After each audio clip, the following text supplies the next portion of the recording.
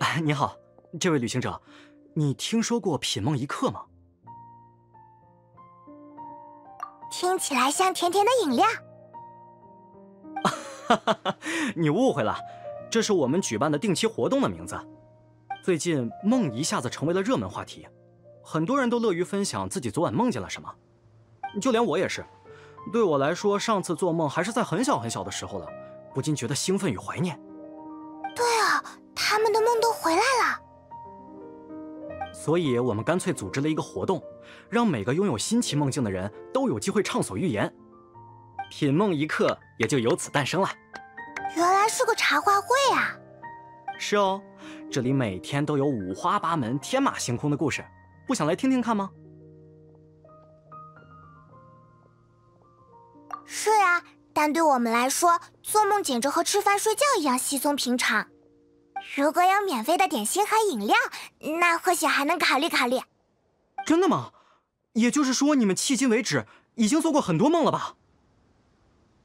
可以这么说，你不用这么激动，没什么了不起的。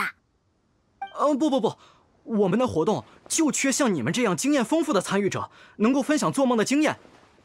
哎，请先容许我称呼你们两位一句“做梦专家”吧。专家，嘿嘿，这种称呼真不错。看起来你有兴趣了，那就跟我去会场吧，不会耽误太多时间。你想要的饮料和点心，那里也全都有。嗯，你也挺专业的嘛。啊，不行，我不能自作主张，还是要听他的意见。啊，你怎么不说话了？嘿嘿，那你快带我们去当专家。好的，请随我来。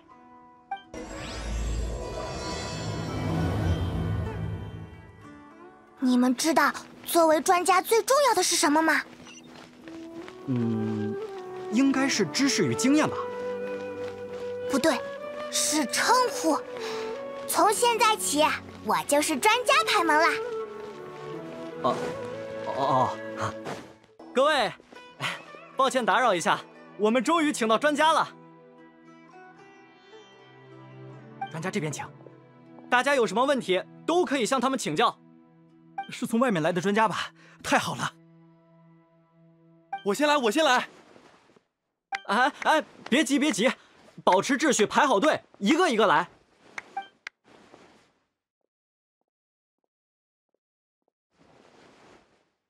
没想到他们会这么热情。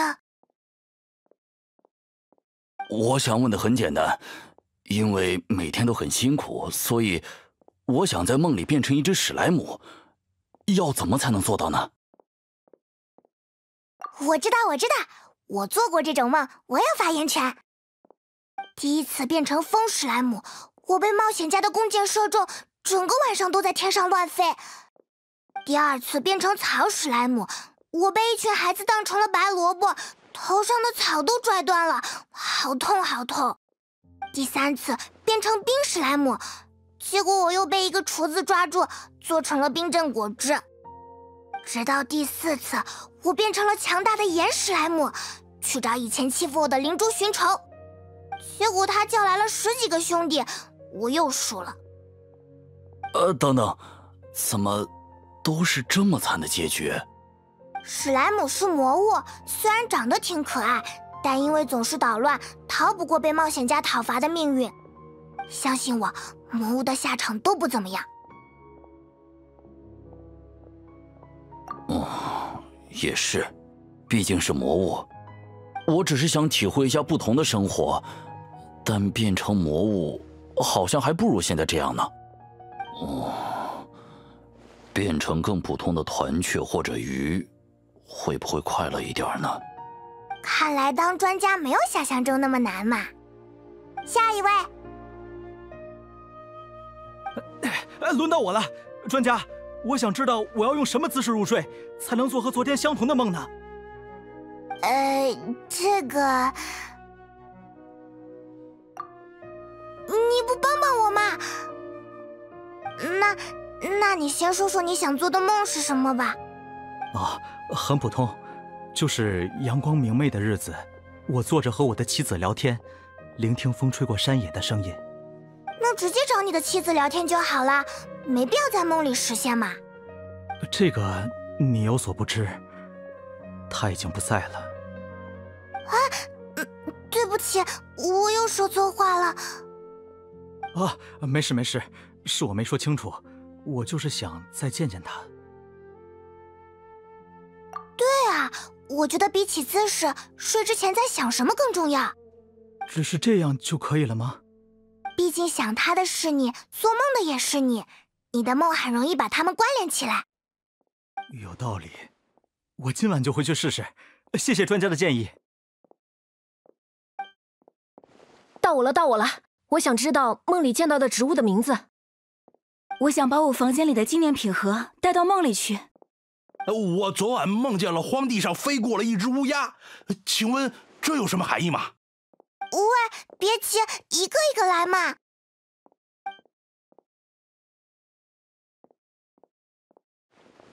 唉，他们的问题太难了，我们并不比他们多知道些什么，只是经验比较丰富而已。也对啊，探索和思考比问题的答案更有意思。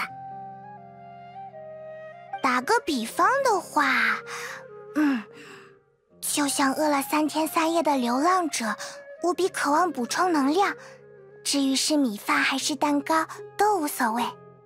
我这么说的话，你知道我想起谁了吧？嘿嘿，是的，他如果在这里，多半会说类似的话。可惜他现在很忙，应该没时间参加这样的集会。两位专家。又有客人想要向你们请教。哎，不用了吧？回答问题的时候你也看到了，我们算不上什么专业人士。这位客人比较特殊。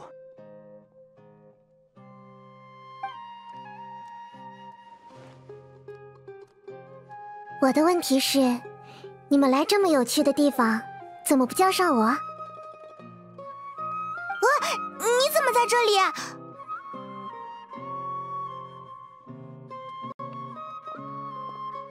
像品梦一刻这样有趣的活动，可不是每天都有。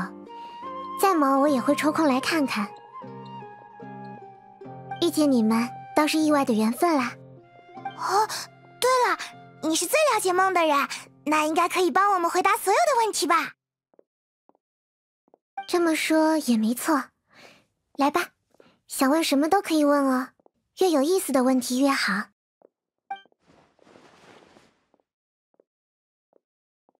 嗯，怎么了？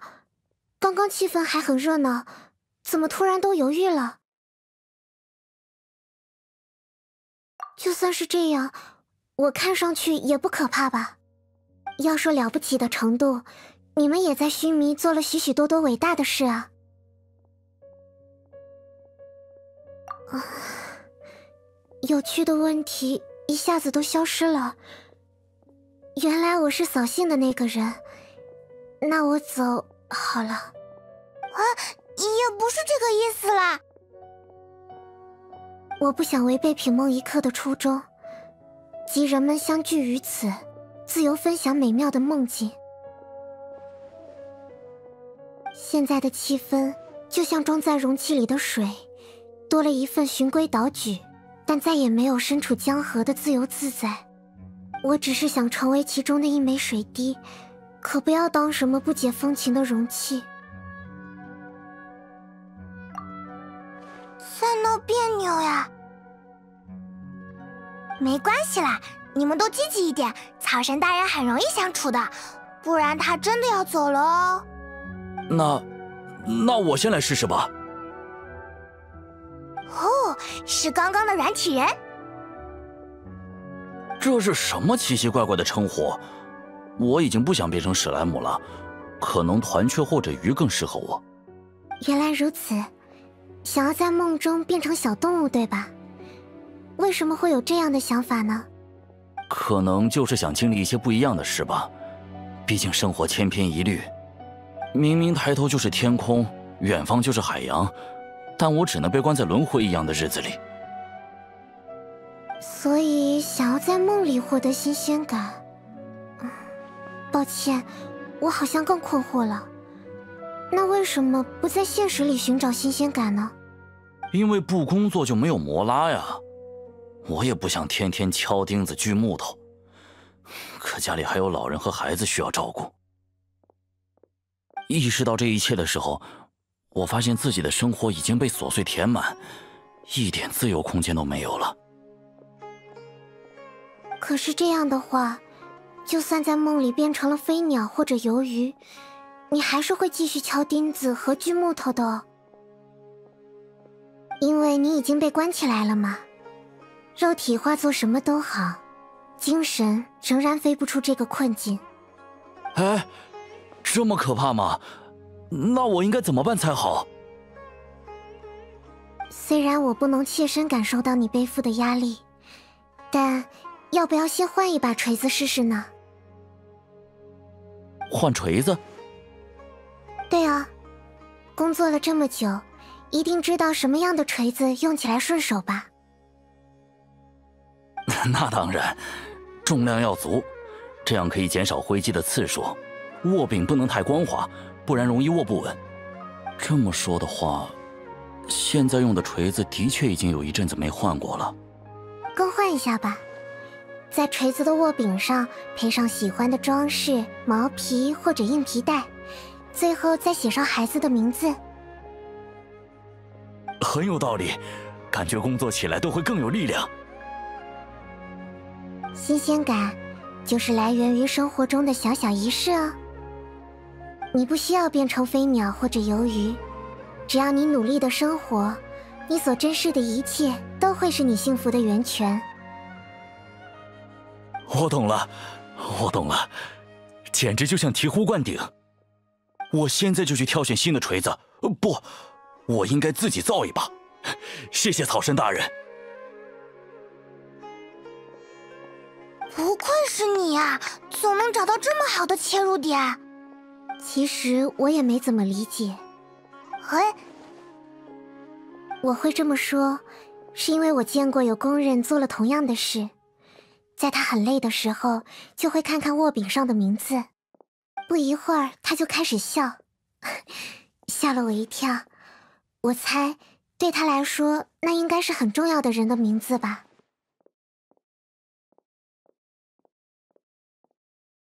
嗯观察之后，我知道这样的行为会让人类获得动力，但为什么呢？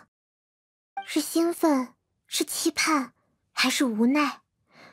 我无从得知。就算能知道他的想法，也难以把握他的情绪。原来是这样，对你来说，居然需要绕这么大的弯。所以我刚刚也稍微有点忐忑。索性看他那么开心，我应该没说错话。啊 不用太在意，这就是我的学习方式了。你把我排除在外了，我明明也很擅长察言观色。谢谢你们，那我安心多了。下一个问题吧。哦，我的问题刚刚已经问过了。但我还希望能听听草神大人的回答。我应该怎样做，才能在每个夜晚的梦里都见到我已经过世的妻子呢？对已逝之人的思念啊！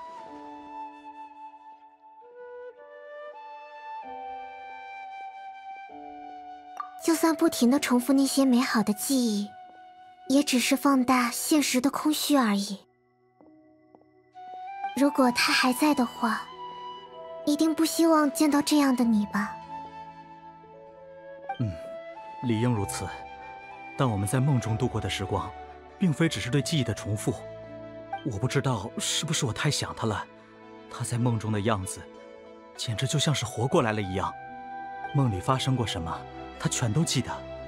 就算我醒来了，再次入梦之后，我们还能顺着上次的话题聊下去。这可真是奇妙。按理来说，连续性的梦境少之又少。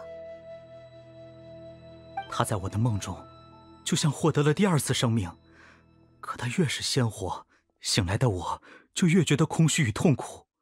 这究竟是好事，还是折磨呢？或许一切的根源，还是在于思念吧。你和他，是否拥有很遗憾的未尽之事？我不知道，但不能和他白头偕老，一起走完这一生，就是我最大的遗憾吧。本来我已经准备向前看了，要不是这一场过于真实的梦，我也不至于如此犹豫。这就是日有所思，夜有所梦吧。但梦境永远都只是梦境，我们是活在现实中的人，过于沉溺在梦境里，并不是什么好事，只是会不断的消耗你的心神而已。我知道，所以我也有点自责。我还需要照顾我和他的孩子，让他看到爸爸萎靡不振的样子，影响也不好吧？唉，还是谢谢草神大人的建议。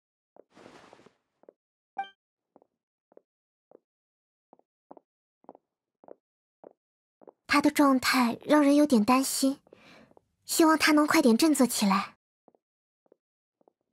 唉。我觉得我状态还不错，你们如果觉得有点无聊，也不用一直陪着我，毕竟你们是来玩的嘛。你好点了吗？嗯，我觉得草神大人说的很有道理，我需要从这种思念中抽身。我想了想，每次在梦中，我都会和我的妻子在一个相似的地方见面，那个地方是真实存在的。只是稍微有点远，也比较危险，我一个人不敢去。但果然还是应该去看看，看到那里什么都没有，我就能认清现实了。不然总觉得我自己像喝醉了一样，半梦半醒。只要晚上不要再梦到相似的场景，我大概就能回到现实中来了。哎，你们是冒险家对吧？如果可以的话，能麻烦你们。护送我去那个地方吗？就当是去转换一下心情好了。虽然见不到你的妻子，但能看到大好的风景，心情也会跟着开阔起来吧。我希望是这样。快点振作起来吧。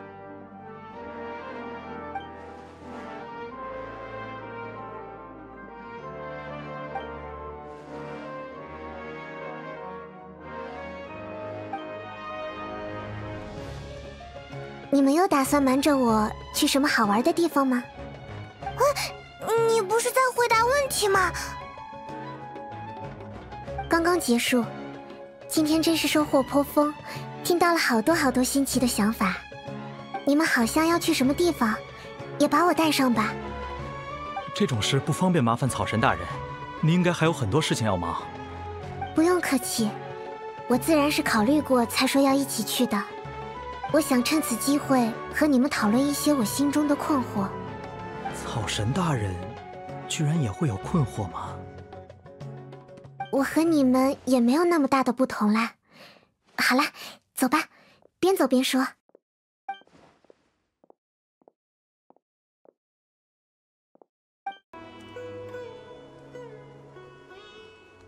有种出来郊游的感觉呢。冒险家总是来这样的地方吗？啊，真是了不起！你们在梦境里都是在这里见面吗？嗯，基本都是，就在前面的山顶上。我们什么都不干，就聊一些日常的话题。我会告诉他海达，也就是我们的女儿的近况。他每次听得都很入神。他也会和我一起回忆过去。和我分享趣事，开些小玩笑，就是这种感觉，让人觉得持续多长时间都不够。平凡与安宁，也是一种难得的幸福呢。这就是我感到困惑的地方了，因为我对梦比较了解，梦境普遍是缺乏逻辑和连续性的。你之前说过，他会记得你讲过的事。对吗？嗯，他以前就会很专心的听我说话，现在在梦里也是一样。他总能记住生活中的各种细节，来为我制造惊喜，这也让我觉得他就像活过来了一样。有点神奇，不过梦境本来就是神奇的东西。问题在于他的描述太有序了。梦是一种比你们想象的还要脆弱的东西，比如窗外传来巨响，在梦中可能就会变成你被装进大炮发射出去。比如口干舌燥，在梦中可能就会变成在无尽的沙漠中艰难跋涉。而你的妻子的形象，稳定到不受一切的干扰。从概率上说，这种情况极为少见。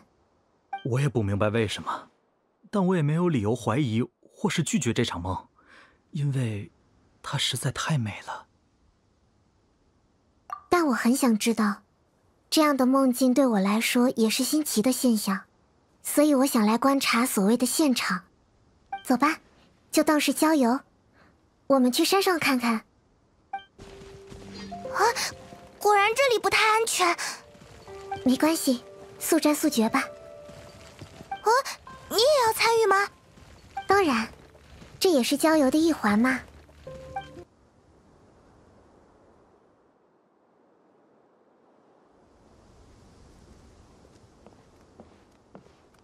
嗯，风景挺好的嘛，也很适合睡觉和吃零食。我也想天天来这里打发时间。嘿嘿，好像没发现什么奇怪的地方。我不打算否认思念的力量，或许这种不可量化的情感因素真的拥有整理梦境的能力。他的妻子一定是很有魅力的人吧？啊，艾勒曼人呢？你居然在这里等我！我今天带了很厉害的人过来。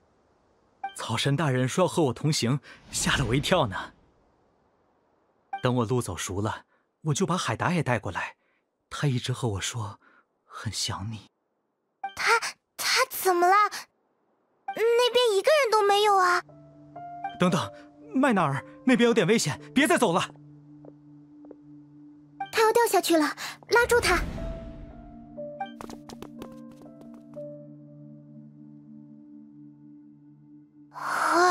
幸好他没摔下去，但他怎么突然开始说胡话？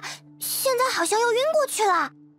他现在处于梦境之中，他刚刚说的话也和之前他描述的梦境几乎吻合。哎，他睡着了，还做了同样的梦。我也觉得有些奇怪，但我们不能叫醒梦游的人，只能在这里等等了。麦纳尔，麦纳尔呢？哦，你已经醒过来了，太好了！我这是梦游。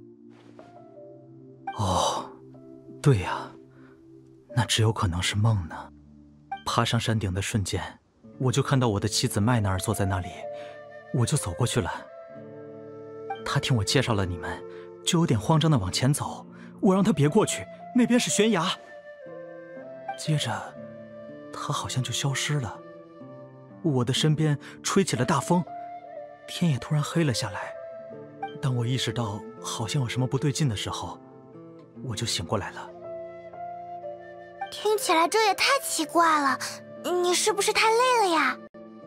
不会吧，我昨天睡了很久，现在也不觉得困。可能是我们跟来。影响了他的潜意识对梦境的塑造吧。不管怎么样，能平安苏醒就好。我大概知道发生什么了。抱歉，要不是你们一起跟来，我可能已经摔下去了。总之，我们先回去吧。你暂时不要来这个地方了。嗯，好的。纳西达，现在你有什么想法吗？我有点担心。线索太少，我的推论还不太可靠。但是我在担心，如果埃勒曼先生的遭遇并非个例的话。对啊，品梦一刻还有那么多对梦境记忆犹新的人。对，不只是品梦一刻，这样的人可能还存在于须弥的其他地方。我们需要尽快掌握现状和他的发展速度。那我们快回去吧！别愣着了，艾勒曼，快跟我们走！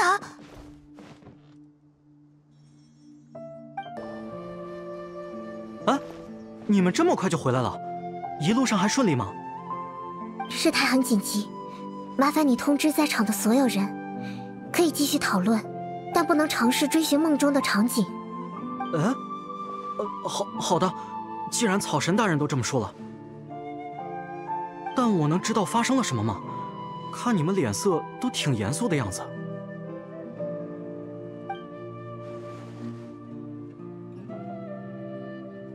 我知道了，居然有这么危险的事。放心吧，我会提醒所有参与者，我还会把这件事告诉品梦一刻的其他工作人员。通过报名者的名册，应该可以联系到更多对梦境感兴趣的人，警告的范围应该能更全面。多谢你，这下子帮大忙了。我先确认一下，今天来参加活动的人是不是都还在？阿塔已经回去了，好像要去造锤子，问题不大。稍等，凯西亚呢？哎，你们有人见过凯西亚吗？他已经走了吗？哦，他说他有想去的地方，好像已经出发了。糟了，不会也是想去探寻梦境中的场景吧？能告诉我们他去了哪里吗？嗯，他简单和我说了一下，就在荣训窟附近。好的，谢谢你，我们现在就去看看。麻烦你也帮我们通知一下其他人，千万不要贸然行动。知道了。唉，谁能想到会变成这样？你们看，他就坐在那里，已经被魔物包围了。先把他救下来再说。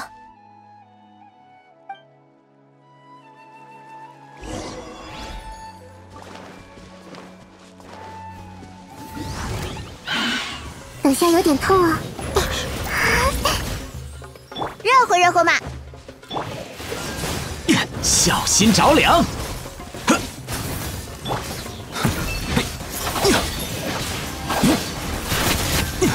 行，散射！记住你了。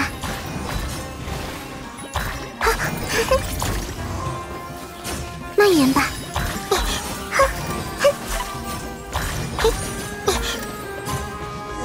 果然和艾勒曼那时候的状态一样。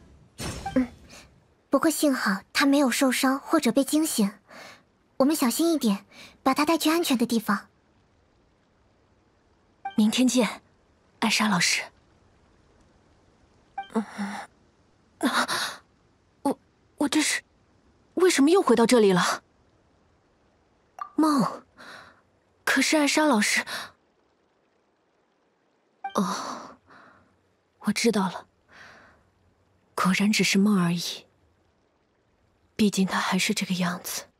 啊，他还是没有开花呢。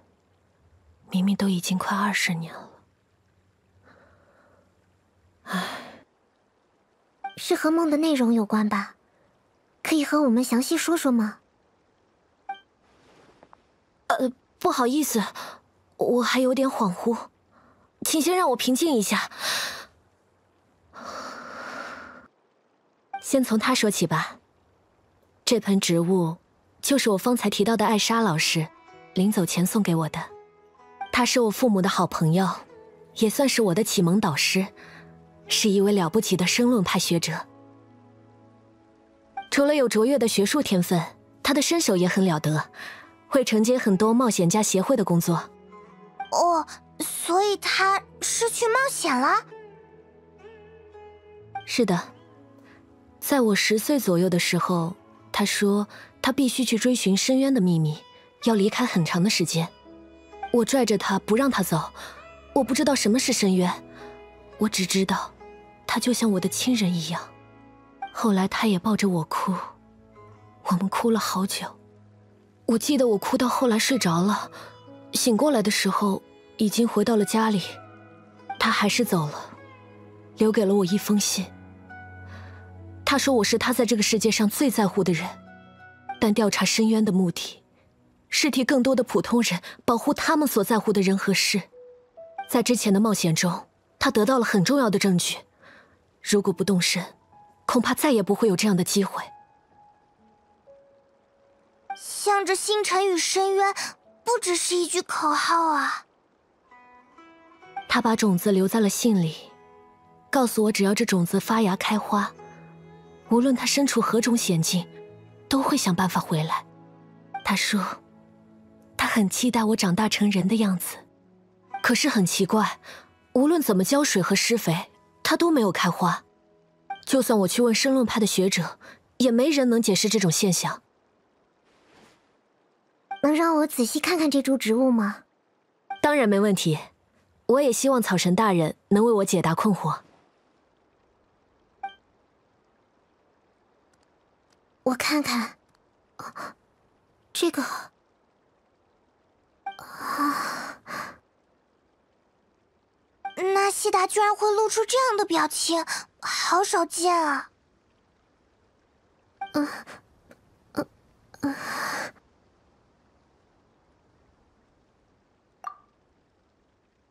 他他好像有点不舒服，我们去去就来。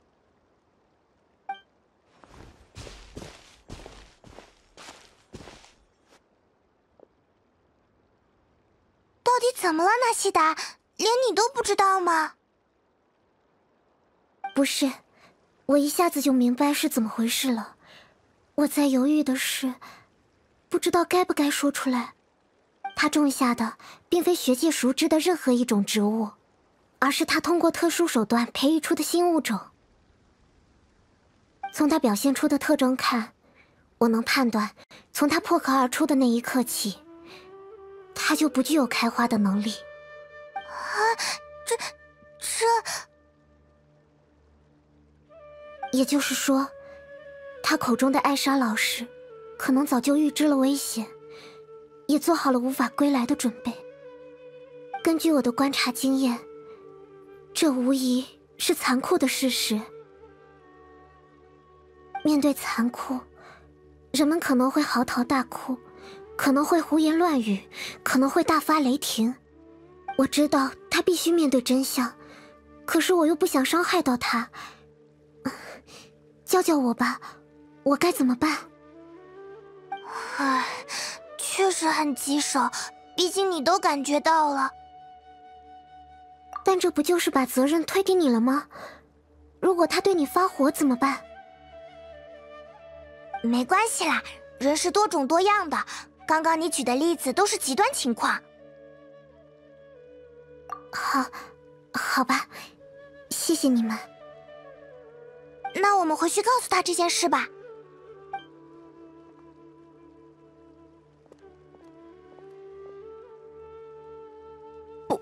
不能开花，这怎么可能？植物不能开花，那岂不是不能繁衍后代，只能渐渐凋亡？你的意思是，他走的时候就没有打算回来，是吗？他说的那一切都是骗我的。但他是善意的，如果怎么都要面对残酷的离别。他也希望能稍微晚一点。对呀，他对你的爱、照顾还有呵护，记忆中的那些温暖，都是真实存在过的呀。我猜，他一定也希望你在了解真相之后，能理解和尊重他的选择。我明白了，对不起，我不想抱怨。我只是有点承受不了，明明梦那么美好，现实却冰冷无比。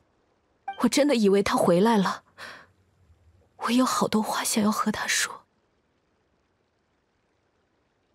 这场梦可能没有想象中那么美好和单纯，或许有某种力量在利用你们的情感。是，是这样吗？嗯，所以在调查完成之前。希望你能尽快回到品梦一刻，并且不要再接受梦境里的暗示。嗯，抱歉，我知道了。谢谢你们能来救我，这株植物也没有受损，不然，就连最后的纪念也没有了。谢谢你们，看来他总算是接受了事实，但恐怕，这种悲伤的情绪还要消化很长的时间。你们提到爱的时候，我见到他的眼神有明显的动摇，就像是及时到来的一场温柔的雨，浇熄了即将蔓延开来的火焰。嘿嘿，因为人是会共情的嘛。共情，原来是这样。这是很贵重的知识，我学习到了。对了，你刚刚说有人利用他们的情感。你难道已经有推测了？是的，这两件事的共通点，就是埃勒曼和凯西亚都失去了最重要的人。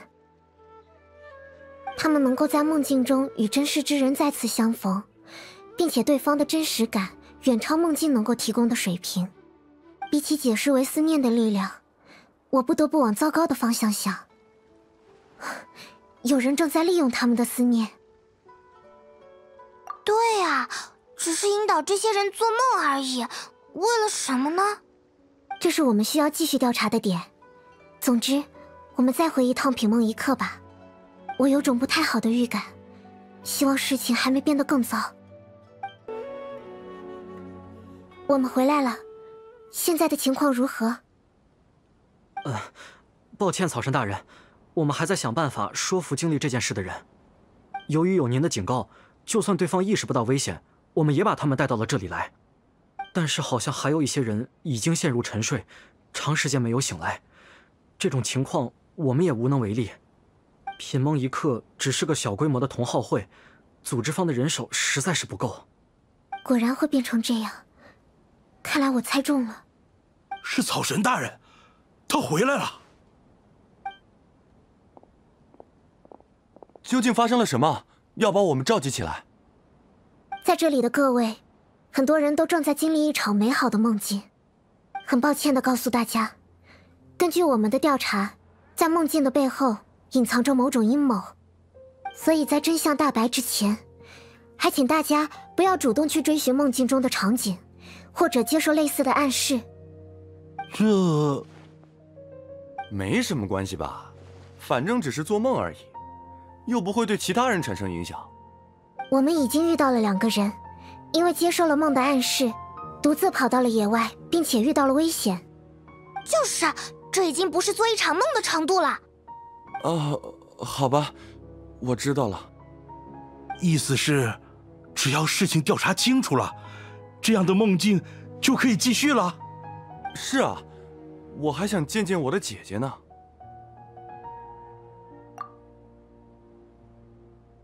实在抱歉，草神大人，可能接下来说的话有点冒犯。我们和刚来的人讨论了一下，我们都在梦中见到了真实的人，他们就像活过来了一样，令人不愿意再醒来。嗯，这也和我们调查的线索一致。所以，如果说这件事调查的结果是要终结这场梦境，那对我们来说实在有些残酷。我们都能理解其中的危险性，但。可能您无法理解梦里的那个人对我们有多重要。我想，不是每个人都会理解并配合您现在正在做的事，至少也会想在您调查结束之前，去梦境里和那个人再见一面，说一句再见。这也是我们遇到的最棘手的情况之一。愿意配合我们的人并不算多。就算是知道了危险，还是要回到梦里去。没错。我们对危险的描述，相较于甜美的梦境，就像简笔画一样苍白。看来现状会不可避免的失控。我们耽误的时间越多，就会有越多人无视警告，回到甜美的梦中。那那要怎么办？只能亲身去梦里看看，揭晓事情的真相了。皮特先生，这里有正在经历这段奇妙之梦的人吗？我想想啊，哦，来这边吧。好的。女士不愿意接受我们的说服，不久之前就在这里睡着了。她只是睡着了，并没有出现梦游的情况。看来入梦还不深。去梦里，我们也要睡觉吗？不用担心，我可是小吉祥草王呢。不用紧张，闭上眼，幻想自己是逐渐消融在沙滩之中的浪花，逐渐分散，逐渐下沉。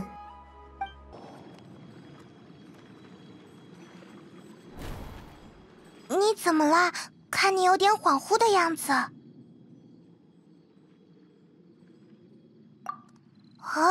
我什么都没看到呀。总之，我们好像顺利进入梦中啦。原本以为我们会来到某个熟悉的场景，但现在周围似乎都是陌生的风景。好多巨大的植物，连天上都有，太神奇了。按理来说，我们应该直接抵达黛比的梦境。看来事情果然不同寻常。总之，先寻找一些线索吧。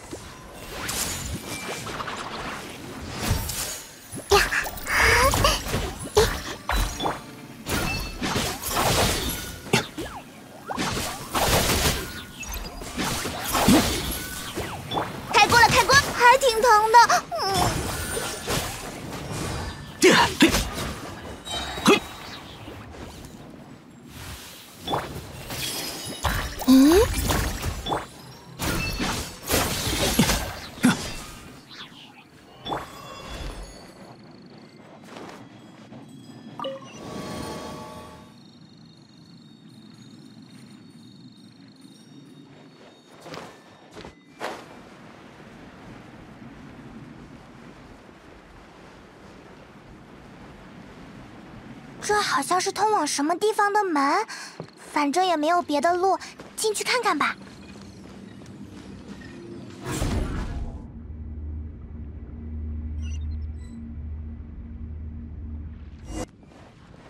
来到熟悉的地方了，这里不就是普斯帕咖啡馆吗？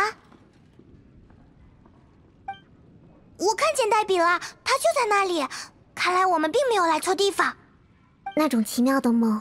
往往会暗示一个真实的场景，这也和我们之前收集的信息相吻合。那刚刚我们在的空间又是怎么回事呢？你的意思是，又是集体梦境？嗯，这样的可能性最大。毕竟有那么多人都在经历相似的美梦。如果是各自独立的梦，无论是操纵还是管理，都不如像这样连在一起方便。我明白了，我们去找黛比聊聊天吧。不过他旁边还有其他人，他们也在做梦吗？如果现在这个空间是只属于他的梦，那旁边的人可能是黛比的真视之人。总之，先确认吧。确认？这要怎么做？看我的就行了。这里的咖啡还是和以前一模一样。你们走遍了提瓦特，肯定喝过更美味的咖啡吧？哼，外面的东西再好，也不如家乡的味道令人怀念呢。是啊，身体的习惯可没那么容易改。总之，干杯吧，庆祝你们终于回来了。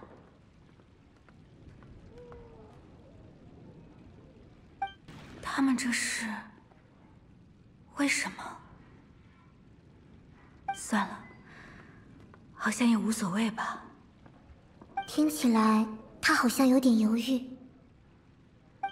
确认过了，这里确实是只属于他的梦境，因为我听不到另外两个人的心声。这这就是草神的力量吗？那我以后也要小心点。放心吧，平常我不会使用这样的能力，毕竟很不礼貌嘛。我也要做好准备。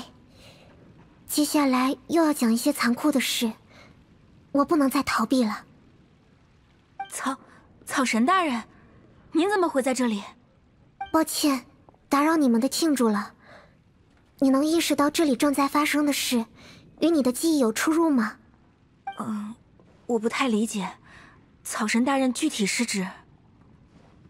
我知道，草神大人想说，我们能在这里相聚，是人生中绝无仅有的缘分。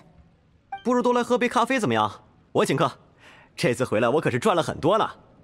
记忆，绝无仅有。仔细想想，他们的真实情况，你应该最了解。像这样聚在桌旁谈天说地，是否只是一厢情愿呢？蒸汽鸟报社的报道准确无误。他们乘坐的商船。触礁沉没了。从那以后，我再也没有收到巴斯马和加斯帕尔的消息。喂喂，说什么呢，黛比？想起来了就好，这里的事都是不真实的。我明白了，我是在梦里吧？但既然是我的梦，真实与否并不重要。我享受这里的不真实，我没必要面对现实的悲剧。他们都是我无可取代的好朋友，也只有他们两个能理解我了。继续做这样的梦，也没什么不行吧？但我很担心，再这样下去，你会渐渐分不清现实与梦境的界限，因为梦境永远最符合你的心意。相比之下，现实荆棘遍布，一不小心就会被划伤。放心吧，那还不至于，我有分寸。真的吗？要不然我们先别管这些复杂的东西了，喝杯咖啡，吃点甜点，怎么样？现实也好，梦也好，开心就好嘛。这怎么能不管？我们连你们是哪里来的都不知道。啊！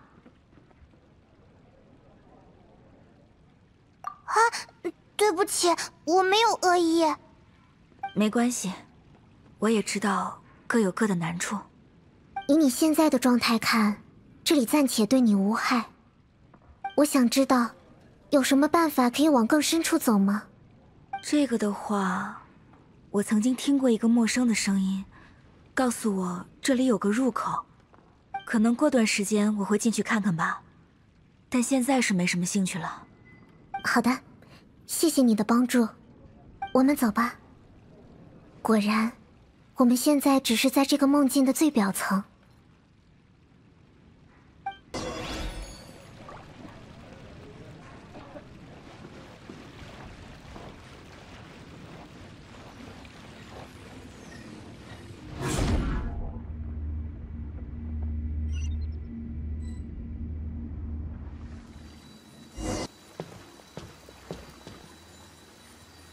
我们又回来了。喂，我们刚刚在上面吧？不对，是下面，上面。不用慌张，梦境就是如此。我们已经从黛比的梦里出来了，但梦境还在继续延伸，不知道通向何方。这个梦拥有创造虚幻之人的能力，才会如此令人流连忘返。原来是这样，有点难以置信。我有个猜想，如果这些梦境都是连接起来的，他们应该拥有某种顺序。刚刚的黛比，他能够意识到自己在做梦，说明他入梦的程度还比较浅。但现在我们身处的空间已经倒转，还记得我说过梦境的特点吗？梦是乱的。没错，也许我们现在就在不断的深入这场梦，越是往下，越是能接近本质。真相多半就在最深处等我们吧。嗯，也要做好所有的准备。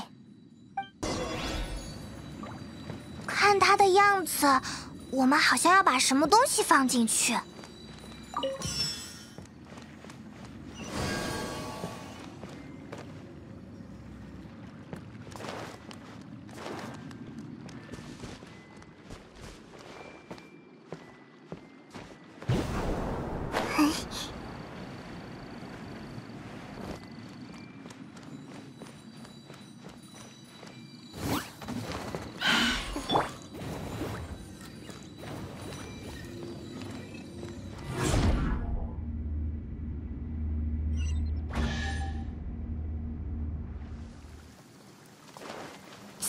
时候，它好像就会慢慢消失。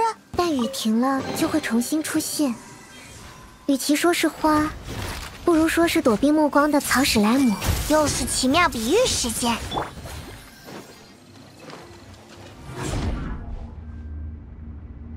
哇，又到上面来了，搞不清了，到底是上面还是下面？啊，幸好没往下掉，还好还好。是往上掉哦。不要再说了，我早就搞不清楚了。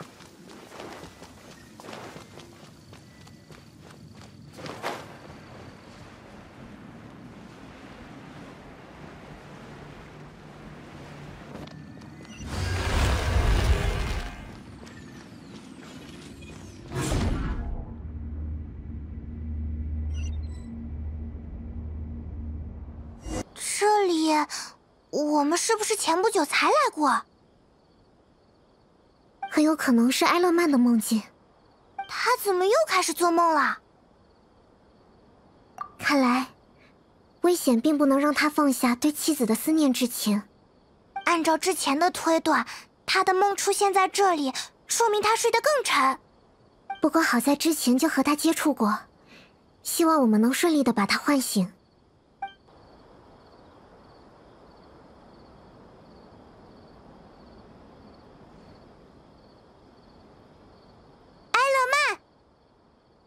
哦，是你们呀！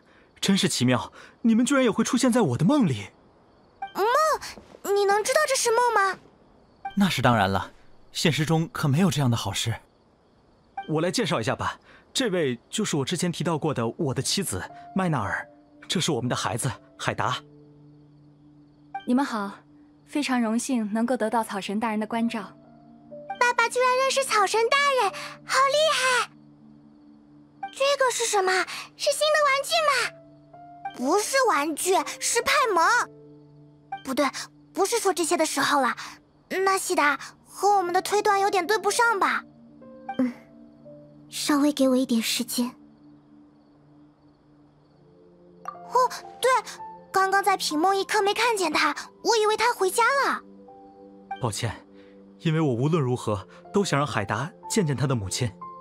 路线我也踩得比较熟了，我就带海达来了这里。幸好没遇到什么魔物。我也很开心，没想到海达长得这么快，实在是辛苦他了。我觉得我很对不起他，没有尽到一个妻子和母亲的责任。没事的，不用说这么不开心的事。虽然是在梦里，我们能这样团聚，也是上天的恩赐啊。怎么办？我们应该说出真相吗？残酷的事情，还是让我来做吧。嗯，让我来吧。很抱歉，不得不告诉你，我们并非你的梦境创造出的形象，而是具有自我的意识。和那时候一样，我们仍然在调查这个梦的真相。现在已经掌握了一些线索。也就是说，这个梦果然还是不正常的吧？这是怎么回事啊？我们一家人的团聚注定还是短暂的。妈妈要走了？可能嗯最后的结果或许就是这样。不要妈妈不能走！我不太清楚这是怎么一回事。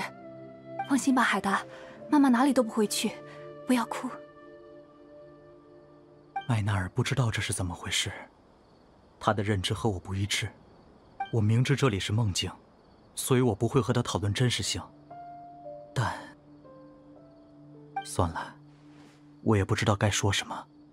复杂的事我不懂，这个梦不管是好是坏，总之你们是来解决它的吧？嗯。那就让我们最后再享受一会儿吧。无论背后原因是怎样，我都觉得自己很幸运，也对这个机会颇为感激。这个梦，非要消失不可吗？对不起，恐怕是的。呃，这样啊，我知道了，请往这边走吧。这个方向可以通往更深处。听说越往下走，就越是甜美，越是能让人流连忘返。你们想要的答案，说不定也混杂在里面。快去吧。谢谢你能够帮助我们，我也由衷的感到抱歉。不用谢，因为我也别无选择，毕竟我只是一个凡人，无权，也无力干预神明的做法。我等下也会跟来，至少也要让麦纳尔和海达看看，这到底是怎么回事。不然，等醒来之后，海达可能就要错怪他的妈妈了。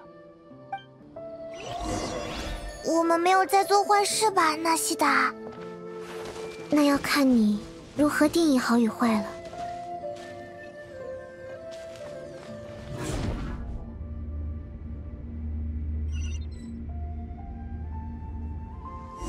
又是同样的地方，看来这里就像是连接整个梦境的楼梯，只是模样看上去越来越凶狠。普通的楼梯可不会试图攻击我们。对啊，我们的推断好像出错了。埃勒曼能明确的意识到自己在做梦，并且非常乐在其中。与其说是在更深的梦中，不如说是更清醒了。我觉得思路没错，只是可能要换一种解释，并不是梦的程度越来越深，而是梦境的主人对这里的依恋越来越深。你们从来不会把梦当真，对吧？我的话，偶尔会觉得，如果这是真的就好了，但也只会这么想想，马上就抛到脑后去了。因为我们是生活在现实中的生命，现实理应是我们的重心，这也决定了梦的虚无缥缈的性质。无论变成什么样，我们都不在乎。可是，如果我们决定放弃现实，拥抱梦境，它对我们而言就不再是无所谓的东西了。我我好像有点明白了，大脑会越来越用心的构建梦境世界，真实感也会越来越强。还记得虚空可以把梦境转化为知能吗？构建真实的梦境，消耗的也是类似的力量。那是不是意味着？这里也有一个像花神淡季的尼禄那样的梦境之主，只要唤醒他，这个集体梦境就结束了。嗯，很有可能。须弥城的集体梦境是由虚空创造的，而现在虚空已经被关停。这件事和兰纳罗无关，人类也没有通过其他的方式创造集体梦境的能力。也就是说。哎，他他难道把虚空重启了？那倒是不可能，但他多半是教令院的学者，且曾经与虚空有紧密的联系。但就算是这样，他究竟是怎么做到的？又是怎么……嗯，现在这里并不是终点。等我们了解了他的动机，一切疑问也会迎刃而解。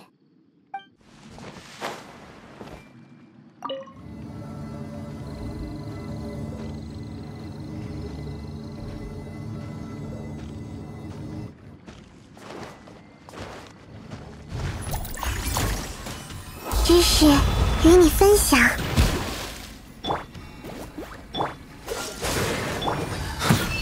理论的推演，等下有点痛哦。这个如何？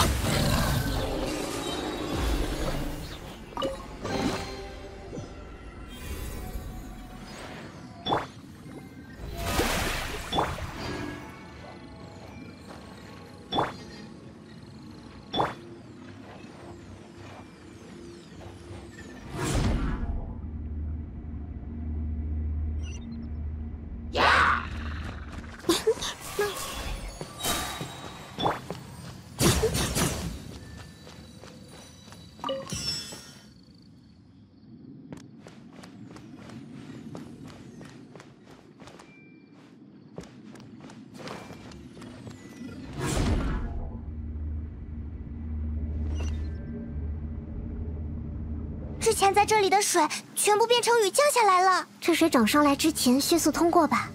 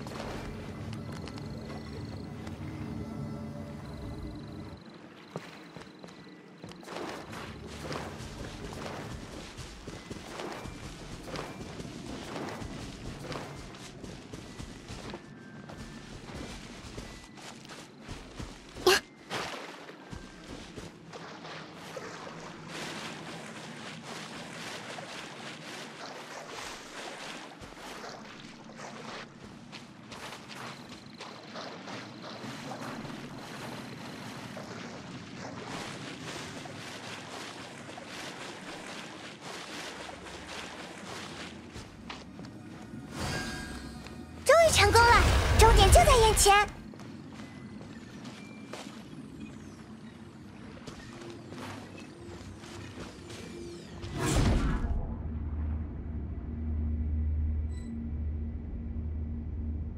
哇，终于来到了没见过的地方。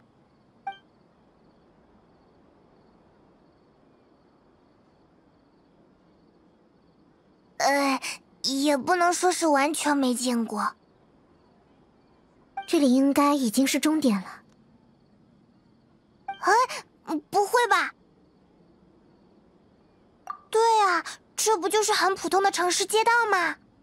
我拥有和梦相关的全能，所以谁在做梦，谁是被梦创造出来的，一目了然。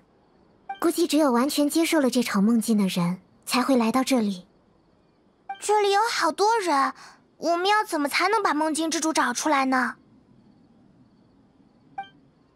没关系，我自有办法。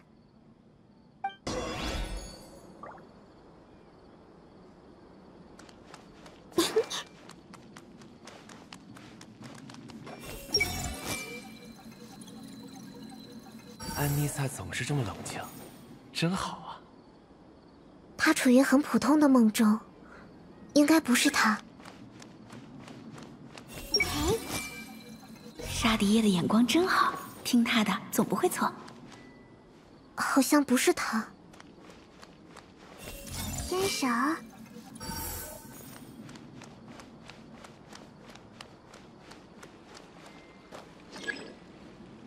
全都看见了。有时候会觉得拉凯什再多一点主见就好了，但现在这样我也很满足。很可惜，并不是他。哎，谁不希望梦能永驻呢？他刚入梦不久，肯定不会是他。不过，我听说，如果给植物听音乐的话，它们会长得更好。正好我也好久没有听你弹琴了。这两天有点忙，不好意思。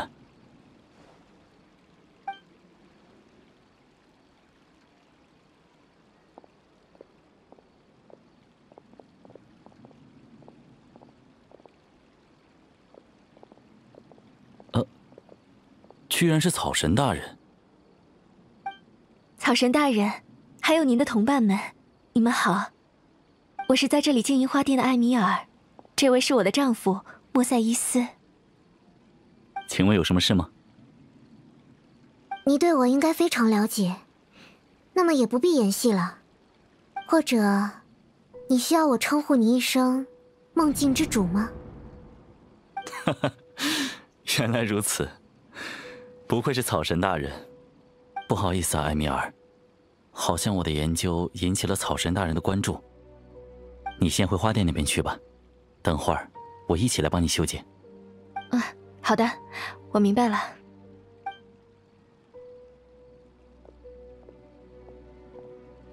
看来在草神大人的面前，妄图以小聪明与您嬉戏一番，我还是太天真了。就由我率先发问吧，这样也显得知趣一些。您对这个梦境的了解到了哪个程度呢？这个梦境借由虚空搭建而起，拥有创造不复存在之人的能力。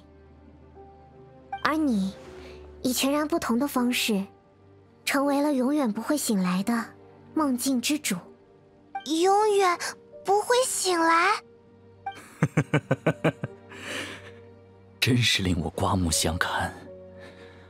我所面对的。不愧是智慧的化身，能让我知道您是如何推理到这一层的吗？作为报答，我也会回答您最好奇的问题。很简单，因为这个空间中除你之外，无非只有做梦的真人和被创造的假人。而你虽然处于这个梦中，看似与其他人相同，但我感受不到你的梦。我要如何唤醒一个本来就清醒的人呢？有意思。以清醒的状态成为梦境之主，这个世界就永远不会因为你醒来而崩溃。理论上，你也获得了对这里的绝对掌控权。从各种角度看，这都是最优选。剩下的问题就是，你是如何做到的？答案不就在眼前吗，草神大人？因为我把我的现实都奉献给这场梦了呀。早在虚空还在运行的时候，我就把我的意识全部上传到虚空之中了。其实这些都源自于一场意外。我本来的目的，并不是虚空或者集体梦境，而是串联起一切的线索，拥有真实感的人。没错，人类实在太复杂了，除了借用虚空的强大智能。我想不到实现它的其他办法。虚空无比伟大，就算我挪用一点，也不会有人察觉。而这一点之能，对我而言已经用之不竭了。我就算只是用穷举的方式，也能训练出颇为真实的人格。我把第一个作品命名为艾米尔。那不就是刚刚的女孩子吗？我和她同一天进入教令院，从办理入学手续开始，我们一天相遇了六次，就是这么简单的原因。我们后来坠入了爱河，一起学习，一起研究，一起进步，我们的步调颇为一致。我总觉得，我们心脏连接在一起，只是身体分开了而已。然而魔灵病，只夺走了他的生命。因为我需要更多的训练样本，用于进一步完善艾米尔的人格。我从虚空的数据库里找到他们的数据，以检测心理疾病为由，在他们体内留下收集装置，这样我就可以将他们连成网络，让艾米尔感受他们的思念，逐渐成长，变得温暖。为了全情投入，加快研究效率。我就把意识也上传到了虚空，也成为了网络的一部分。所以，准确来说，并不是你不会醒来，而是你不能醒来了。嗯，因为虚空毫无预兆的关掉了，我失去了所有智能，被拘禁在自我搭建的网络中。起初我有点慌张，但整理了情况之后，我知道。只要切换智能的来源，就可以重启这个世界。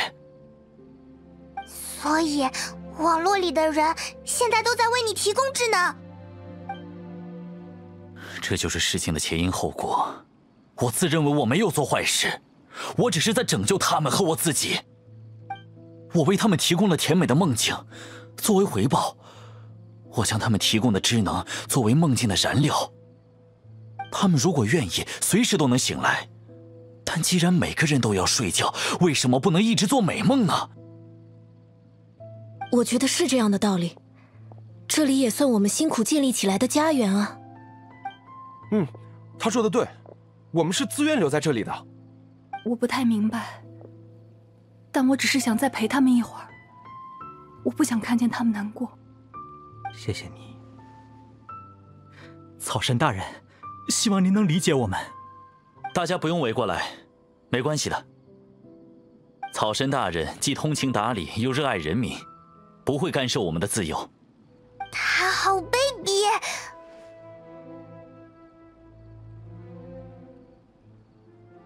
看来我最后的问题也不需要你亲口回答了。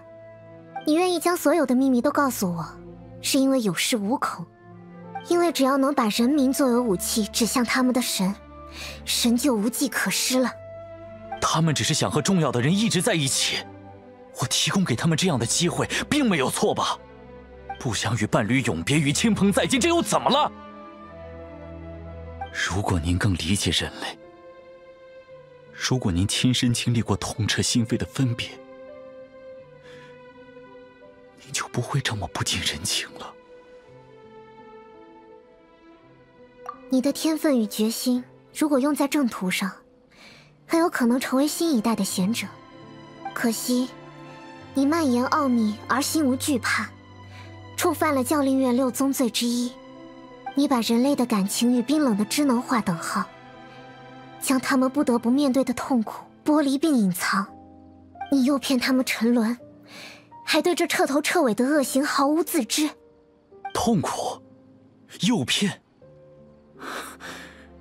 这里从创造之初就不存在那种东西。他就在这里，埃勒曼的孩子，海达。哎，我的女儿，怎么了？这个梦境依托于既定的网络，换句话说，只有体内被植入装置的人才能进出这里。再仔细回想一下你的经历吧。我带着海达。偷偷的回到了山坡上，麦纳尔在等我。海达见到了他的母亲。啊，海达他不是海达。嗯，因为他没办法和你同时进入到梦境中，在你入梦的瞬间，梦境就创造了一个海达，实现了你想让母女重逢的愿望。那么，真正的海达在哪里呢？还留在山坡上。没错，看到父亲突然昏倒，或者开始说胡话，他一定吓坏了。那里还有魔物出没，非常危险。海达还在那里，这样的话，爸爸在说什么？我听不明白。我必须马上醒过来，不能把他一个人丢在那里。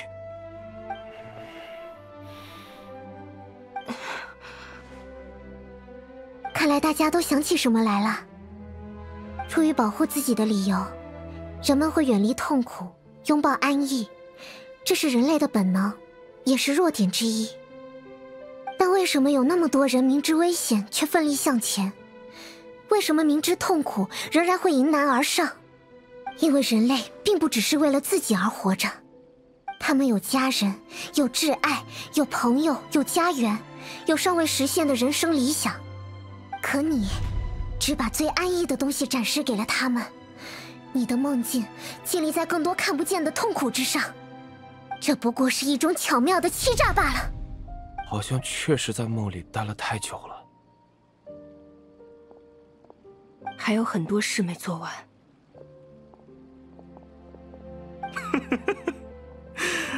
我以为神不懂人，才创造了残缺的世界，制造了无数生离死别。没想到你能观察到答案，但很可惜，这也是没用的。想要醒过来，就暂时醒过来好了。正好我也想和艾米尔独处一段时间。只要这场梦还在，你们还会回来。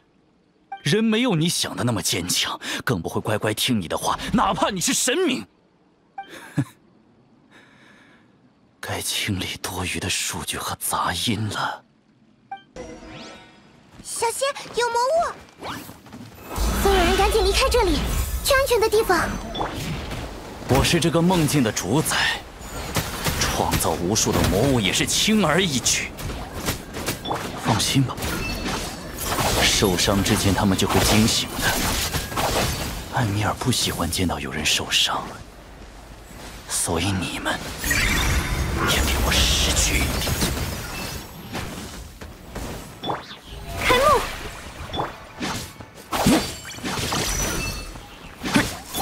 啊！救命啊！是他的！热乎热乎嘛！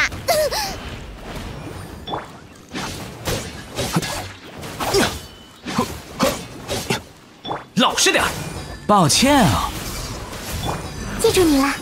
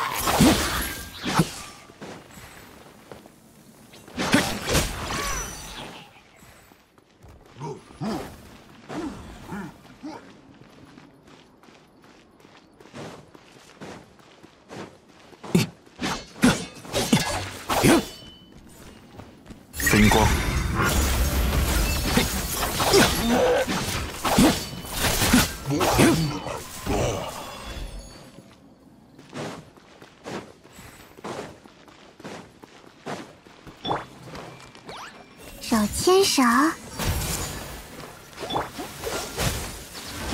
开锅了，开锅了！嘿，嘿，哈！哼，哼，哼！近身。哼，别以为你们就此得手了，这是属于我的梦。只要我想藏起来，就算是神也找不到我。只要人们还渴望幸福。他们就会回到这里，重建这片乐园。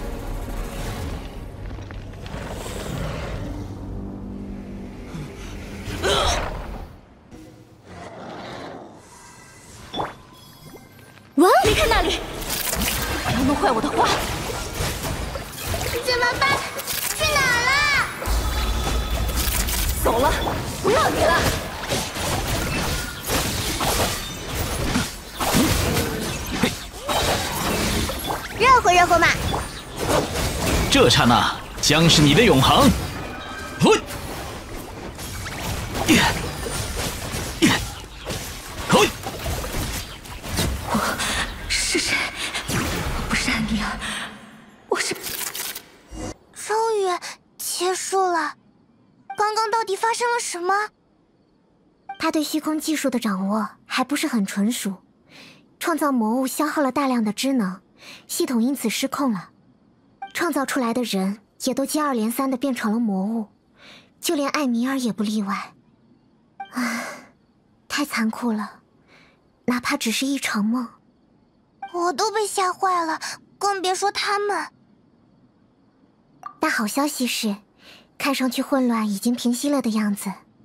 接下来就只需要让这里的人醒过来，回到现实之中就好了。艾米尔，我的艾米尔，全都没了。终究只是大梦一场，反抗不了命运，也不能依靠知识。这个世界还真是过分呢。还在认为这是我们的错吗？已经不重要了。用于维持梦境运行的智能，都变成了魔物。这里短时间内就会崩溃，我的意识也会消失。让我跟艾米尔一起走吧，就算是湮灭成灰，我也拒绝醒来。感觉他受到了过大的冲击，已经万念俱灰了。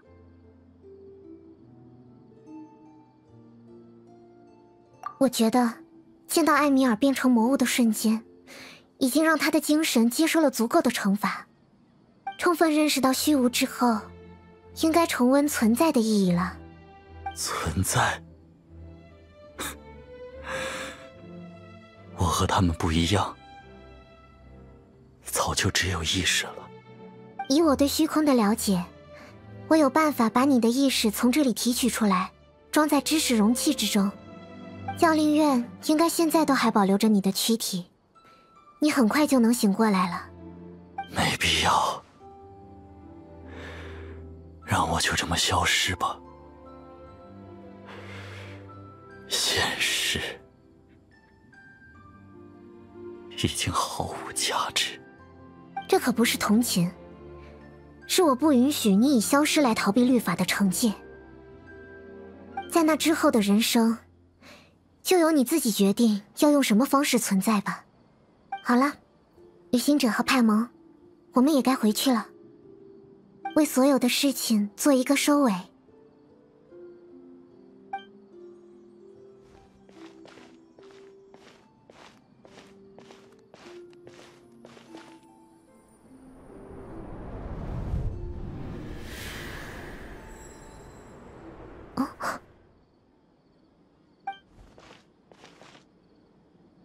怎么了吗？没什么。我们告诉这里的人，醒过来之后都去品梦一刻集合吧。太好了，你们也醒过来了。大家都陆续醒来，城里也好消息不断。看来事情已经顺利解决了，对吧？嗯，虽然费了一些周折，应该等会儿会有很多人聚过来。麻烦你组织一下现场的秩序。我和他们去一趟教令院，马上就回来。是草神大人，请问有什么事呢？我想查询一下学籍资料，是否有一位差和伐罗学院的学者现在处于昏迷不醒的状态？好的，请稍等。久等了，草神大人。的确是有这样一位学者，名叫贝诺尼。因为违规操作虚空而陷入昏迷，直到现在他还没有恢复意识，仍在接受健康之家的治疗。哎，他不是叫莫塞伊斯吗？估计是不想被认出来吧，他不愿意被任何人打扰。这里面储存的知识，麻烦转交给风机关，请他们导入到贝诺尼的大脑中。好的。不过，出于安全性考虑，我还需要了解一下理由。很简单，这里面是他的意识，之前被困在某个梦境里了。他在梦境中做了一些影响须弥治安的事，在他醒来之后，我会和大风机关概述情况。明白了，我这就去做。感谢草神大人。嗯，没关系。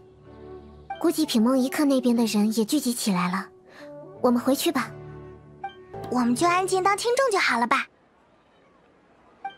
不知道他打算说什么呢？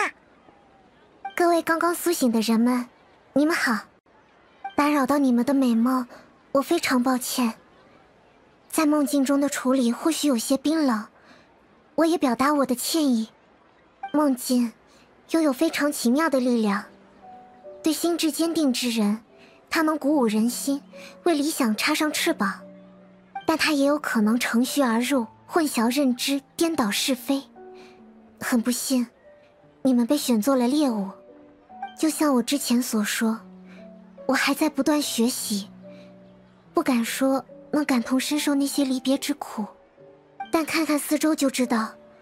有过类似遭遇的人并不少见，你们能相聚并站在这里，一同望向远方，你们应该为此自豪。生命的道路非常漫长，我们都很难看到终点，由此，我们可能会产生很多问题：我活着的意义是什么？我的目标是什么？我为什么要不断经历痛苦？诚然，停下脚步，放弃思考。重复熟悉的做法，这是最轻松的选择。每当产生这样的念头的时候，就看看身边存在的人和事吧。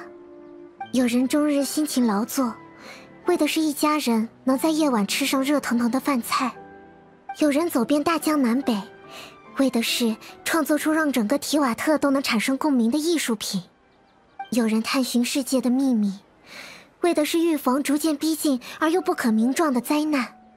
自我，并非生命意义的全部。每一次行动都是对自我与世界的塑造。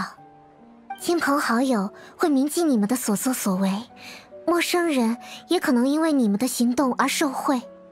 为此，有许多人哪怕承受痛苦，也要开拓全新道路。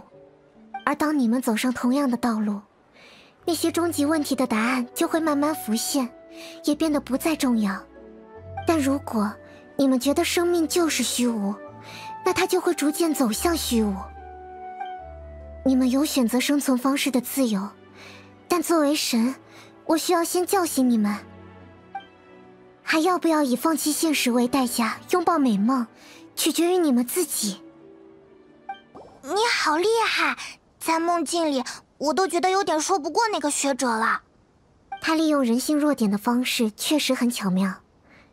或许他自己也早就深陷其中了。那个梦境有难以言喻的诱惑力，甜蜜的让人上瘾，而普通人很难有清晰的判断。但只要能醒过来，什么时候都不算晚。哦，怎么突然这么说？就是，虽然你说你不太懂人类的感情，但你的犹豫我们都看在眼里。刚刚那段演讲也是站在他们的立场上说的，这不是做的很好吗？谢谢你们。这一路上，我听到了很多悲伤的故事，内心不止一次受到触动。受害者们的行为并不算错，他们想要的东西也不过分。所以在他们试图对抗我们、保护梦境的时候，我可以理解他们的选择，但我的理解与触动。和他们真实经历的痛苦相比，可能连百分之一都不到。这百分之一，我不敢认为它是所谓的共情。你要求真高，当然是啦。好的，果然出来转转才会成长呢。感情和知识完全不同，我很难用清晰的言语描述它。贝诺尼。或者莫塞伊斯说我没有经历过生离死别，可我有种特别模糊的感觉，告诉我并不是这样。我刚进入梦境，就感觉我被一股特别温暖的热流包裹，温暖到感觉自己回到了生命的原初状态，再也不愿意醒来。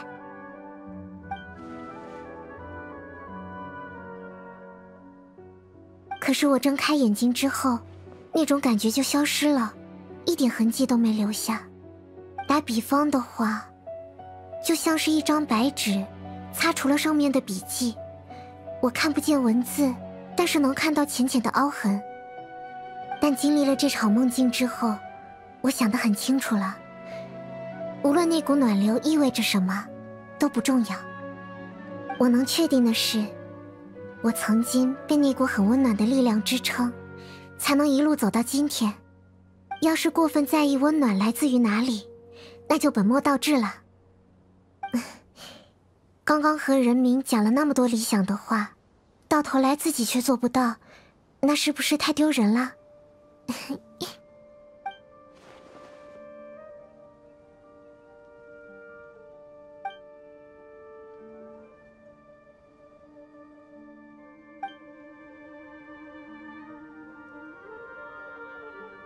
怎么了？突然一脸沉重的样子。看你好几次欲言又止了，是有什么话想告诉我吗？这样啊，那么睡醒之后，不如伸个懒腰吧。新的一天要开始啦。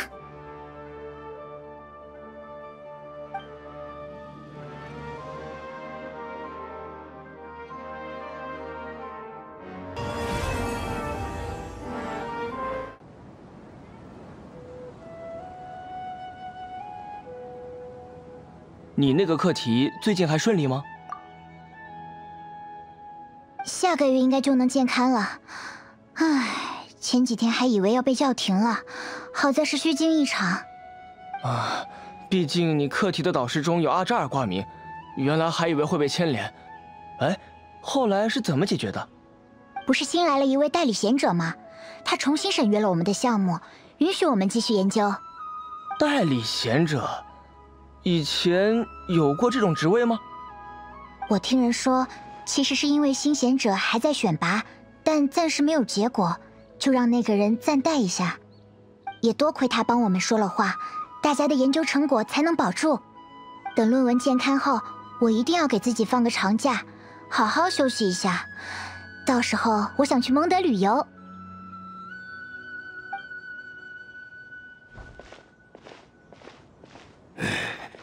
那些人真是昏了头，竟然会请艾尔海森做代理贤者。消消气，老师。我也纳闷，按资历，您才是学术泰斗，怎么轮得到他一个毛头小子？愚蠢！你以为我是气自己没当上贤者？哼！我是不理解，为何偏偏是艾尔海森？当初他选修我的课。一学期我就没见过他几次，问他，他居然敢顶撞我，说听我讲课还不如自己在家看书。哼，狂妄，刺头，这样的人竟然成了代理贤者，简直就是教练院的不幸。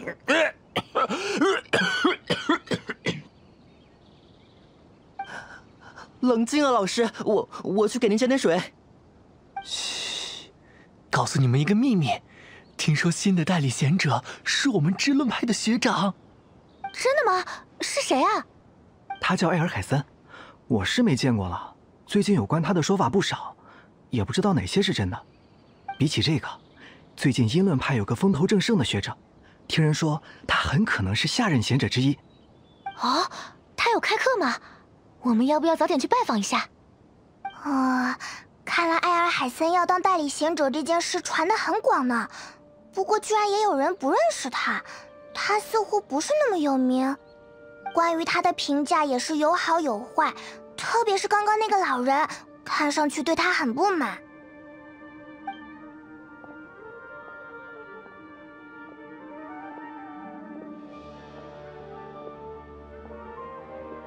啊，你怎么了？身体不舒服吗？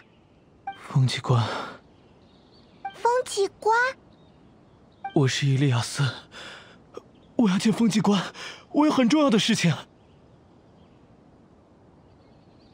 哇，你都这样了，还是不要勉强自己了吧？要不你把事情告诉我们，我们帮你转告给风机关，怎么样？不行，我必须亲自见到风机关，只有风机关可以信任。拜托你们扶我一把，这件事很重要，绝对不能出差错。既然你都这么说了，好吧，我们带你去找风纪官。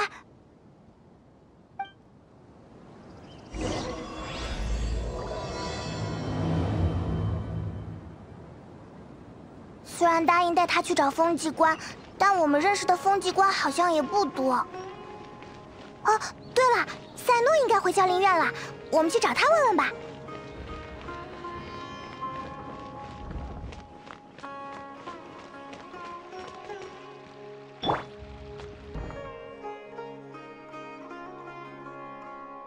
你好，我们想打听一下，赛诺在教令院吗？两位看着眼熟，莫非是赛诺大人的朋友？赛诺大人正在外面执行任务，有什么事可以先和我说，我会帮你们转告赛诺大人。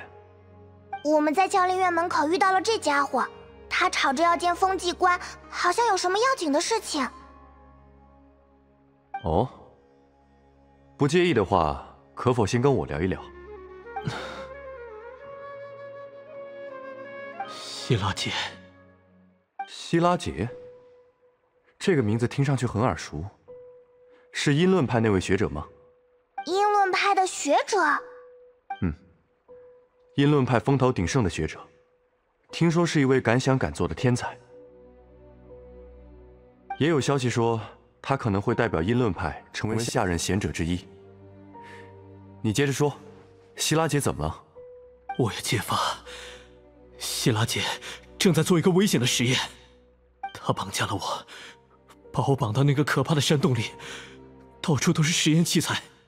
我拼命的跑，只差一点我就被她抓住了。别紧张，慢慢说。她在做什么实验？那个山洞在哪里？我不记得了。重要的事，你竟然不记得了？我只记得希拉杰朝我走来，之后我的脑袋就开始变得不正常，我忘了很多东西，就像做了一场噩梦。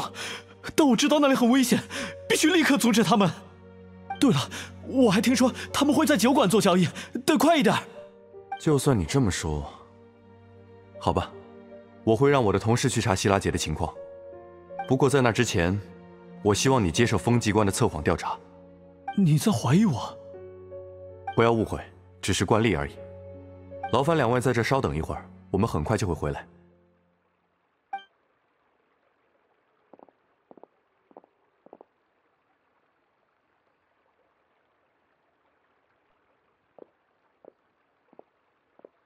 咦，艾尔海森，你怎么在这儿？我来解释一下吧。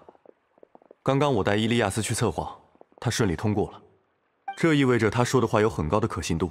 我们决定围绕他提供的线索展开调查。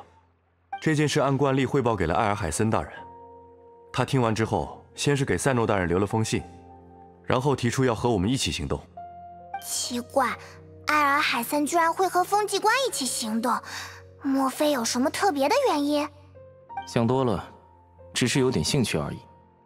是吗？你还有这种闲暇呢？不如我们也一起去看看吧。艾尔海森大人参与我们的行动，已经是违规情况了。你们算了，毕竟伊利亚斯是你们带来的，我可以允许你们一起来，前提是你们必须对一切计划保密。放心，我们的嘴巴可是很严的。那我先说一下目前掌握的线索吧。伊利亚斯声称，希拉杰会与某位妙论派学者在酒馆进行交易。这是他为数不多的清醒回忆，似乎是在逃跑的时候偶然听到的。顺便一提，希拉杰目前并不在教陵院，他在一个月前就申请了长期外出调研，距离伊利亚斯提供的交易时间很近了。我们决定立刻赶往酒馆，搜查可疑人员。就是这样，准备出发，你们随意。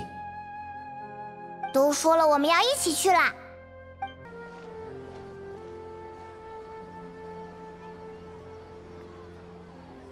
我们到了，艾尔海森大人。接下来该怎么做？嗯，艾尔海森大人，看来你最近没看任何文书。新颁布的教令明确提出，对于已经确立的调查案，即便是贤者出面，也无权干预风纪官行动。如果你们的上司在，他不会问我该做什么，反而会警告我不要指手画脚。您说的没错，我明白了。那请您在这里稍等，我们立刻封锁周边区域，搜查可疑人员。伊利亚斯就留在这里吧，也劳烦艾尔海森大人保护主要证人了。可以，他要是能保护好自己就更好了。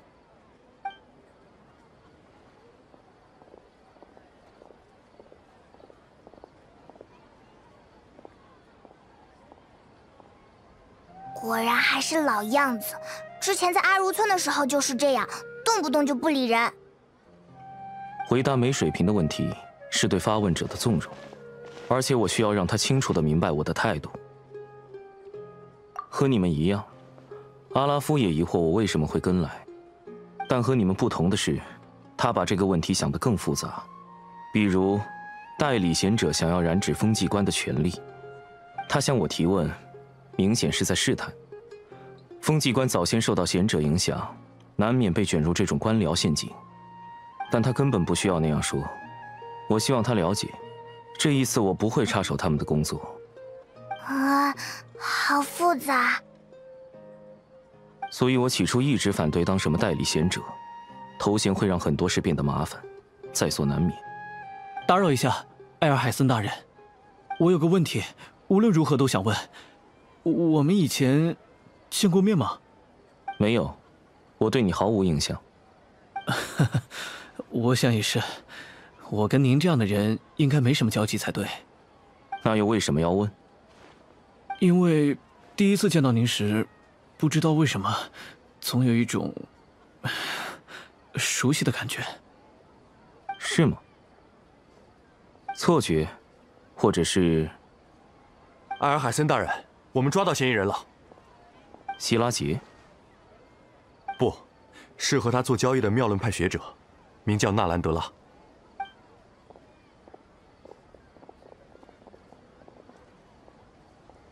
艾艾尔海森大人，等等，有人能跟我解释一下吗？我承认，我确实从实验室偷了些机械零件往外卖，这是需要代理贤者亲自过问的案件吗？我的天，我该不会卷入什么大麻烦里了吧？我，我只是一时利欲熏心，还请各位手下留情。我想问他几个问题。当然可以。你认识希拉杰？听过买家的名字，他约我在酒馆做交易，不过迟迟未到。交易的内容是什么？他不知道在做什么实验。好像需要很多能源与电路元件，只有我们项目有。他私下联系我，让我假借淘汰损毁之名卖下来一些，他会高价收购。唉，本来我们约好今天在酒馆交易，谁想到我先是被放了鸽子，又遇到了你们。也许是希拉杰察觉到伊利亚斯有可能会透露消息，所以故意没来赴约。不管怎么说。线索到这里似乎就断掉了。好消息是，不管希拉杰想做什么，没有这批能源与电路，他的进度肯定会受到阻碍。我们还有时间慢慢调查。您还有什么问题吗？没有了，纳兰德拉交给你们带走。另外，我还想再借伊利亚斯一段时间。哦，这个没关系。我们对于伊利亚斯进行了全方位的测谎，他确实不记得更多事情。我们也不打算从他这里寻找突破。不过顺便问下，您留下他的理由是？我以前看过一些关于失忆的论文，想尝试引导他恢复记忆。原来如此。那我们先回教陵院，伊利亚斯就拜托您了。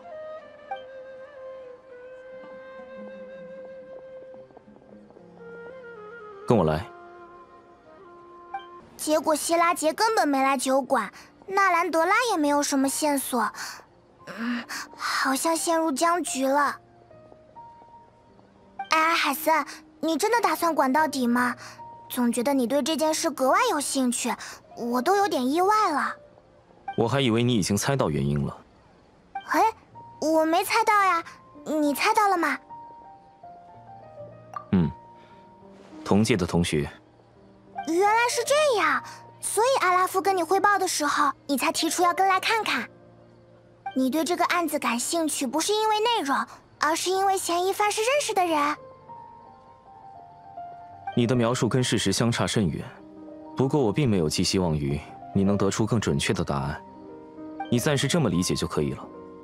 我跟他是同届入学，后来我当了书记官，而他继续在学术上深造。一年前，他提交了一份课题申请，当时的大贤者看后问我意见，我并不怎么看好，因为从结果来说，他触及了六宗根源之罪中的人类进化之事。从人类进化之事到蔓延奥秘而心无惧怕之事，六宗根源之罪是此事万般罪责的开端，也是贤者们制定和修正教令的参照。希拉杰的研究在我看来过于天真，但结果上他确实触犯了底线。大贤者参考了各种意见，那份报告最终被驳回。所以他购买能源和电路元件。多半是想在不被允许的情况下，私自进行实验。听上去好可疑，还是阻止他比较好吧。伊利亚斯，你再努力想想，看看会不会有什么新发现。抱歉，我试过很多次，但无论我怎么回忆，那些事都像是隔着厚厚的迷雾。人在受到强烈的刺激后，可能会下意识割舍部分记忆。以此达到自我保护的目的，但这些记忆并不是真的消失，只是暂时被封存了。给予适当刺激，仍然有恢复的可能。试着回忆一下你在意的事情吧，不必非要和案件有关。其实，我感觉我忘掉的事情有很多，不仅仅只有被抓去做实验的部分。我是一个什么样的人，做过些什么事，有些我能记起来，有些……不管怎么想都没有头绪。不过我隐约记得，自己有两件不得不做的事。说来听听。第一件事是从教令院领取薪水，送给在化成锅的妹妹。我不清楚详情，只记得以前我似乎每个月都会把钱给妹妹，让她补贴家用。那第二件呢？第二件事是什么？想不起来，抱歉。我真的忘了太多东西，不意外。目前只有你见过希拉杰，只有你知道那个山洞的具体位置，所以我们会提供一切必要支持，帮助你恢复记忆。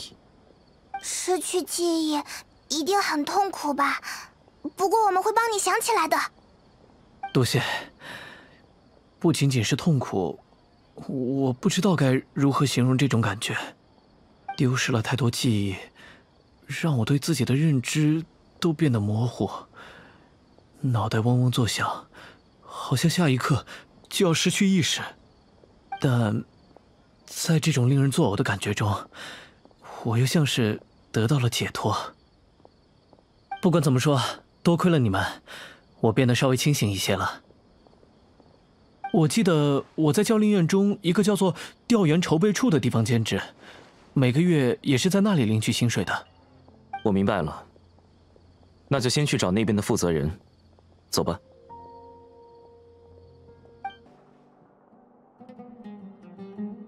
艾尔海森大人，近期的调研开支表我已经送到您办公室了，您看了吗？有没有什么问题？我看到了，最近的调研开支比以前少了很多。是啊，主要是因为有调研需求的学者少了。哎，这个说起来就很复杂了。您今天来是为了？这个人你应该认识，叫伊利亚斯，他曾经在这里兼职，过来取薪水。哦，可以是可以。不过伊利亚斯，你这几天去了哪里？前些日子正是最忙的时候，你一声不吭的消失，工作全部都落到了别的学者身上。我这边出了些意外状况。很抱歉给大家添了麻烦，有什么我能做的吗？你的工作其他学者差不多做完了，不过有一件事还没有着落。你还记得钱德拉吗？他之前提交了外出调研申请，是你负责跟进。然而就在几天前，他却撤回了这份申请，取消了外出调研的计划。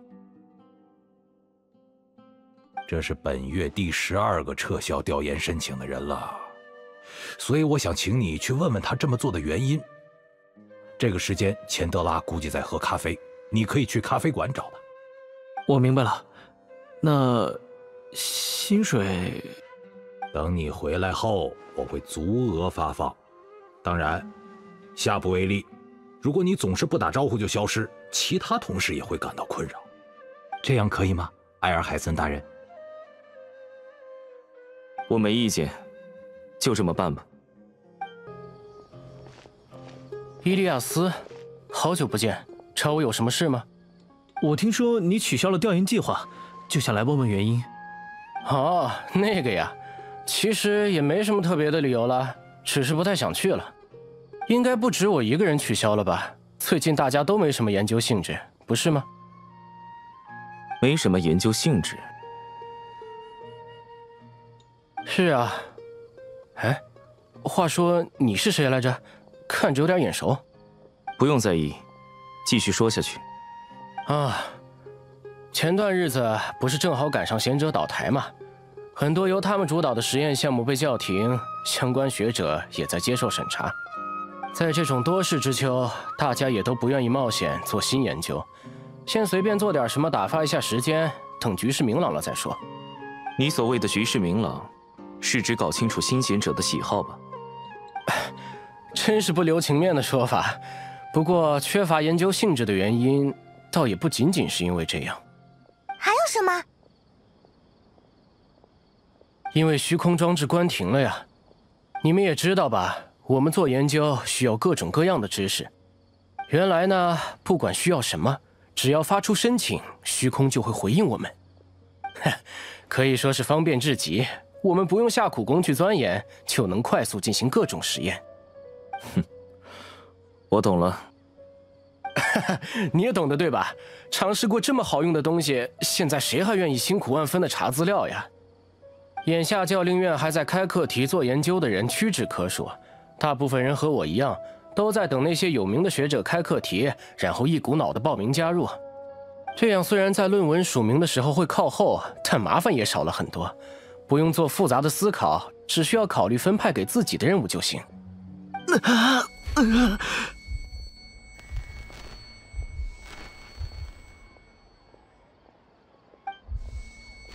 伊利亚斯，你怎么了？脑袋好疼！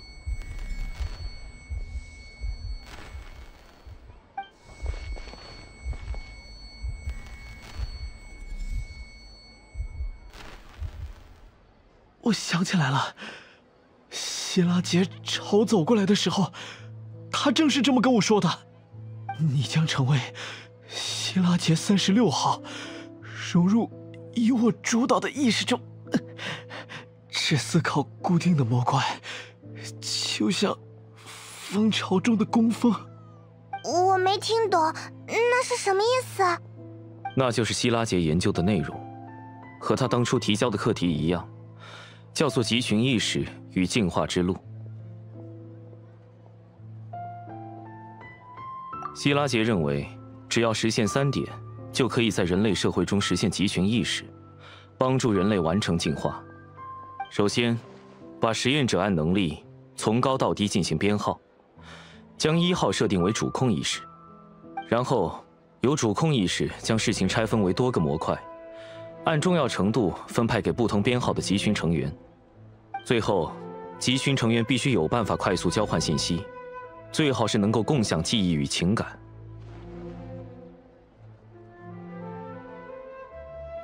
我还是不明白。这样有什么意义吗？相当于把许多大脑连接在一起，为不同的人适配不同的思考内容，以此将众人的意识整合在一起，形成一个既像是个体，又像是组织的全新存在。恐怕在希拉杰看来，这种集群意识正是凌驾于人类之上的存在。呃，感觉像是把很多人捏在一起，听上去有点可怕。正如埃尔海森所说，希拉杰给所有实验者分配了不同的编号，编号靠后的人只思考简单的问题，比如集群成员的衣食住行；编号靠前的人则思考复杂的环节，比如未来的发展计划。希拉杰称呼我为三十六号，好像是中等偏后的数字。我还记得希拉杰说，他的计划已经在紧锣密鼓的推进，很快，整个蜂巢就会完工。怎么会这样？我们也要快一点，一定要在完工前阻止他。我尽力，可惜刚刚我只想到了这些，还是没有记起那个山洞在哪儿。抱歉。慢慢想，总会想起来的。不过，有些地方不对劲。嗯，细节对不上。有什么奇怪的地方吗？嗯，仅仅三十六号吗？真可惜。在我看来，你的天赋远远不止于此。也不知道希拉杰设置编号的根据是什么。总之，事情办完，我们走吧。哎，几位稍等。刚刚我听你们在聊希拉杰，你们是在找他吗？哦，你有什么线索？希拉杰最近名气很高嘛，我听说他得到了不少知名学者的认可，是下任贤者的有力竞争者。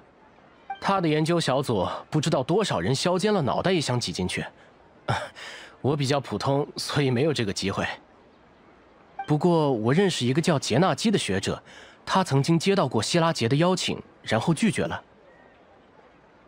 你们要是感兴趣，不如找他问问。他平时会在花园的凉亭里看书。你就是杰纳基吗？我们想向你打听一下关于希拉杰的事情。啊伊利亚斯，你认识我？抱歉，我对你好像没什么印象了。你在跟我装傻吗？没有，我真的失忆了，很多事情记不起来。然后呢？你是想说你已经忘了当初做过的事，所以我该原谅你了？还是说你找了代理贤者当靠山，准备清算我？最不合群的两个人居然走在一起，真是糟糕透顶。打住，两位似乎有什么怨隙，但我不关心你们之间的事。我听说希拉杰曾经邀请过你参加他的项目，这件事是真的吗？是又怎么样？希拉杰的确邀请过我，我对他的课题也挺感兴趣的，好像是个和集群意识有关的课题。反正他允诺我可以成为第四十五号实验者，我觉得这个数字太低，就没有答应。谁愿意当吊车尾啊？我才不去！伊利亚斯是三十六号，杰纳基是四十五号，希拉杰到底盯上了多少人啊？希拉杰有没有告诉过你，这个编号是按什么排的？说了，以前那些贤者不是利用虚空从我们的脑袋中抽取知能吗？当时他们留下了一份文件，上面是虚空从每个人身上抽取的知能数额。希拉杰不知道从哪儿搞来了那份文件，以此为基础对实验者进行编号。原来如此，他认为这个数据可以用来衡量人脑的运算能力。先不提数据的真假，根据知能评价一个人原本就毫无意义。知能最多只能算能力的一部分，人是很复杂的，没办法用单一的标准衡量。看吧，我就说，我怎么可能才排四十五号？除此之外，你对希拉杰还有什么了解吗？没有了，他来找我，我不答应，就到此为止了。还有什么事吗？没事，我走了。眼不见心不烦。请等一下，我还是想知道，以前我做过什么。你真忘了？千真万确。我可以作证。风纪官也说，他确实忘了很多东西，不像是说谎。行吧，忘了也好。我回想起来就生气，实在没法耐着性子讲给你听。你只需要知道，你曾经拖累了很多人，其中也包括我。我没什么好说的了，再见。他走掉了，感觉他好像很讨厌你。你真的什么都记不起来了吗？是的，不过他这么说，我总觉得心里沉甸甸的，好像我真的做过什么不好的事。你希望自己想起来吗？啊？虽然你是指控希拉杰的证人，但你现在的确失忆了。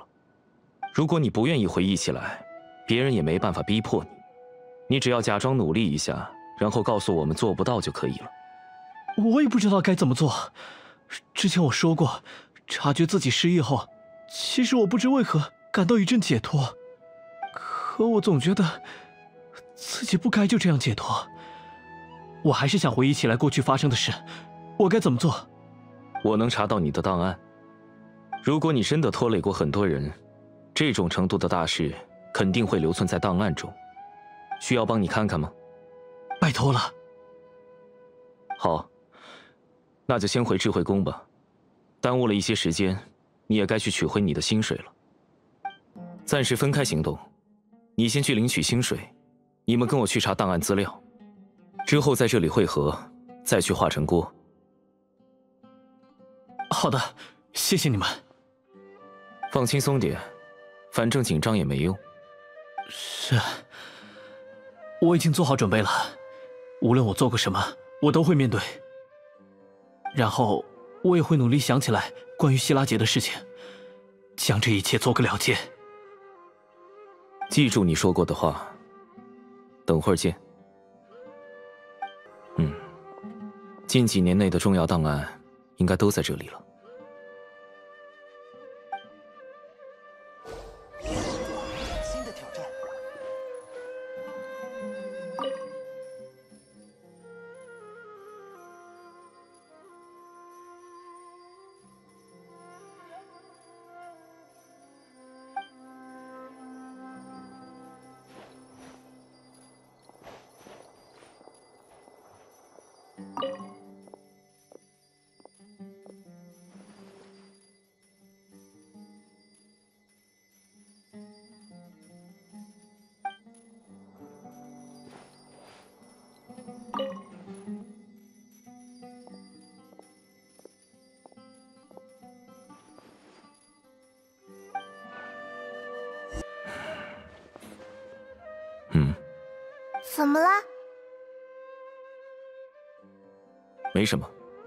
找到伊利亚斯的档案了，到楼下汇合吧。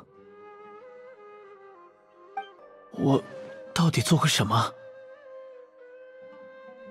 档案里显示，你曾因勇气与正义感，受到过教令院的表彰，获得了类似英雄的待遇。我？是的，你的导师涉嫌学术剽窃。而你站出来举报了他，经过调查，你的举报内容属实，你的导师也被风纪官绳之以法。这件事当初引起不小的轰动，教令院对你进行了嘉奖。怎么，你想起来什么了吗？没有，我只觉得头很痛，像是要撕裂了一样。那是我做的吗？可为什么？先放一放吧，跟希拉杰的事也没有直接关系，没必要为此弄坏了脑子。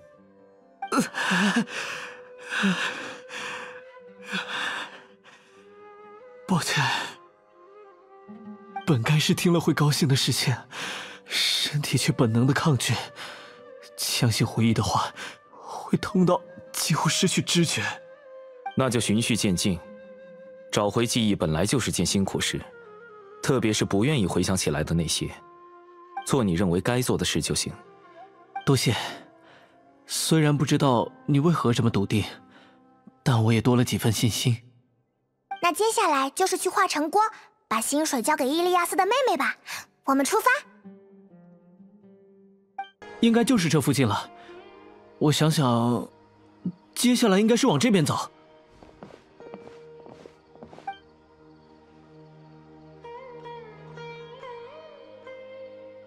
伊利亚斯，你怎么回来了？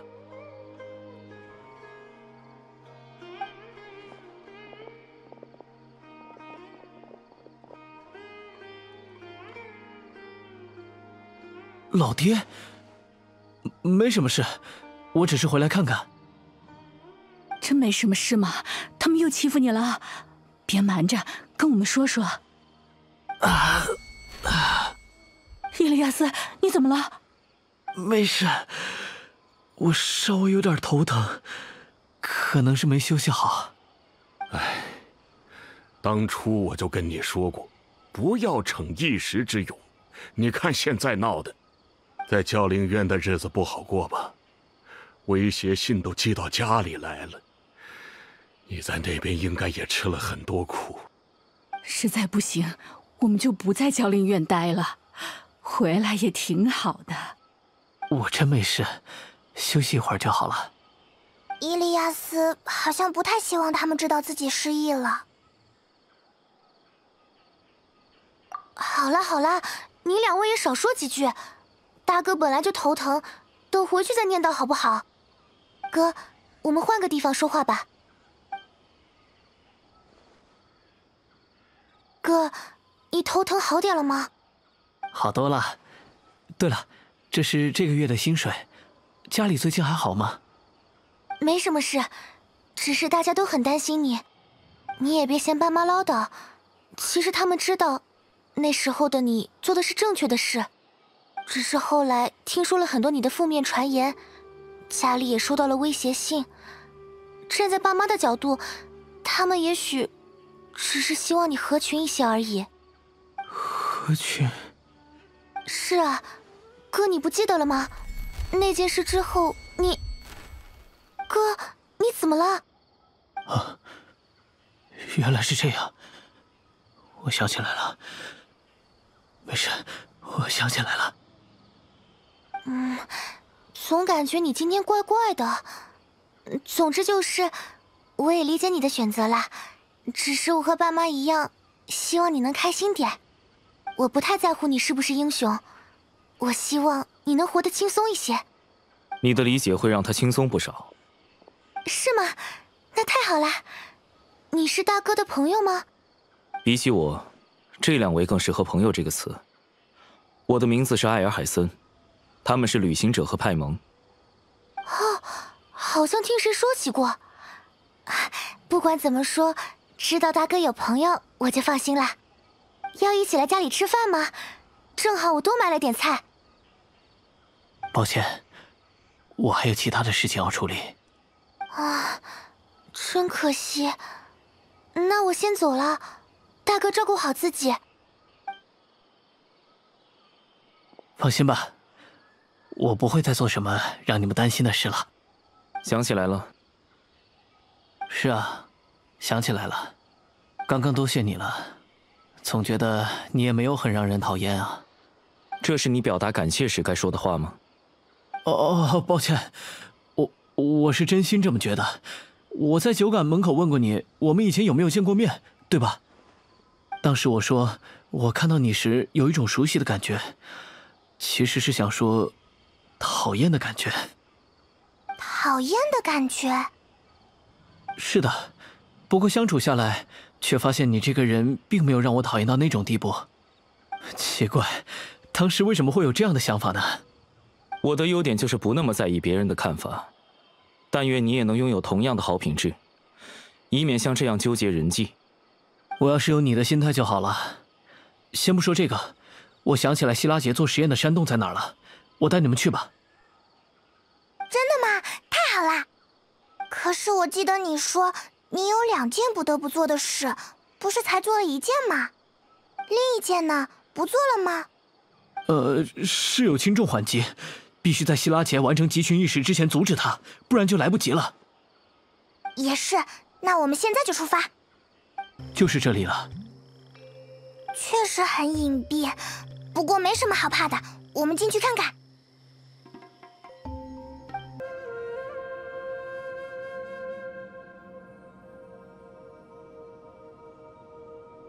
奇怪，里面比想象中要大，真的还没有完工吗？伊利亚斯，你对这里有印象吗？咦，伊利亚斯人呢？周围没有他的气息。是和我们走散了吗？我们在这里等他，还是回去找一找？不用，继续往里走吧。好吧，那我们继续前进，到开阔的地方等他好了。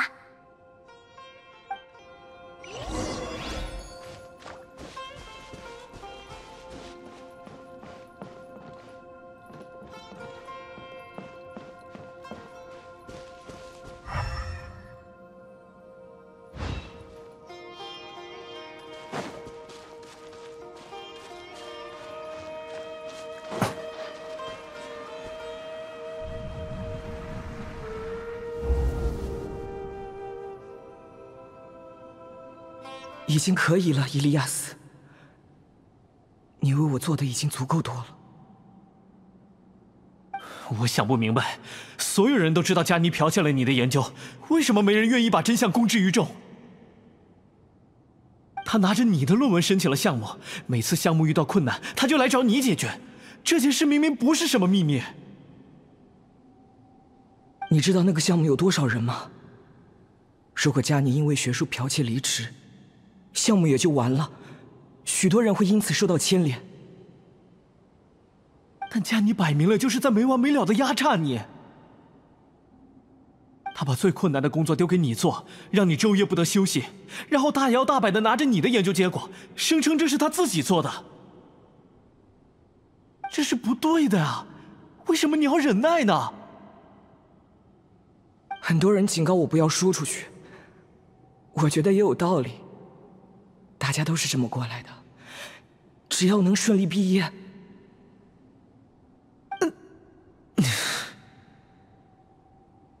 没事了，他也有给我酬劳。整整半年的努力，无数个不眠之夜，再加上被随意的威胁和谩骂，就值两万摩拉。这简直是把人当牲口使唤。好了，别说了，没事的，忍一忍就过去了。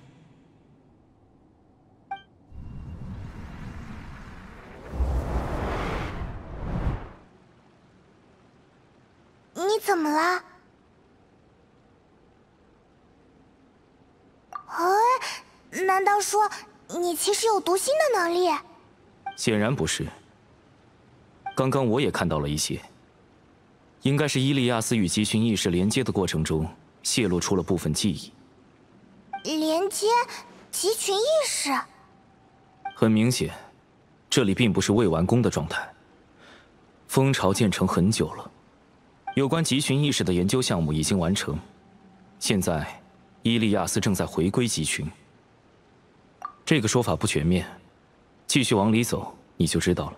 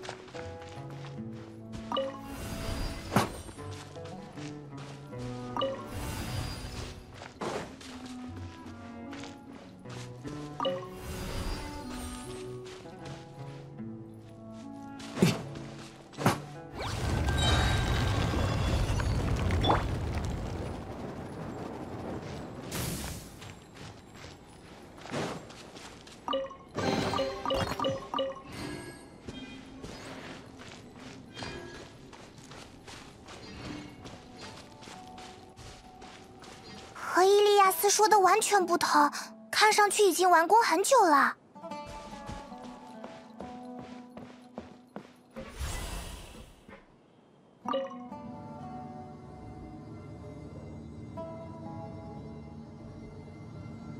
思考擅长的事情，为集群做出贡献，完全不会觉得疲惫。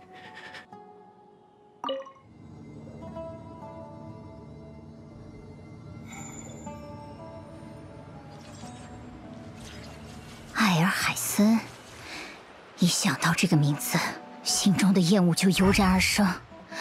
我们一定会清理掉他。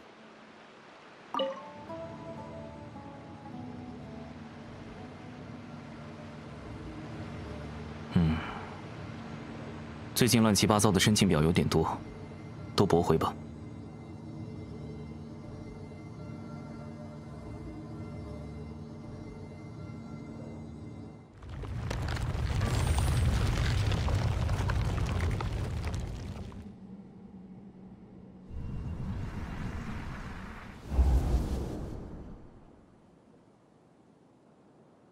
为了成全你一个人的名声，搭上了我们长达一年的努力。你知不知道你连累了多少人？你想当英雄，什么时候都可以当，等项目完成不好吗？我不知道你们在说什么。拉都从天台跳下去了，难道你们也觉得无所谓吗？拉都的事确实让人遗憾。我原来以为他应该更坚强一些的。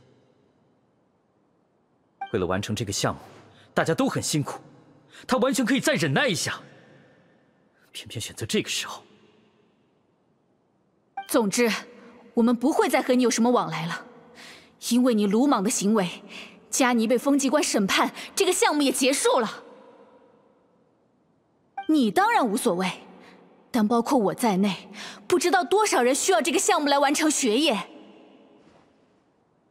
现在前途未卜，最差的结果是我们全都没法顺利毕业，你明白吗？抱歉。你不需要道歉，我也不会接受你的道歉，但你一定会为此付出代价的。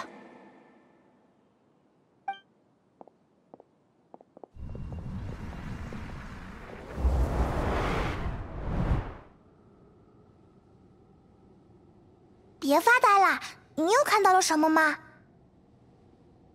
别多想，有什么话当面问他就好。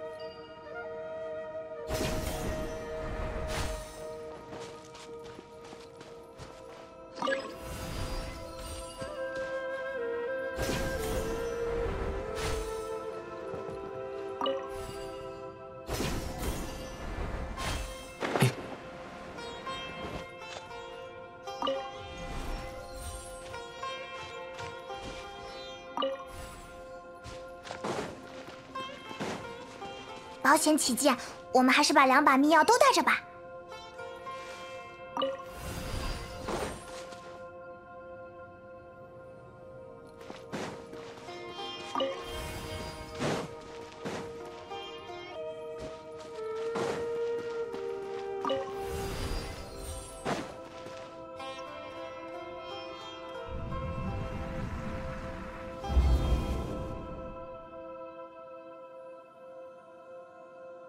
怪，伊利亚斯，没有研究小组愿意要你吗？想要杰克，必须与其他学者一同完成报告。我知道你是学术打假的英雄，但英雄也不能破例，不是吗？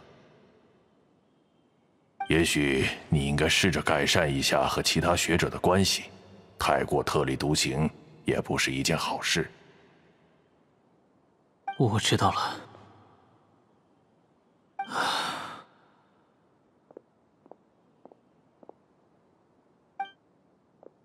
你看起来好像很苦恼。你是？忘了自我介绍，我的名字是希拉杰。希拉杰先生，我听说过您。您找我有什么事？世人总是讨厌不太合群的人。我想，你应该也尝尽了不合群的苦头。听说你在举报佳妮之后，一直遭受排挤与孤立，就连家人也无法理解你的做法。其实我现在正在做一个研究，能够帮助你彻底融入到群体中，这样你就不必活得那么辛苦了。怎么样，要来试一试吗？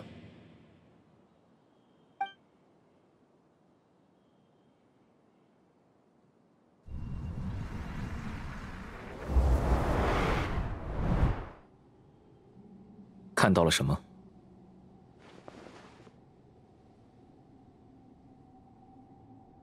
居然是这样！他真的骗了我们，那个大坏蛋。不对，希拉杰才是真正的大坏蛋，伊利亚斯是普通的坏蛋。嗯，气死我了！我们赶紧去找他问清楚。伊利亚斯，你们来了，我特地放缓了融入集群意识的进程。想要以伊利亚斯的身份见你们最后一面。我想作为伊利亚斯向你们道歉。在化成锅的时候，我想起来了，第二件不得不做的事情，其实就是将你们引到这里。绕开风纪关，将艾尔海森带到蜂巢，这就是我作为希拉杰三十六号接到的任务。你，你早就是希拉杰三十六号了吗？但你明明通过了风纪官的测谎。是的，那时候我确实忘了很多事，甚至忘了自己的身份与责任。但那并不是我受到惊吓后忘记的，而是我主动删掉的。想要骗过艾尔海森很难。我必须给自己制作一个完美的伪装，最好的伪装就是骗过自己。是啊，我跟你们说，蜂巢尚未建好，也是因为我删掉了建好他的记忆。这里早就完工了，离开之前，我以三十六号的身份活着。现在，我选择回归这个身份，只有在这里，我才能真正得到解脱。我要说的就是这些。进入这个房间，我的意识将重新融入集群之中。再见了。这就是你的选择。啊。是呀，比起什么希拉杰三十六号，我们认识的明明是伊利亚斯才对。也许留在外面很痛苦，但是，但是我觉得不可以逃避呀。还需要时间考虑吗？伊利亚斯，你你是？他就是希拉杰。你就是那个大坏蛋。坏蛋，真是率真的说法。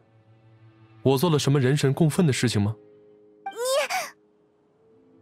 我改造了虚空装置，让使用者可以共享记忆与情感，然后从教令院招揽学者，建立伟大的集群意识。我为每个人制作编号。并且拆分实验计划，交给他们去执行。在这里，人们无需进行复杂的思考，也能活得轻松而幸福。这是他们的选择，我只是满足了他们的愿望而已。你你你，你这明明是在狡辩。那我问你，这里与外面有什么区别吗？教令院的学者，在激进的氛围里热衷于危险的研究，在萎靡的气氛下。变得无所事事，世人都在跟随着群体意志生活。就算是有棱角的人，在受尽挫折后也想变得合群。我说的没错吧，伊利亚斯？无需否认，因为这并非错误。对于群居生物，合群即是天性，而合群的终点正是集群意识。庸碌的蜂群借此变得强大，将蜜蜂替换成人类，这个模型将迸发出更强大的力量。欢迎来到蜂巢，埃尔海森。你曾向大贤者谏言，傲慢地否认这个课题，毫无分量、轻如鸟语的几句点评，就让我所有的努力化为泡影。当然，我知道你对这些并不在意，他人的苦难在你眼中。不过如此，可我没有放弃，我还是将当初的论文变成了现实。来的时候，我发现你的蜂巢里有很多空房间。你注意到了？那你猜猜，他们在哪儿？答案是教令院。他们正在执行另一个计划，一个能将我推上贤者之位的计划。集群意识将我们连接在一起。所有人一同思考，各展所长，同时执行多个复杂的计划，并根据意外状况及时修正策略，一切都很顺利。你是最大的绊脚石。解决掉你之后，我会利用不断攀升的影响力，将集群意识转变为合法的研究，雪球会越滚越大，最终所有人都会加入到我的集群中。我，不，集群会执掌一切，带领教令院迈向新的未来。我们才不会让你得逞！只有嘴上功夫可没用，你们能做什么？你们甚至无法改变伊利亚斯的选择。回到蜂巢中去吧，三十六号。是。等下，不可以回去！你，你想想看，外面还有很多人在担心你呢。而且你也没有不合群，我们不是你的朋友吗？明明是四处旅行的人，真好意思说这种话。你们能一直留在教令院吗？等你们离开，悲剧又将重演。回去吧，三十六号。你应该很清楚，漂亮话是没办法让人活得轻松的。伊利亚斯，为什么？你们和艾尔海森一样，太傲慢了。你们觉得每个人都应该像你们一样清醒的活着，却不知道大部分人只想要轻松的生活。我敢让三十六号在失去记忆的情况下离开蜂巢，就因为我知道他最后一定会回来。事实证明，我比你们更了解人性。说点什么吧，艾尔海森，我会把它当做你的遗言。我要说的。一年前就表达的很清楚了，你所提出的模型极其不稳定，光鲜的包装并不会改变它脆弱的本质。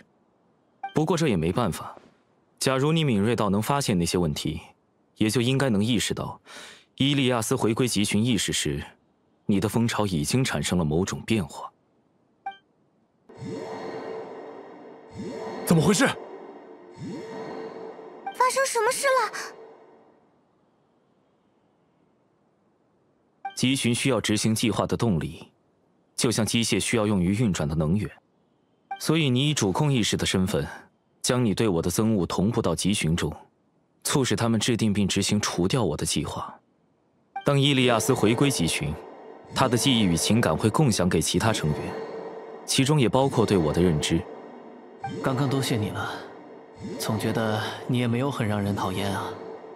奇怪，当时为什么会有这样的想法呢？这与你给予他们的憎恶相违背，两种不同的情感会带来全新的冲突。原来是这样，等等，所以你也早就知道伊利亚斯会回到蜂巢中去，然后你还假装挽留他，就是为了骗过希拉姐。真不愧是你，艾尔海森，集群意识出问题了，我们就一鼓作气。啊，等下，恢复正常了。我说过了，你太傲慢了，艾尔海森。你觉得这种程度的算计就能动摇我的蜂巢？伊利亚斯的回归的确为蜂巢带来了异样的情绪，但在集群当中，这点声音根本掀不起什么波澜。你的挣扎不过是徒劳而已，也该结束了。就让你们亲身领略一下。集群意识的可怕之处，好多魔物从哪里冒出来的？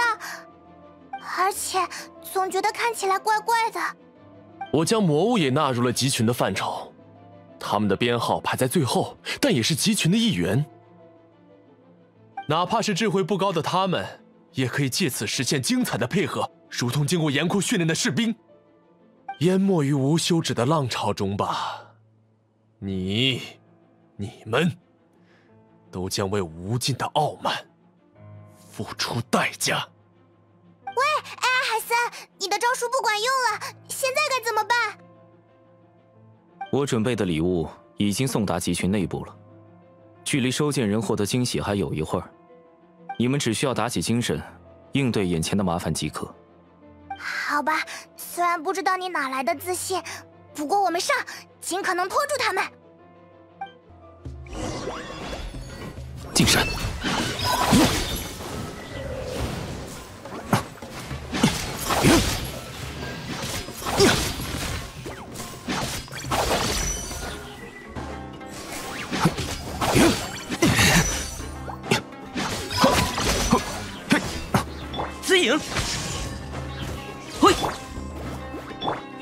是点儿。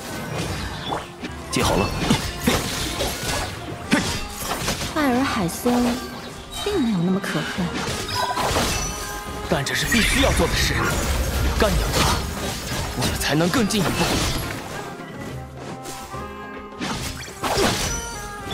开锅了，开锅了！好，冻结吧！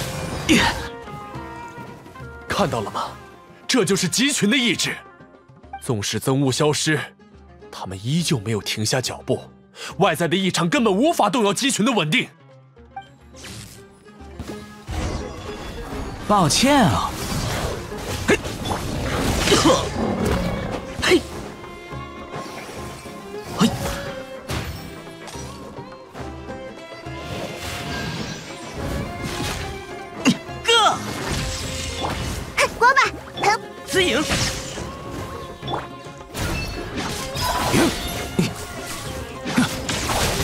支撑不了多久了。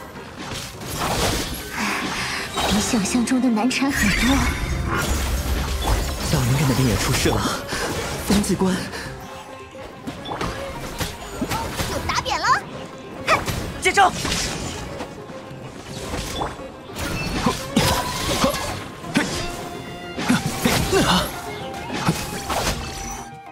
怎么回事？突然多出这么多信息流！都安静点我以主控意识的身份命令你们。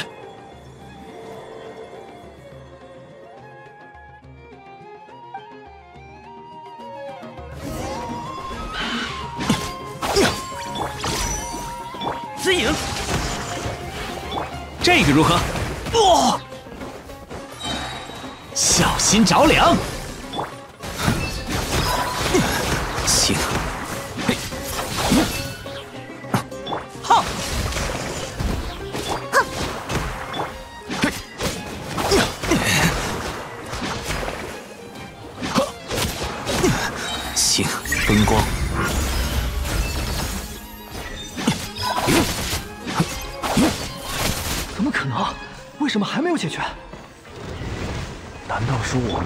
出了问题？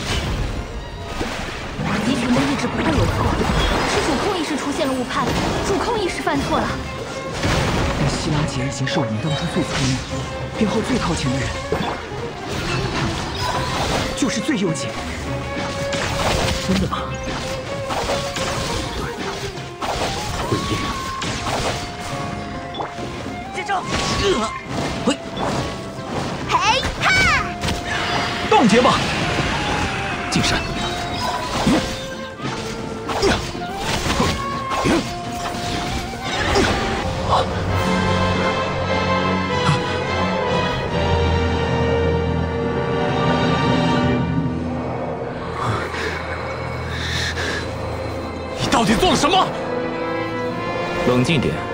你不是有很方便的办法验证吗？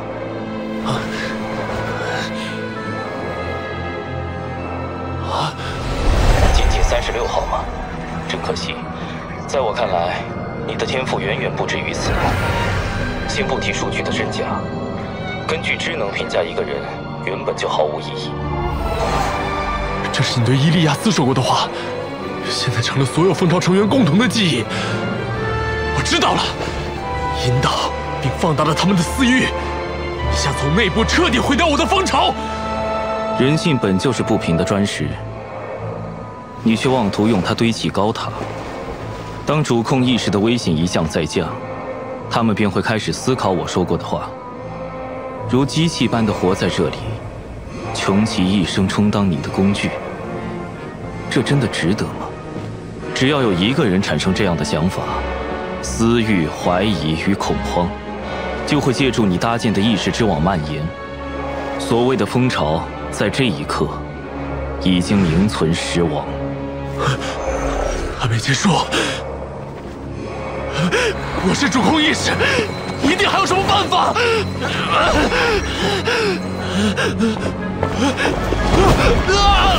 太晚了。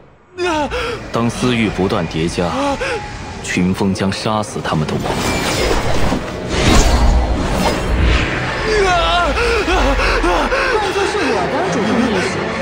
绝不会输的这么难看？不敢排在这么靠后的地方。希腊杰那个老骗子，这和之前说好的不一样。把你的位置让出来！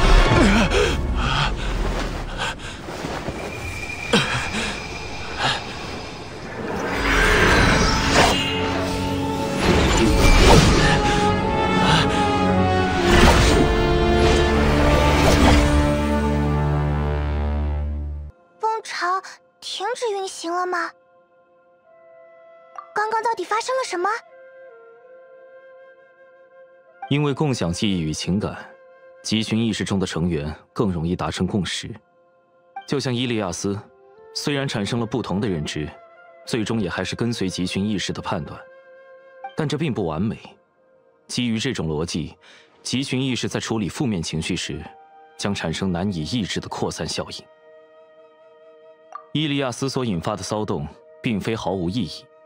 他让集群对主控意识产生了质疑，质疑随着计划受挫被进一步放大，主控意识的影响力下滑，集群不可避免会产生负面情绪，顾虑、失望、恐慌、贪婪。人和人无法真正交心，许多负面情绪就能被很好的隐藏起来，但在没有秘密可言的蜂巢中，负面情绪会如潮水般蔓延。当然。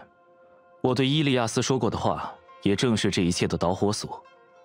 几个词语就够了。相信语言的力量，希拉吉。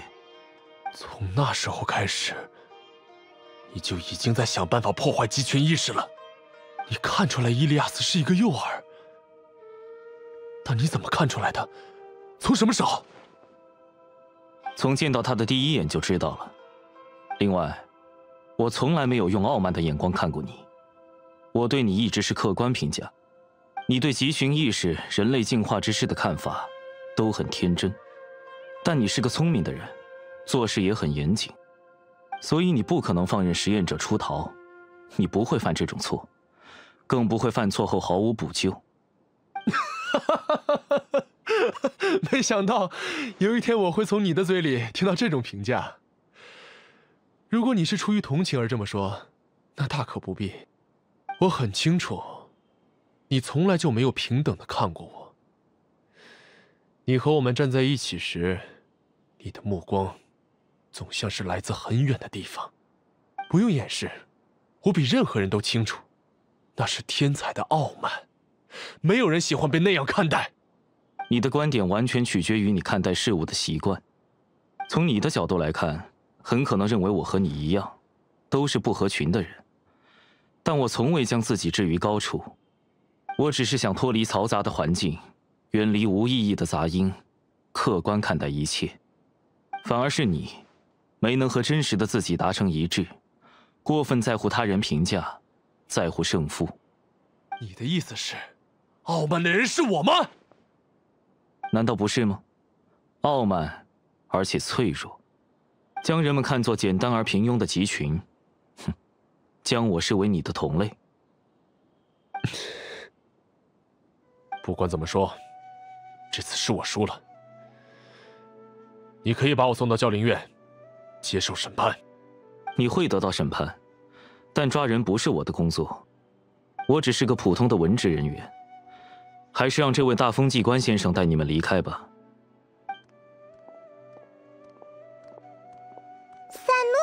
你怎么在这里？我是跟着记号找过来的。看来事情已经结束了。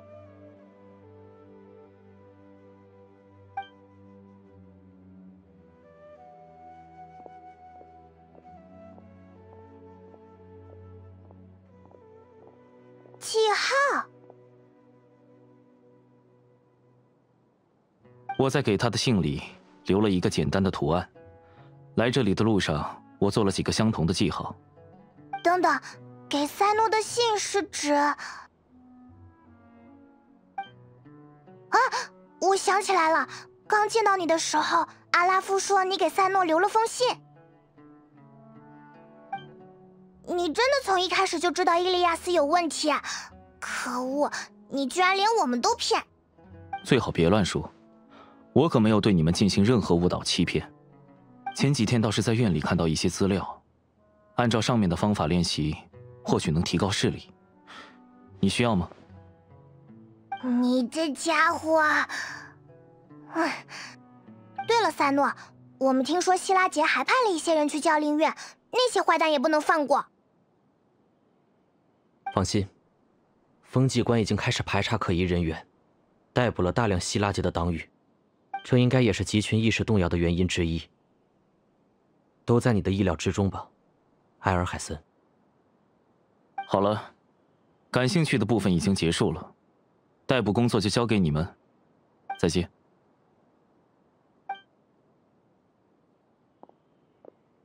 他自顾自的走掉了。嗯。这里有这么多实验者，我们还是先留下来看看吧。完了完了，我竟然参与制定了这么多计划，想要干掉代理贤者。我是哪根弦搭错了，居然搞出这种事？我们应该只是从犯，就怕艾尔海森给风纪官施压，重判我们。代理贤者、书记官，不管是哪个身份，我们都得罪不起。以后在教令院的日子。怕是难熬了。先不谈以后的事。离开集群后，我隐约觉得有点愧疚。之前没什么感觉，是因为艾尔海森本来就没什么名气，我所听到的评价也不是什么好话。希拉杰让我们憎恨埃尔海森，我们只当他是个坏人，也就心安理得的接受了这种情绪。唉，现在看来，我们确实做了很多不合理的事。这也算我们自作自受吧。唉你们能帮我们向艾尔海森道个歉吗？好吧，我替你们跟艾尔海森说。不过他愿不愿意原谅你们，我就不知道了。没事，不管他接不接受，我们心里都会好受一点。他如果记恨我们，我们也甘愿受罚。该走了。唉，走吧。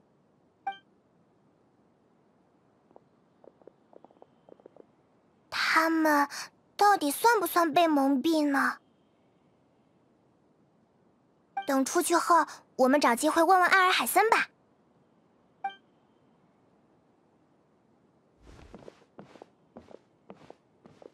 看来我还是做不了希拉杰三十六号，仍然要以伊利亚斯的身份活着。在化成锅的时候，其实我也想过自己是不是应该站出来，把真相告诉你们。但是，当时的我果然还是没有这个勇气。到头来，我失去了曾经的正义感，却没有变得合群。伊利亚斯，别难过，是我对不起你们。不过，我也不是全无收获。蜂巢崩塌的那一瞬间，我的脑海中忽然有了一个念头：原来我一直想要融入的集群，并没有我想象中的那么强大。在明白这一点之后，心里不知道为什么又多了些许勇气。也许有一天，我也可以像艾尔海森那样，完全不在意他人的态度。嗯，我相信你肯定能做到的。多谢。我也该走了，作为主要案犯之一，去接受审判。这次的事情可以先对我的父母与妹妹保密吗？我不希望他们再为我担心了。另外，也替我向艾尔海森道歉。再见了，两位。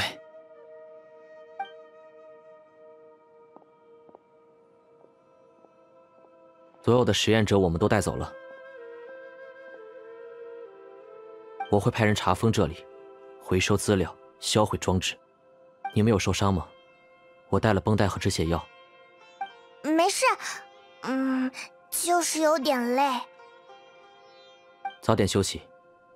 埃尔海森估计在门口等你们，没什么事就和他会合吧，注意安全，提防希拉杰还有潜藏的同伙。遇到解决不了的麻烦，就来教令院找我。好，三诺也注意安全。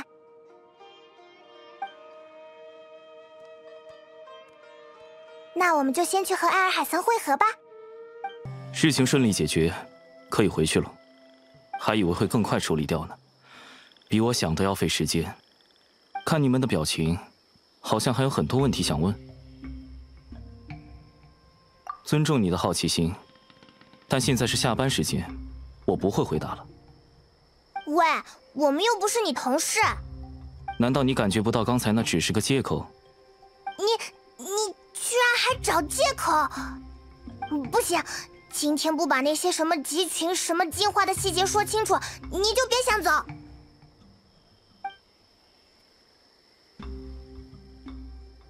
再见。啊！你给我站住！可以了吧？你这副样子会让我想到一些人。别转移话题。嗯。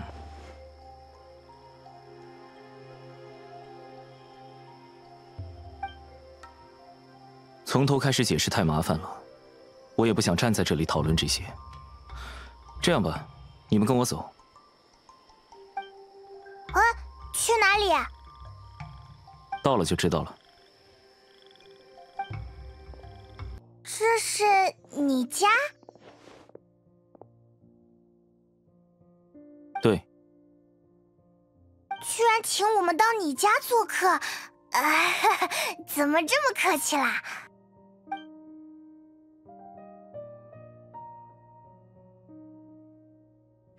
啊，你回来了，快来帮我看看，挂画这样摆正不正？哎，这些是谁啊？大惊小怪，这明显是客人。你们，你们应该不是教令院的人吧？我好像在哪里见过你，呃，呃，是那时候那个人。你们怎么认识我？完了完了，大家不会知道我住这里吧？怎么，现在知道不好意思了？你们不是室友吗？哎，对对对，你知道就行，别说出去啊，千万别说出去。家里有几本关于集群和潜意识的书，我去拿，你们聊吧。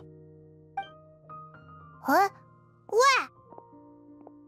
呃，喂，你就这么走了？什么意思，啊，艾尔海森？呃，嗯，抱歉，接下来要说的话可能有些冒昧。你们，嗯，应该不是艾尔海森请来假装朋友的演员吧？啊？什么？啊，看来不是啊。以前从来没见过他请朋友到家里做客，难免有些惊讶。你们应该能理解吧？他那个脾气。可是，你不就是他的朋友吗？嗯，虽然我跟他算不上朋友。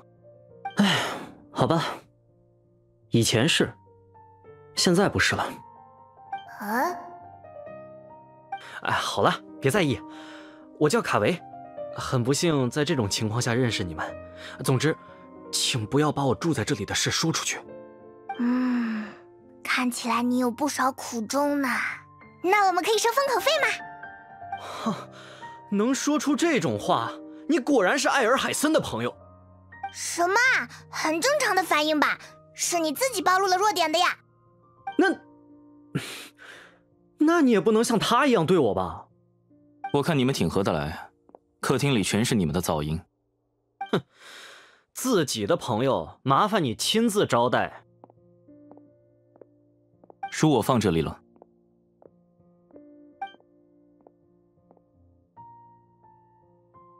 嗯，看晕了，好复杂，好绕啊！要不我们还是提问吧。我想想。首先，你怎么知道鸡群意识的弱点呢？一年前，希拉杰的论文呈到大贤者眼前，大贤者随口询问我的意见。我其实给了两个理由。第一个理由已经说过了，他的研究涉及人类进化之事，是教令院禁止的研究。第二个理由是，我认为他的研究方向过于极端，方案却太过保守。等等，那些还保守吗？他建了那么大的实验室，找了那么多人，还想把你干掉。有一个办法可以让集群意识变得稳定，就是完全抹掉实验者的人性，将思维集中于主控意识，把集群中的其他实验者视为工具，才是集群意识的最优解。这也太危险了吧！你，你不会真有这样的想法吧？我只是陈述事实。如果希拉杰真的这么做了，我同样会感到无聊。任何物种的进化都不可能一蹴而就。完全丧失人性，人类也就不能称之为人类了。这也是教令院禁止研究人类进化知识的原因。绝大部分研究，最后都会与进化相背离。我明白了。哼，这种话从你嘴里说出来，未免太奇怪了。人类没了人性就不是人。哎，那你十年后就能进化成别的物种吧？那你呢？退化成驯兽吗？哦，那我也是有情有义的驯兽。呃，嗯，不好意思，不是故意要听你们谈话的。所以你们是怎么了？遇到麻烦了吗？算是吧，遇到了一个奇怪的学者，带领一群人针对我们。针对？嗯，你们没事吧？哦，哦，这样啊。哎呀，人生就是会有麻烦啊！早知道今天别出门，就不会遇到那些烦心事了，对吧？还不如在家帮我大扫除呢。你看那边那些书，很久没打理过了。既然是平时不看的书，就别堆在外面啊。呃，呃，嗯，你知道自己冷场了吗？不会以为自己很会聊天吧？你有什么资格说这话？哼，所以说了这么多，你没事吧？挺好，比你正在摆弄的那个挂画好多了。你，你根本什么都不懂，少对我的装修品味指手画脚。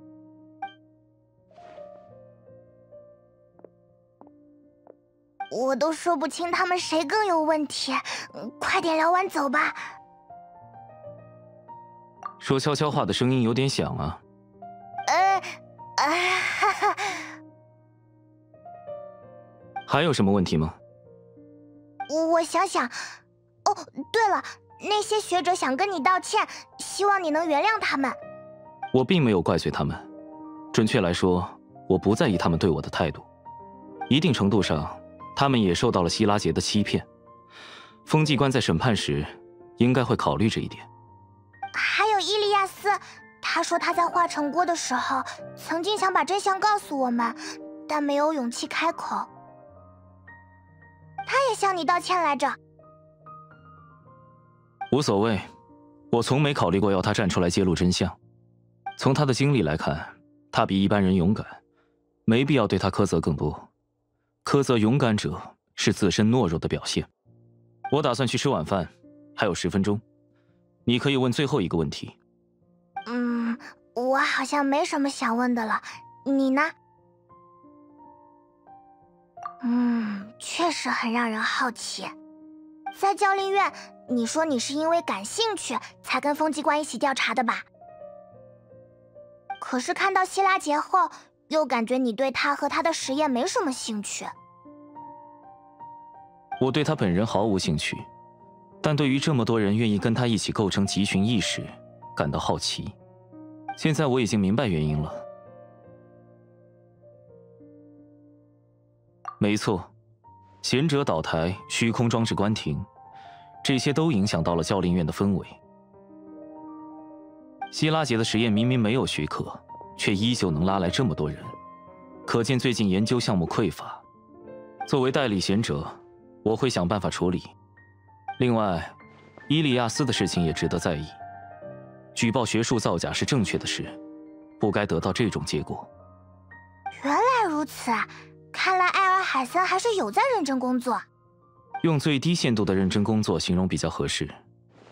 辞呈批复前，我还是会尽力处理这些麻烦事。等等，辞呈？我已向教令院递交了辞呈，很快就能摆脱代理贤者的身份，继续当回书记官。这件事，希拉杰应该不清楚。他运气不太好，要是再晚几天，无需他出手，我也会主动卸任。到那时，他再怎么折腾也不关我的事。不过，就算没有我，他那个不稳定的模型也会因为其他原因崩溃，没什么区别。可是，你为什么要辞职呢？我不适合当贤者，也不想当。教令院早就在按规矩从各个学派选拔新贤者了，但流程很长，太花时间。代理贤者当得太久，很可能会被转正，那就是大麻烦了。我不想把人生耗费在上面。清醒很重要。好了，时间差不多，你们或许也该去吃个晚饭了。这么一说，我确实饿了。那再见啦，我们要去吃好吃的啦。再见。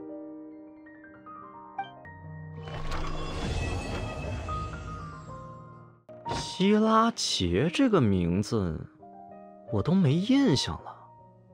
你们那届还有这种人？不是什么让人印象深刻的人，不记得也很正常。教令院就是喜欢给人施加压力。还动不动给人扣上天才、奇才之类的帽子，这点我一直很难欣赏。不过就算是这样，教令院也不能交给你来领导。应该说，我很高兴你还有最基本的自我认知。院里那些人如果没疯，就该明白，与其让你当贤者，还不如让我来。然后让人知道你的贤者生涯就像那幅挂画一样摇摇欲坠。你这个马上就要辞职的家伙在说什么呢？过几天就又去管档案了，哇，人生跌回谷底呀！但院里发给我的津贴应该不会减。凭什么？凭什么呀？也不用像做建筑设计的人那样，累死累活，只为博取委托人一个微笑。你，你。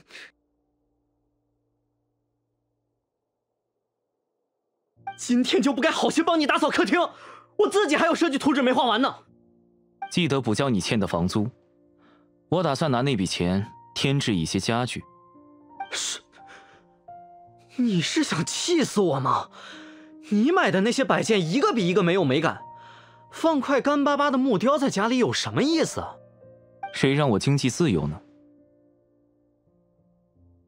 我说。总拿自己的优势跟别人比，也是一种逃避吧。去掉庸俗的金钱，在更有价值的地方比一比。嗯，很难想到有什么是你占上风的，你自己能想到吗？艺术性不是吗？都说了，你根本不懂室内装潢，不许乱买那些家具，除非带我一起去。带你去还得请你喝酒是吗？当然了。可我为什么要这样做？这只会构成另一种形式的借款而已。你过不了多久就得还我钱。你也可以做一个善良的好人，不向我讨债，不是吗？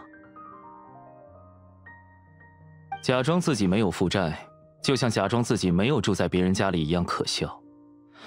其他人迟早会知道的。哎，说到这个，今天来的家伙应该不会说出去吧？记得叫他们帮我保密啊。我倒觉得你早就暴露了，没必要费心掩饰。凭你那几杯倒的酒量，去几次酒馆，自然就把秘密全说出去了。不会吧？不，不对，应该不会吧？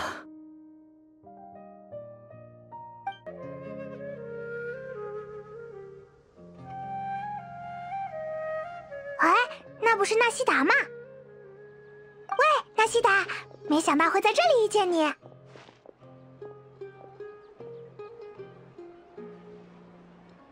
我也没想到，有一阵子没见了吧？最近怎么样啊？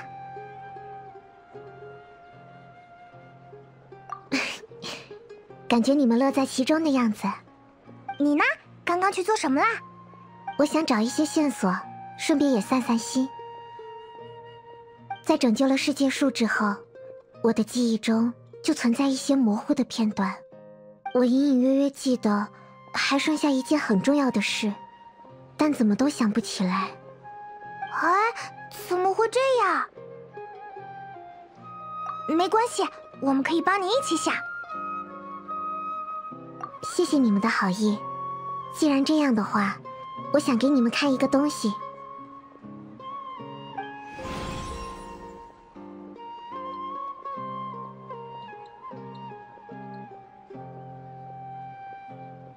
好漂亮啊，而且好像充满了力量。嗯，是我在剑善宫里找到的，但我对它一点印象都没有。这里面装满了纯净的元素力，和我的力量很像，但又有些区别。它应该和我模糊的记忆有某种关联，但我什么都没有查到。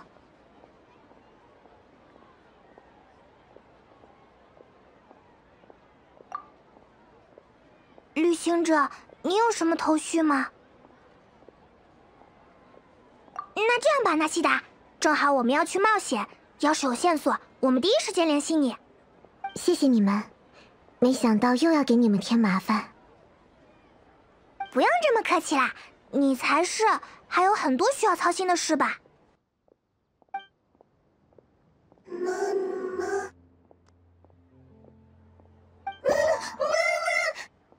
喂，快走！这不是你该来的地方。抱歉，草神大人，驯兽一般不会靠近这里。再不离开的话，我就要动手了。先别急，我觉得他好像有什么事想说。草神大人，这可是魔物啊！没关系的。嗯，嗯，好的，我大概明白了。他好像很希望我们跟他一起走。这就听明白了。嗯，虽然不同的生命有完全不同的生活习惯和沟通方式，但情绪是共通的。我能感觉到他的焦虑与恐惧，他很需要我们的帮助。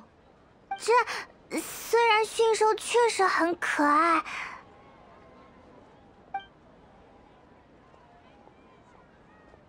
有道理。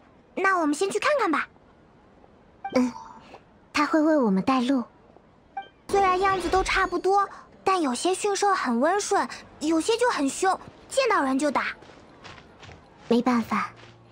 在他们的眼里，人类或许也是凶狠的魔物。毕竟他们也无法理解人类的行为是否具有攻击性。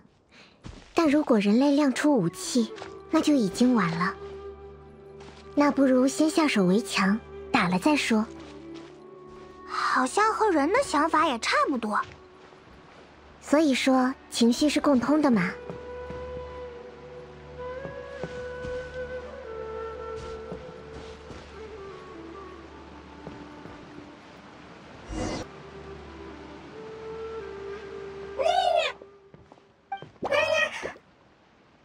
原来是因为这只驯兽晕了过去，他才会这么着急。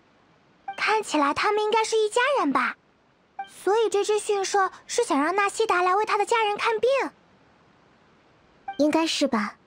驯兽虽然思维比较简单，但对元素力更加敏感。可能他在我回来的时候注意到了我，认为我有办法帮他。我来看看吧。如果是一些常见的病症，我应该有办法。嗯，怎么了，纳西达？很奇怪，非常奇怪。这只驯兽不是由孢子演化而来的生命体，而是元素生物。哎，元素生物。嗯，平时你们见到的驯兽虽然也可以使用元素力，但那只是他们借用了自然中的元素力而已。但这只驯兽，在这层外壳之下，不存在和驯类相似的生态结构，取而代之的是元素的奔流。嗯，太神奇了，我从来没有见过这样的生物。连纳西达都不知道。除此之外，在这团元素力中，产生了一个巨大的空洞。这个空洞阻碍了元素力的正常流动，这就是令他昏迷的原因。也就是说，补上这个空洞就能让他醒过来。应该是的，这正好是我擅长的事，我现在就为他治疗。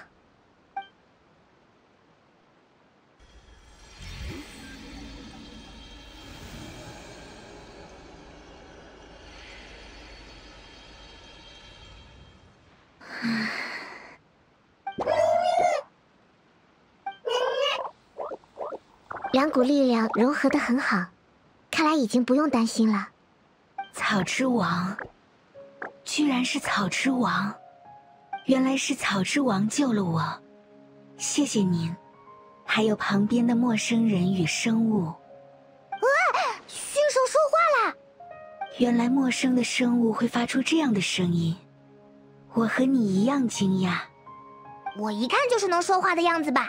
而且我不是陌生的生物，是派蒙。派蒙你好，我暂时还不会通过外形判断生物的智慧水平，只有你说了话。我才能知道你会说话。你你不用这么认真的回答我啦。我看上去连话都不会说嘛，不至于那么笨吧？你误会了，派蒙。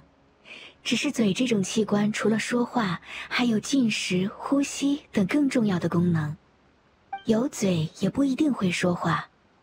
你是我从来没见过的生物，我不会妄下定义。就算你看上去和人类有诸多相似之处，但就像驯兽和史莱姆，外形相似但内在不同的情况也很常见。这个驯兽上过教练院吗？居然比我还会说话！你果然不是驯兽，对吧？是的。对你们来说这有些突兀，也一定有很多问题想问。我们换个地方吧。看我用莫名其妙的声音进行长篇大论，我的家人会害怕的。奶奶奶奶奶，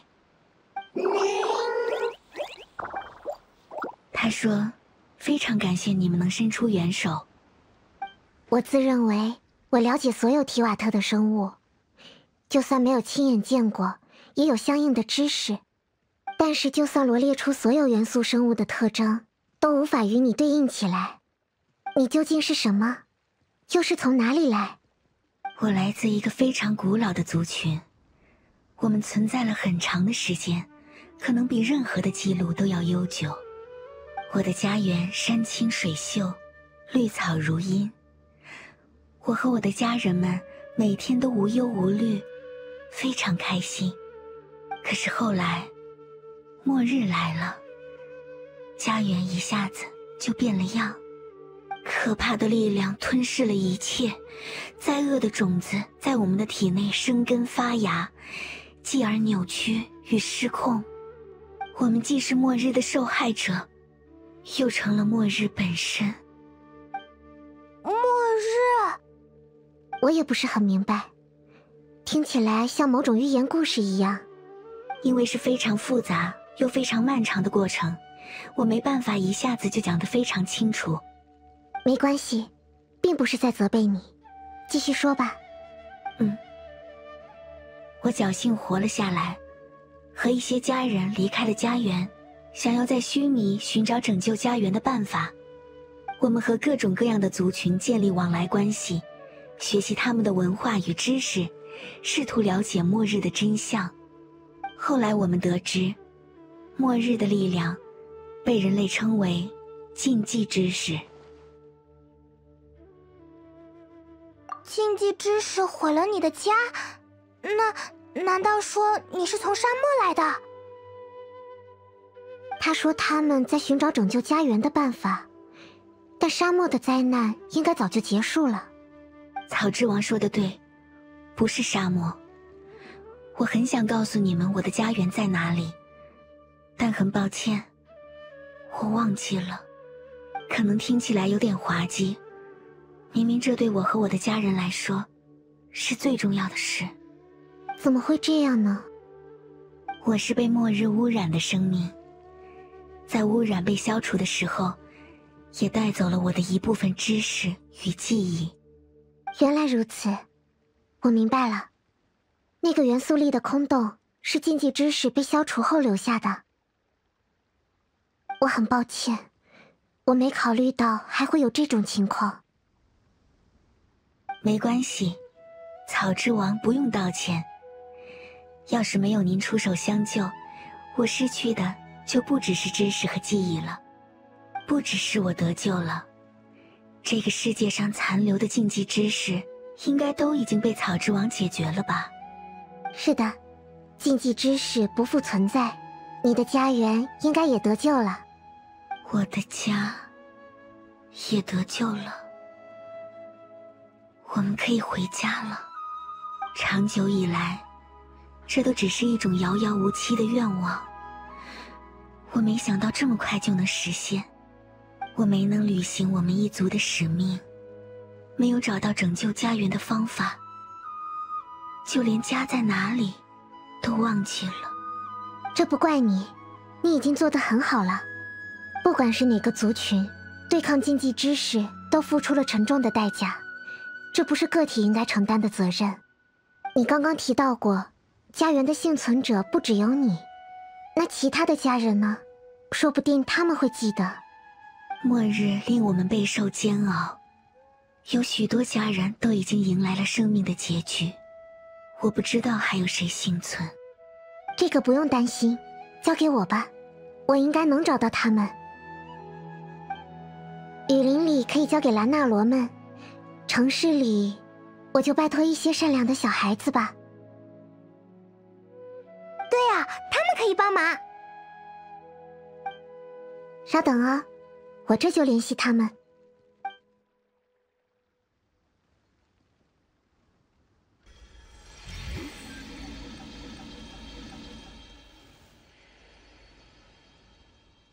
这样应该就行了吧？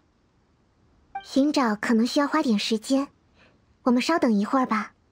谢谢你，草之王。我们都相信草之王会信守承诺。在我醒来见到您的那一刻。我就有所预感，您是为了约定而来。约定？或许您已经没印象了，但这是我们深信的预言。等灾厄结束，草之王会带我们回家。这，这样啊。实在抱歉，我的记忆里也有一些模糊的部分，但我很担心你们家园的状况。不用觉得是在为我添麻烦。这是我应该做的。在等消息的时间里，你们愿意和我去个地方吗？能一起回家的家人，越多越好。可你不是说不知道他们在哪里吗？但我知道他们的结局。路上我为你们解释吧。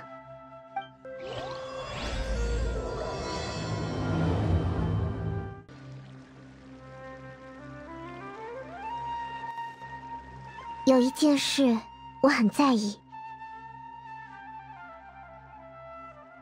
是的，在他面前我没有提起。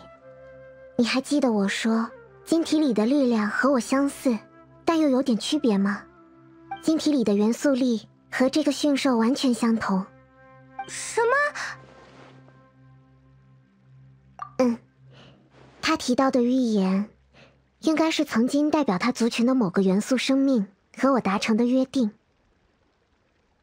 想要拯救他们的家园，就必须先解决禁忌之事。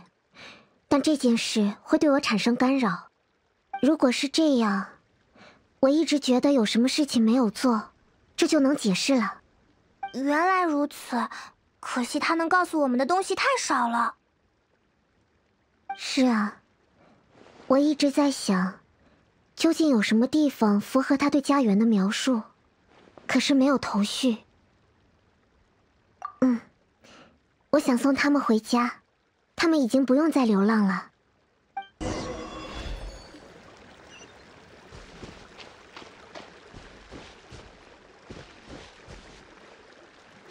我来带路，这里有点不好走。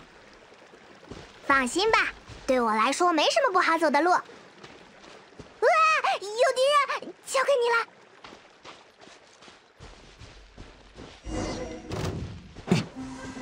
速之客进山！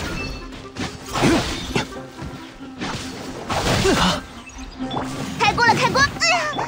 这个如何？这刹那将是你的永恒。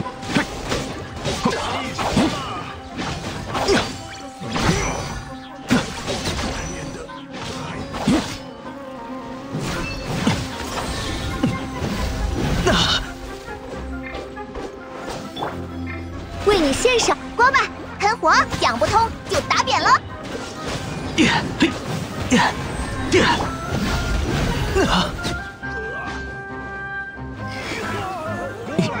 了。你们的身手真棒，就算在末日里，一定也有活下来的办法。说起来，我一直想问，你们本来应该不长这样吧？是的，我们族群的形态会根据环境发生变化。在和须弥大地上的各种生物交流之后，我们发现驯兽是最适应这片土地的生命形态。于是我们渐渐变为驯兽的样子，融入了他们的族群。这种事也能做到吗？生命最重要的本能不就是适应吗？我觉得这里不值得派蒙惊讶。你的手之所以是这样的形状，是为了方便的抓取和使用工具。驯兽之所以会吸收元素力，是为了融入环境，抵抗天敌。我们是草元素生物，是这片大陆上最古老的生命之一，所以适应力会更强一点。也就是说，如果我想，我也能变形吧？当然没有这么自由，这还需要时间的帮助。这对我们都是常识，但是好难解释。嗯，简单来说，改变形态需要力量，而这力量来自时间。你没办法让小草在瞬间就变成大树，也不能让树在瞬间就结满果实。我懂了，人类也有类似的词哦，叫成长。不愧是纳西达，这么说，我一下子就理解了。成长，我明白了，那这个就是成长，很有美感的词语。路途上，我再好好品味一番。还要走多久啊？已经一半了。加油，派蒙！你需要我背你吗？啊，没有，我只是随便问问，我不累。感觉你还挺喜欢照顾人的，是吗？草之王需要我背吗？嗯，那样的话我们都会很别扭吧。不如你飞到我头顶上来吧。等下再说吧，好像又有魔物。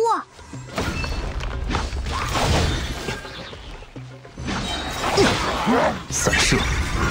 呵，切，谁啊？冻结吧！嘿，小心着凉！好像我们对背这个行为的理解不太一样。无论累不累，只要我把孩子背在背上，把他撑起来，他就会很开心。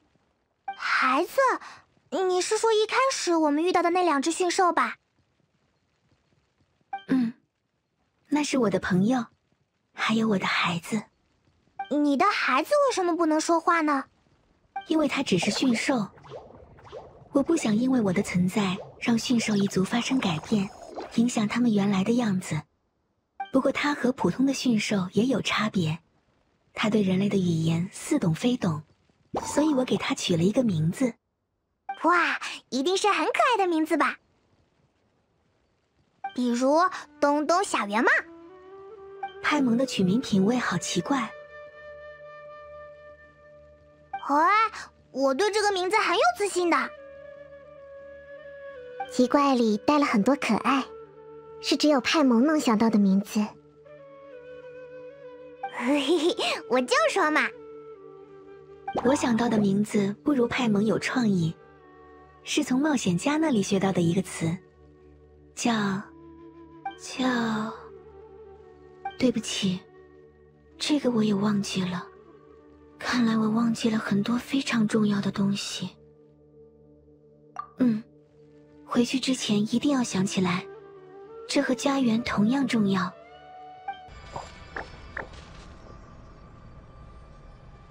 这个是死域。嗯，没错，我听过人类用这个词。它是我们这种生命的末路，也是最后展现出的形态。我我不是很明白，他想说的应该是，当他们饱经折磨，最终亡故的时候，就会变成死玉流吧。嗯，如果我没得到草之王的救助，也会是这样的下场。死玉就是这样产生的。在以前的研究里，禁忌知识是死玉产生的根本原因。就算禁忌知识已经根除，他们留下的影响还会存在，死玉并不会一起消失。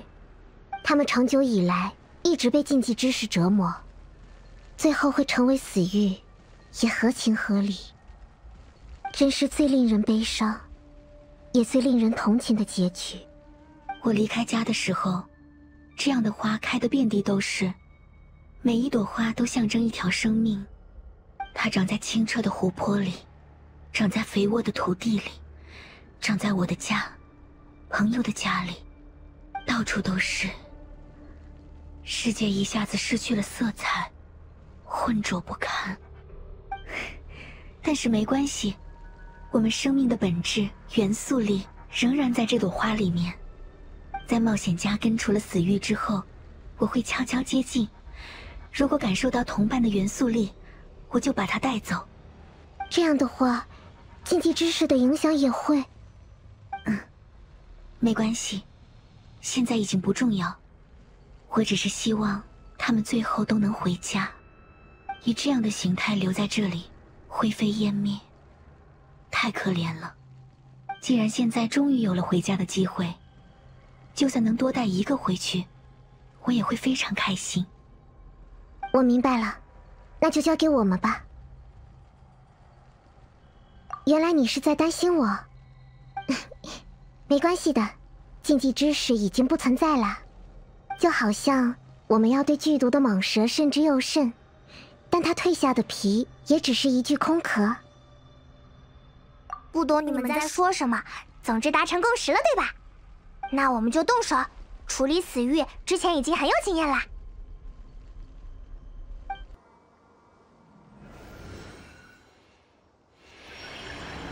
果然是他，我所知的最后一位同族。原来他也没能坚持下来。明明再撑一小段时间就好了。愿你回家之后。再也不需承受这样的痛苦。想到有那么多元素生命都变成了死玉流，我就好难过。没关系，只要元素力还在，我们就还在。外形不过是时间的礼物，成长了就会变化，也有舍弃的时候，但本质不会轻易改变。如果能早点治好他们，也不至于变成现在这样。就算是为了雨林。和生活在此的诸多生命，我也要把他们找出来，都治好。谢谢草之王，选择信任并等待，是我们最明智的选择。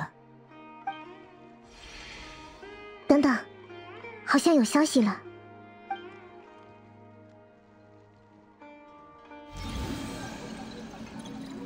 啊，这样啊，嗯，好的，我知道了，非常感谢你们。好像找到了一只符合描述的驯兽，现在也处于昏迷的状态。那应该和我的情况类似，我们快去看看吧。嗯，走吧，我来带路。就是这里了，它在里面一点的位置。但是这里驯兽好多，他们应该都是正常的驯兽吧？是呀，他们戒备心有点强。不能战斗，这些都是他的家人。虽然我们的族群不一样，但我们长期和驯兽生活在一起，我们很看重他们。只要好好沟通，他们也可以很通情达理。那要怎么办？只有你可以顺利进去吧。想要救那只驯兽，需要纳西达的力量。我想到一个办法，既然你能够变成驯兽的样子，这个办法能不能也交给我呢？您想要变成驯兽，但是我们没有时间成长。纳西达可是神明，变成一只驯兽应该轻轻松松吧？就算是神明，想要对抗时间也绝不容易。那就要冒着被发现的风险尝试潜入了，不能说没有战斗的可能。如果我付出一些力量，就可以保全你和他的家人。那我愿意试试看。好吧，草之王的元素力很强大，说不定可以做到。如果想跨越时间的限制，就需要支付相等的力量。我会把这方面的知识借给您，让您变化的过程更轻松一些。好的，我已经准备好了。变成驯兽，感觉一定是很新奇的体验。草之王，这可不是在玩儿，我很严肃。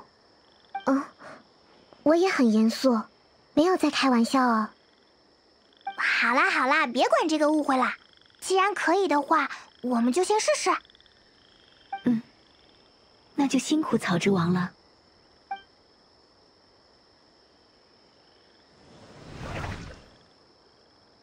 哇，真的变成驯兽啦！还不错，视线的位置居然没怎么变，它好像就在下方的不远处。能拜托你们帮我分辨一下哪个是它吗？哎，要怎么做？我先接近他们，你们从上面走。对方是元素生物，使用元素视野应该可以看到他们的区别。接下来。你在心中默念那个正确的答案，只要我能看到你们，我就会听到。哦，我明白了。那我就负责把上面的驯兽引开，帮你们开路。好的，走吧。现在要兵分两路了。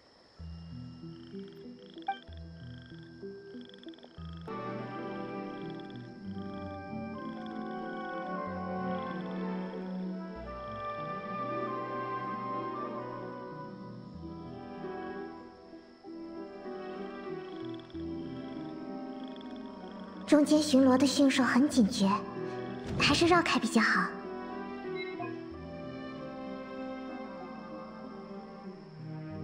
娜娜，娜娜，喵喵喵喵，娜，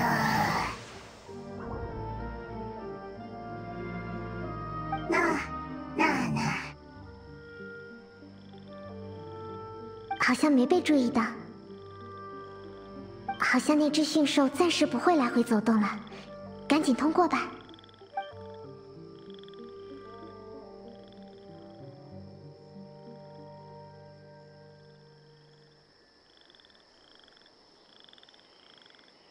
就是这里，有好几只驯兽，我先隐藏一下，等旅行者过来吧。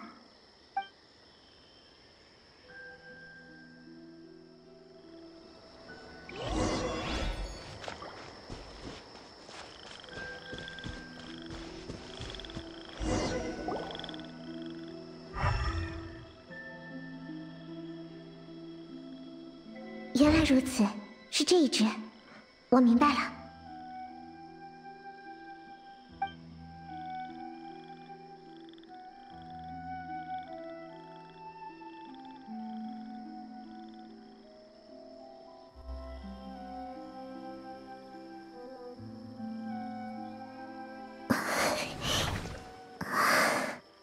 纳西达，你怎么了？我没想到。改变自己的形态，消耗居然这么大，这还是借助他的知识走了一些捷径。看来他的谨慎是很有道理的。时间的力量积微成著，平时你不会在意，但如果想要在瞬间改变，就需要支付极大的代价。感谢你们的付出，一切还算顺利，只用等他醒过来就好了。你们。是谁？对不起，语言不好理解，时间需要很长。没关系，是很好的消息。我用驯兽的方式给你解释。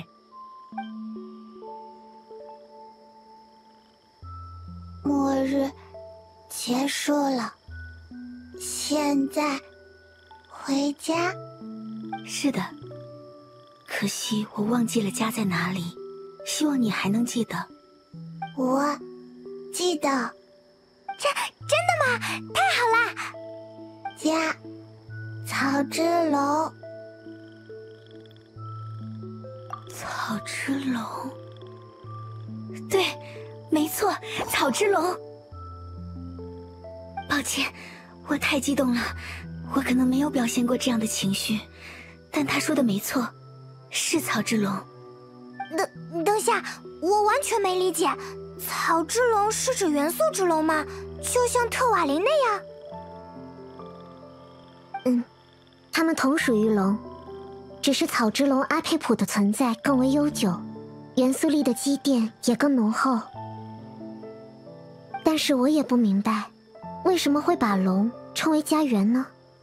因为我们住在草之龙的身体里。这草之龙内部很大，山水树木，我们在草之龙的体内有另一个世界。草之龙孕育了最初的生命，将我们保护在其中。他曾用威严的声音告诉我们，等我们成熟，就可以去新的世界生活。但这一天，最后也没有到来。在末日之前，家园就是最好的地方。我还是有点理解不了。嗯，很近似的关系。看来你比派蒙要聪明很多，只不过草之龙比草史莱姆大好多好多倍。等等，如果是这样的话，不就等于是在说阿佩普也被禁忌之石污染了吗？嗯，意思应该相同。草之王突然如此紧张，发生什么了吗？我还没见过您露出这样的表情。阿佩普是这个世界上最具有适应力的生物，禁忌知识应该早就成了他身体的一部分。那么，消除所有禁忌知识的后果，他也产生了巨大的空洞。恐怕是的，他的身体和灵魂应该早就残损不堪了。怪不得我有很久没有见过阿佩普。他到底是怎么被污染的？是因为赤王文明的覆灭吗？自那以后，他就销声匿迹，一直在忍受痛苦。现如今，估计病情也很重。是的，我怎么会忘记呢？如果草龙无法坚持的话，元素力就无法继续以生命的形态留在他体内，而会全部逸散。那种浓度的草元素力会让雨林过度生长，高大的树木完全遮蔽阳光，植物与人类抢夺空气，整个须弥都会不再适合生存。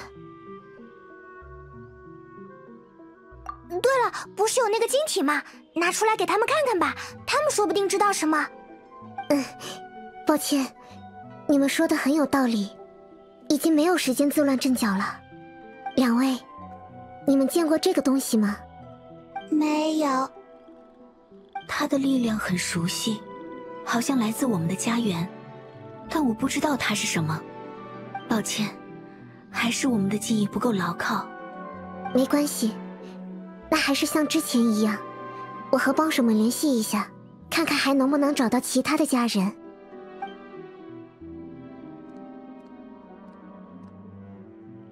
拜托你们了。你们的情报很重要，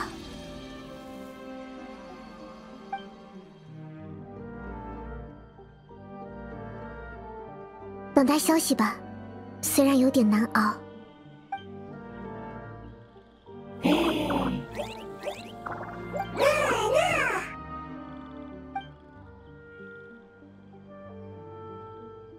你们谢谢家人，水果。送来。我之前和他们解释过，你们不是坏人了。看见你们救了他，他的家人们也都很感激。回家，离开，好难。不知道，他们弱小，不放心。既然等待，等待，想要。别急，别急。我明白你的意思了，我们看重家人，无论是什么时期的家人。为了保护这片领地，他做了很多，现在要离开，难免不放心。既然我们还在等待，能不能帮他再做最后的一点事呢？没问题，我理解这种心情。我也需要整理一下我的思绪。谢谢，感恩。田地、食物、照料，植物入侵，讨厌。他想做两件事，一个是照顾种食物的田地，另一个是赶走入侵的植物。田地那边先去，种子这里。好的，我懂了，这句就不用翻译了，我们去去就回。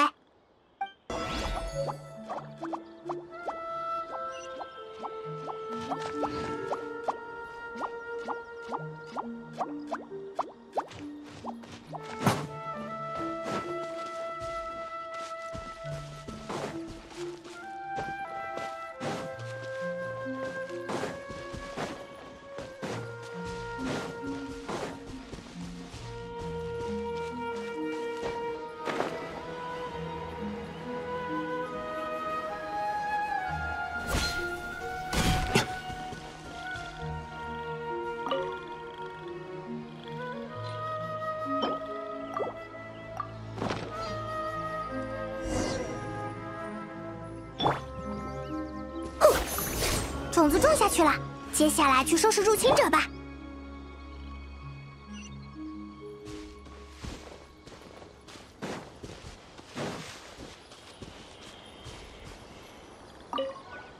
原来是片片花，怪不得他说是植物的入侵。啊，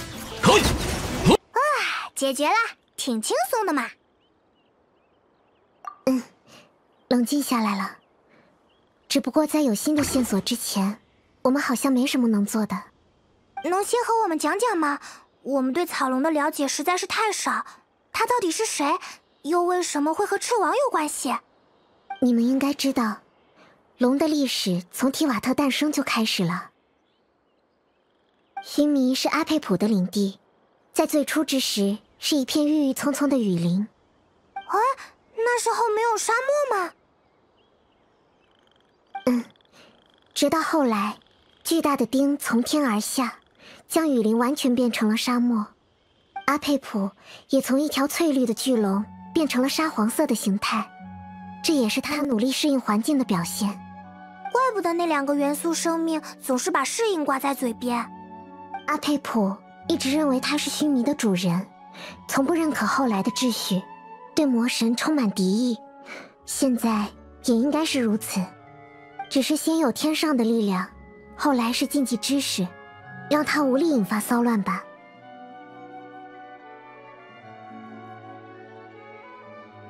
两种秩序达成某种平衡之前，必然是无休无止的大战。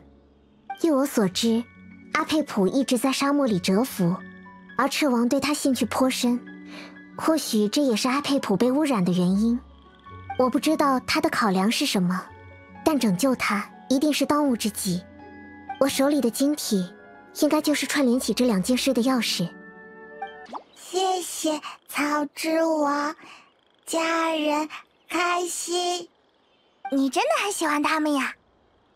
家人喜欢你，家人不喜欢。我没这个意思啦，只是你们并不是同一个族群呀。没关系，我家人喜欢，家人我喜欢，呃，有点难懂。他的意思是，家人之间互相喜欢就够了，其他的都不重要。你们很看重外表，但我们不会这样，我们更看重我们走过的旅程，学到的知识，建立的关系。这些都比外表更加可靠，它们都是时间的馈赠，成长的本质。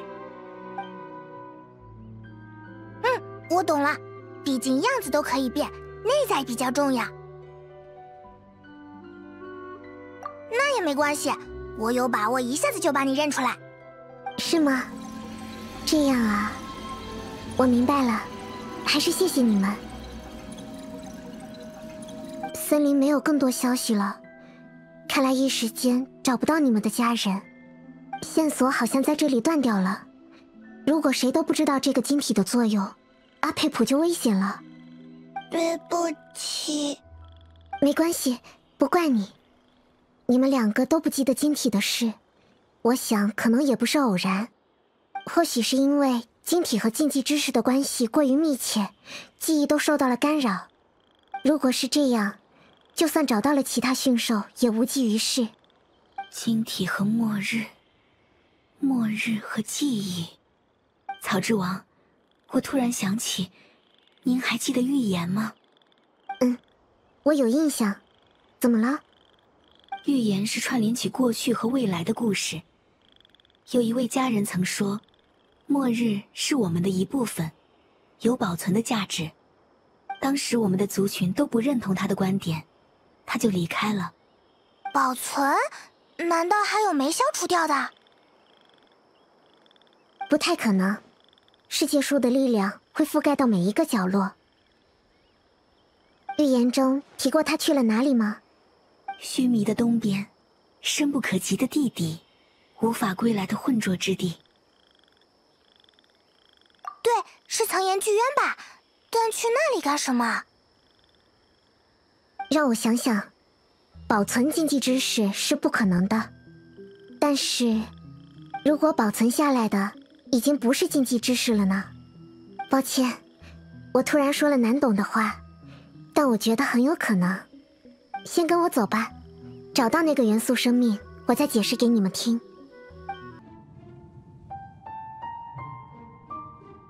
那个元素生命独自来到了这里，还度过了很长时间。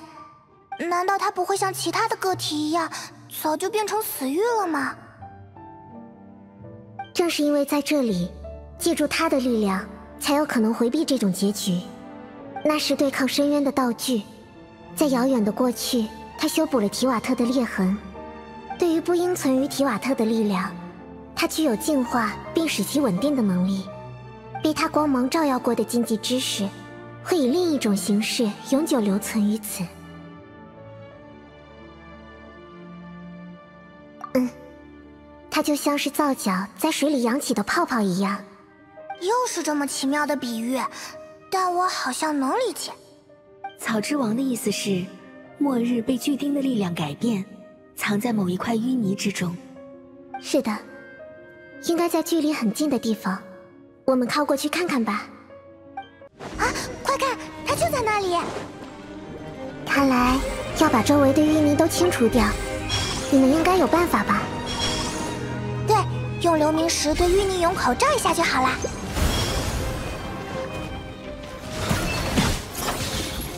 当当真是急性子，小心着凉。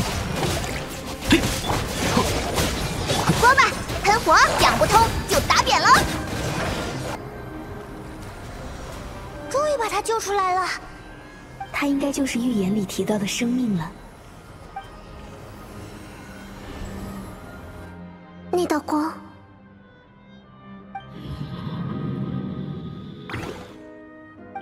等等，有黑色的东西冒出来。它不太对劲，怎么回事？不是说已经被净化了吗？是不是因为已经过了很长的时间？淤泥的力量虽然比末日更稳定，但依然是很不友善的力量。经历了漫长的浸泡，它不一定还能保留神智。怎么会这样？我们有一堆问题要问啊！用我的元素力，应该可以驱散它吧？可是。这是我们唯一的机会了，旅行者。没关系，我相信你的判断。我也有点草率了，想想看，还有没有其他办法吧？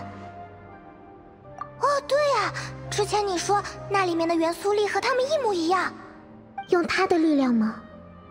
可是，草之王在犹豫。我也在犹豫，在了解它真实的作用之前就贸然使用，说不定会带来更大的风险。不懂，这不行，那不行，救命，要紧！我理解你的想法，但正因为这是我们回家唯一的路，才更需要谨慎。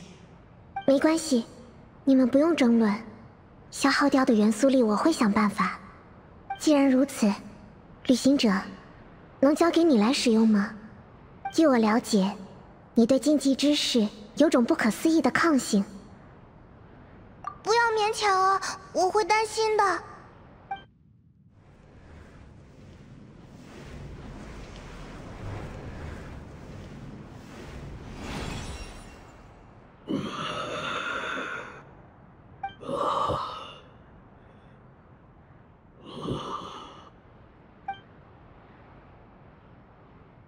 草之王，还有你们，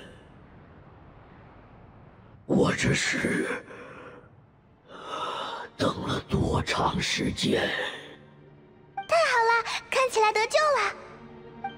之王亲自来找我，就说明末日结束了，对吧？您是不是又变小了？抱歉，我这部分的记忆很不可靠，我已经不记得你了。嗯，也对，毕竟我就是为了这一部分。不可靠而存在的。您曾说过，末日会被彻底清除，与其关联紧密的记忆也会处于不稳定的状态。就连您都不能保证，在那之后还能牢记与我们族群的诺言，但。您绝不是会背弃承诺之人。和您的觉悟相比，我的牺牲根本不值一提。这是你和我约好的。嗯，您用您的力量保护了我，不然我也无法在这里活下去。说实话。已经有些撑不下去了。我本来以为我会更坚强一些。面对末日的力量，无论是谁都会无能为力。为了保留相对稳定的记忆，我必须把末日的力量转变成另一种形态。这种事。就只有从天而降的巨丁能够做到，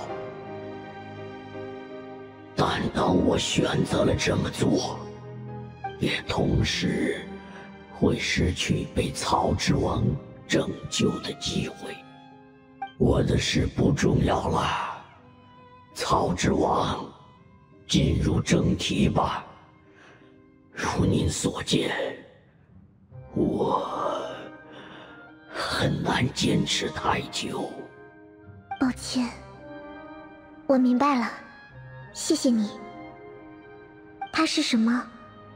你能给我答案吗？这个是火种，拯救草之龙的必要之物。看起来他的状态还不错，真是太好了。这是当初草之王和我们族群共同制造的东西，模拟了草之龙绿洲之心的运作方式。草之龙已经被末日折磨了太长时间，他的力量所剩无几，但只要用火种重新激活他的绿洲之心。他就能逐渐自愈，自然，我们的家园也会恢复原状。绿洲之心，就是阿佩普的力量之源吧？原来如此，怪不得这个晶体能治好他呢，这就是它的用途啊！什么？你们为了救我，使用了火种？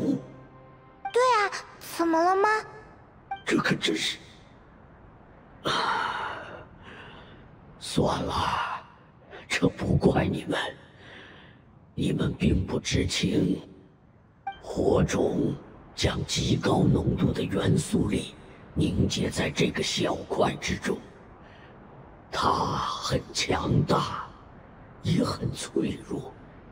这种存在形式并不稳定。为了避免出现意外，你们千万不要再使用它了。既然我是制造者，我也会为它负责，你不用担心。嗯。另外，火种除了治愈草之龙，还能够与绿洲之心产生共鸣。换句话说。你们能够通过火种的指引，找到草之龙的所在之处。快去吧，这件事刻不容缓。你呢？别管我了，你们快回家去吧。大家都要回家，你也不例外。我刚刚就说了，我早就失去了。被草之王拯救的机会，草之王，谢谢您能来见我，谢谢您愿意拯救草之龙，我们一族的过去得到了守护，我们一族的未来也得到了延续。能见到他们回家，我就心满意足了。喂，不对，等等，他变成淤泥了。可以再用一次流明石吗？我能感觉到他的元素力。拜托了，他最应该回家，这是他应有的结局。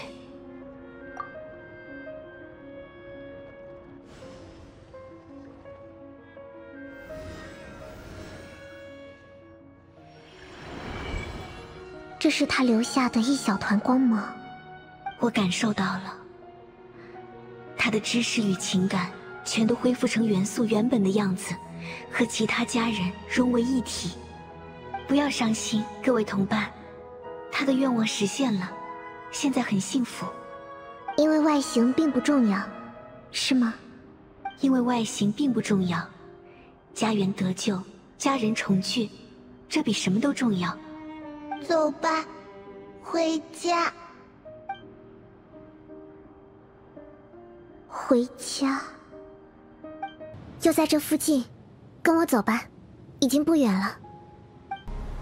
再往那边走，就什么都看不见了呀。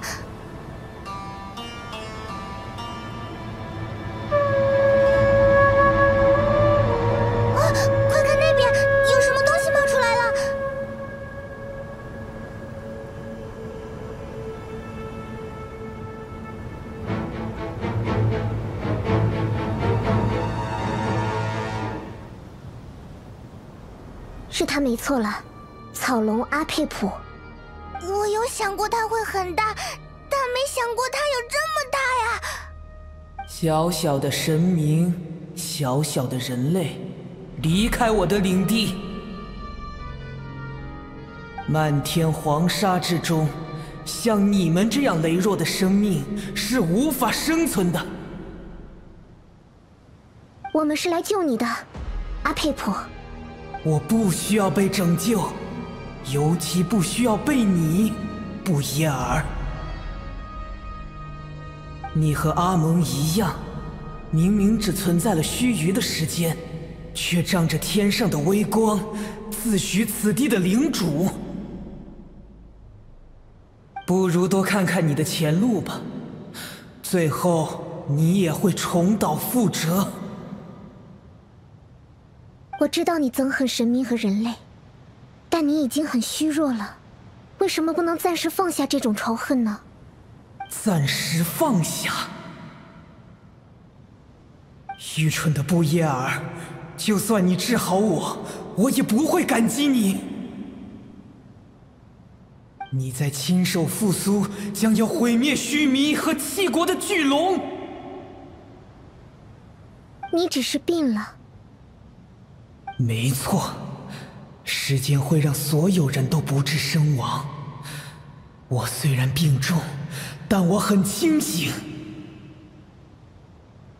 我和那些向你们妥协的古龙不一样。真的没必要走到这一步。我们需要的不是对抗，而是真相。哼，真相。这就是智慧之神无法逃离的桎梏。我已经为真相付出了惨痛的代价，迟早你也会。喂，别走！小心，有什么东西出来了。喂，是什么？完全没有见过。是家人。啊，他们也是家人，不应该是驯兽的样子吗？外形重要。不，本质相同，构成他们的元素力和我们完全一样。换句话说，他们就是家园的居民。这是他们经历末日之后的模样。这也是一种适应，只不过相当凄惨。我们还有很多家人没有逃出来，为了在末日之中生存下去，他们逐渐改变了形态，成了现在的样子。非要战斗不可吗？喂，你们能说话吗？我们是来救你们的。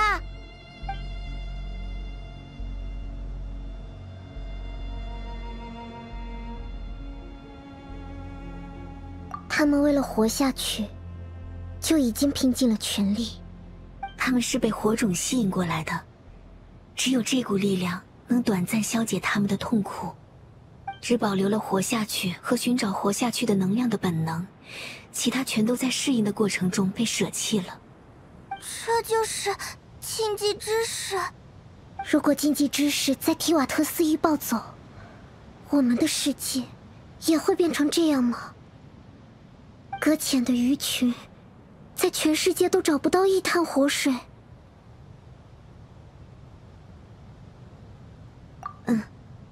但请你们手下留情，他们的本质并不坏。只是想要活下去。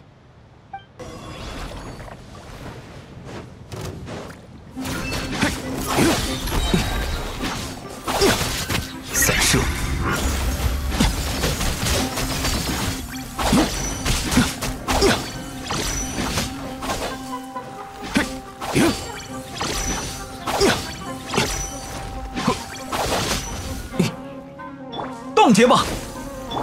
热乎热乎嘛。近身，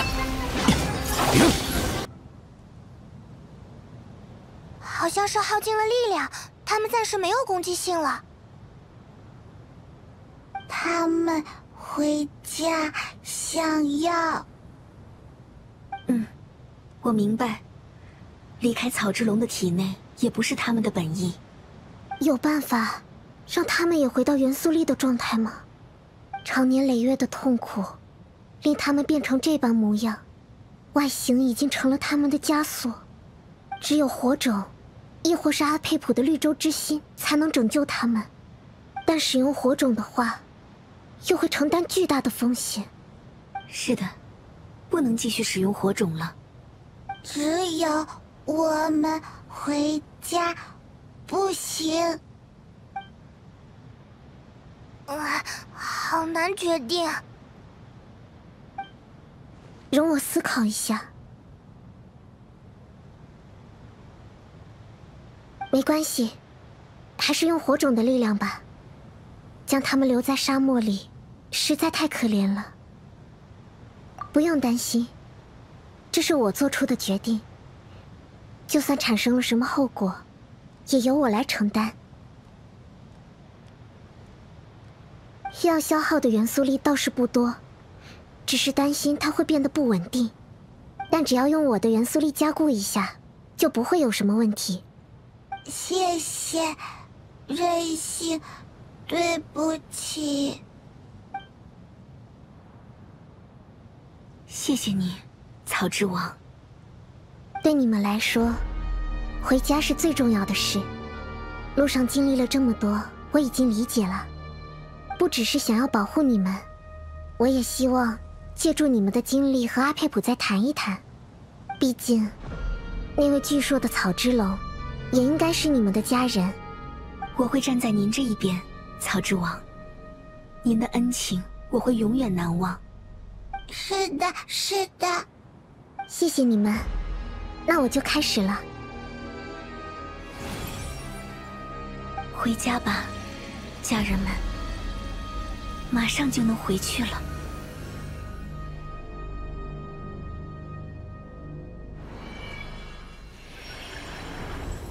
哇，它它在发光！无数的知识与情感都在我的体内涌动，他们都很兴奋。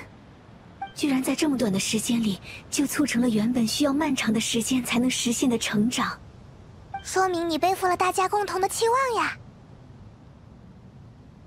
是啊，终于能回家了。那我们就出发吧。最后的一段路了。好大的洞，难道草龙它就生活在这里吗？是啊，谁知道那个洞里面有什么？而且我们的目的不只是要找到它，还要前往它体内的世界。如果不争取到他的配合，是不可能的。但他是那种态度，我们要怎么样才能让他配合呀？我来试试看吧。阿佩普，我们立场不同，对世界与秩序都有不同的理解，但我们都基于元素力而诞生，并曾深受禁忌知识的折磨。我们的本质相同，也有相同的敌人需要对抗，所以我们不应因成见而断绝交流。草龙真的能听进去吗？无论你怎么想，究竟在恨谁，又因为恨意做过什么，我不在乎，也不指望你的感恩。我是来救你的，不只是你，还有你的子民，我的子民。他们在离开了家园之后，一直在寻找拯救你的办法。他们真的非常想要回家，现在一切都结束了。所有的仇恨都无济于事。与其继续对抗下去，你应该正视你孕育的生命。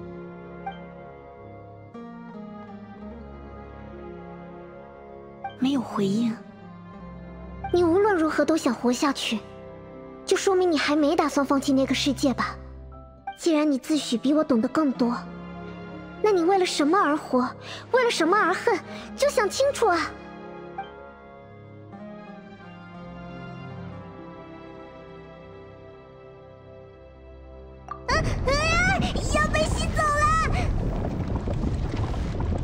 错了，请保护所有人的周全，把我们送到家园去吧。纳西达，我们这是在哪？啊，旅行者呢？他怎么不在？我只能保证我们顺利来到这个地方，但可能进入的位置有点不同。那那我们去前面找找吧，我很担心。嗯。不过别太紧张，他的身手值得信任。我知道了，但是还是会不习惯嘛。快走吧，快走吧，他说不定就在前面。这这个是？这个应该就是绿洲之心，只要用火种点亮它，它就能为阿佩普补充元素力，他体内损毁的部分也会逐渐复原，重获健康。那那我们快一点吧。点亮之后，我们就去找旅行者。嗯，我知道。稍等。啊！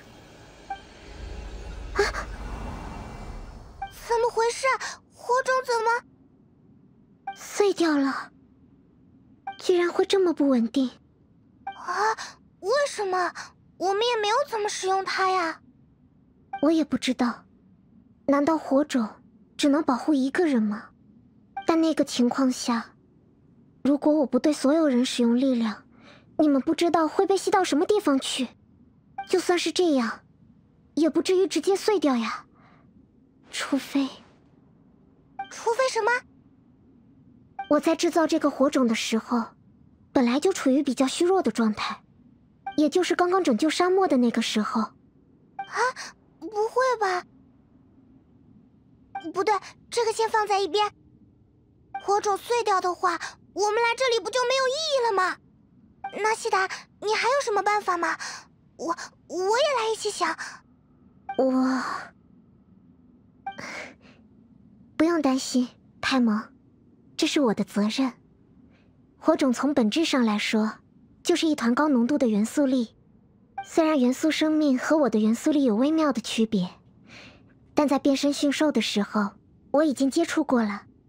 那么，只要模仿那种力量，再加上我自己的力量，我就能起到和火种相同的作用。啊，你要变成火种？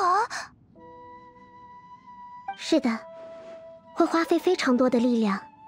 虽然比不上沙漠那时候，但可能我又会变小一点吧。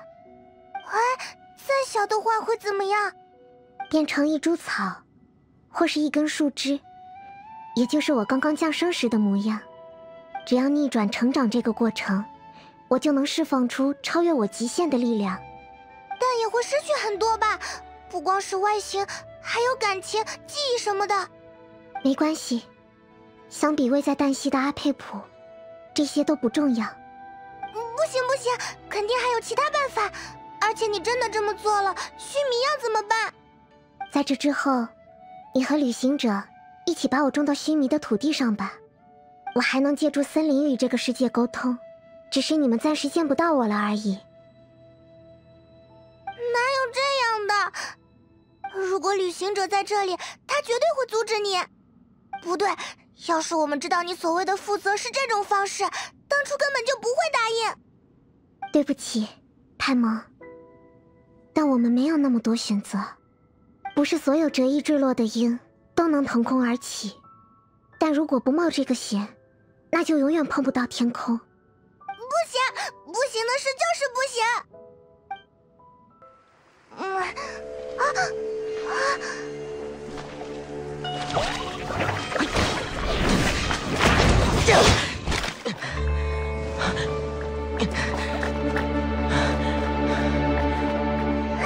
火种碎了，纳西达他……我知道，这是唯一的办法，但不该由草之王来做。我们都在漫长的旅途中获得了成长。如果成长是为了回家，那也算得偿所愿。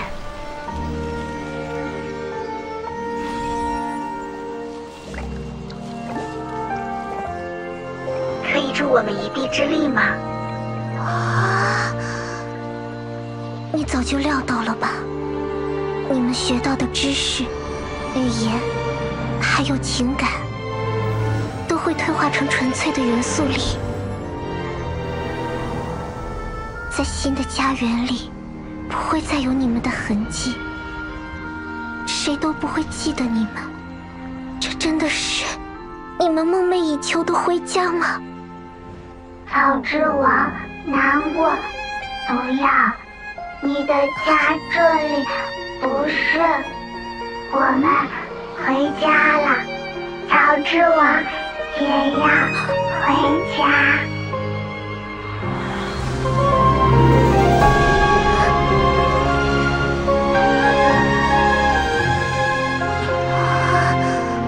拜托了，感受到我们的愿望。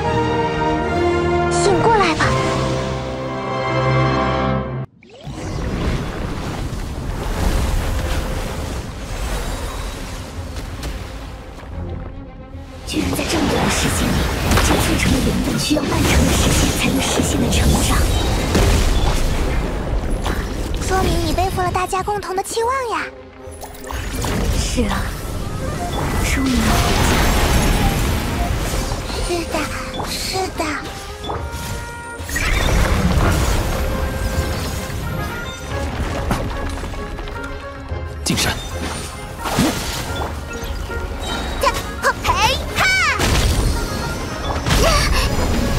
晕了，妈呀，好痛啊！冻结吧，开锅了，开锅！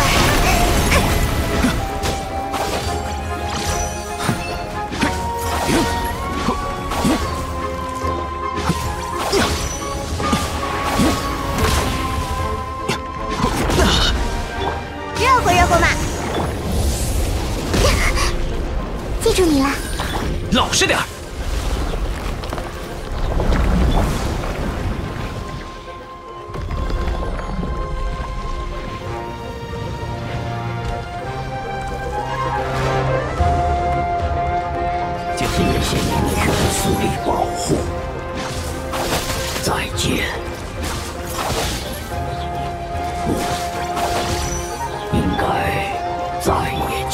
到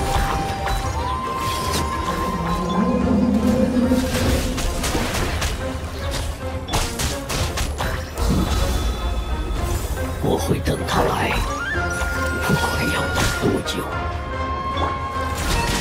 这是我们的约定。锅巴喷火见识下师傅的枪法。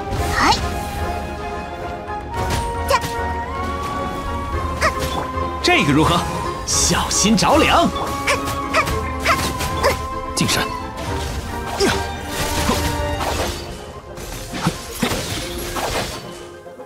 热乎热乎嘛！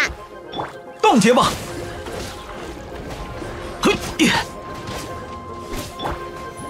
等下有点痛哦。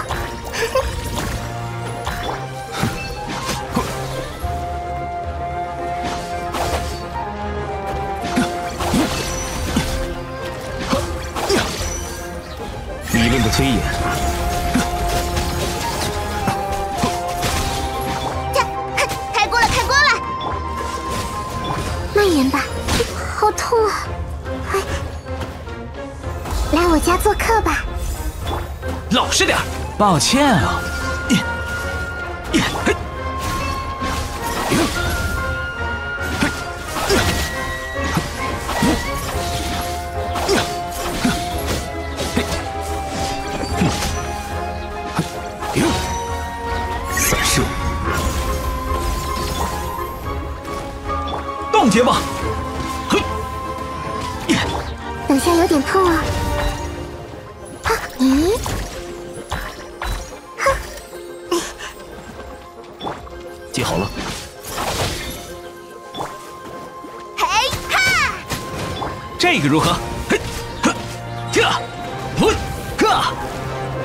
尽在你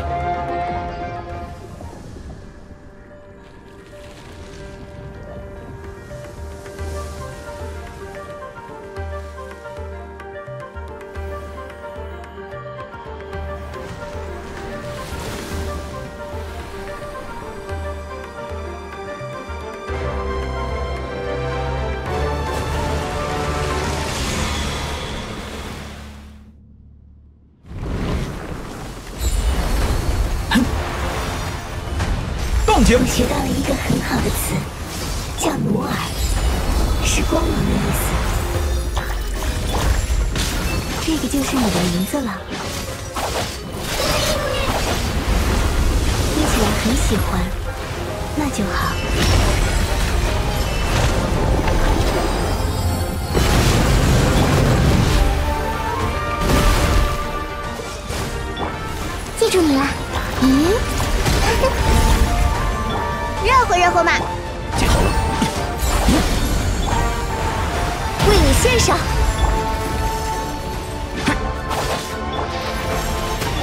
如何？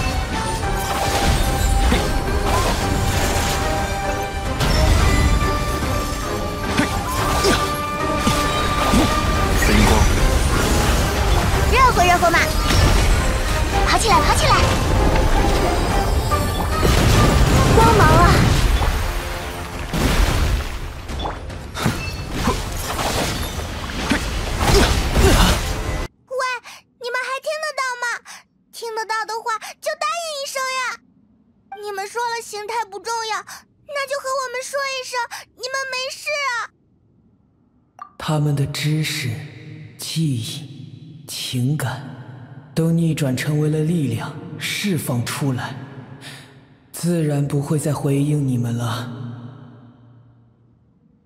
陪伴了我无数时光的守护者，现在和他们一样，都只是我的元素力。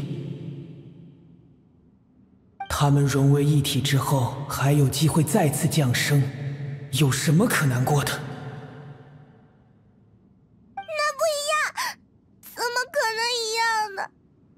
太萌，我们和他注定没有办法互相理解。但只要你能恢复健康，其他的事情我都不打算过问。只要维持这种状态，须弥就不会受到威胁。原本以为力量回归之后，我的愤怒也会随之膨胀，但此时此刻，我感受到的是早就遗忘的一种情绪——平静。禁忌之识早就在潜移默化中改变了你，放大了你的愤怒与仇恨之心。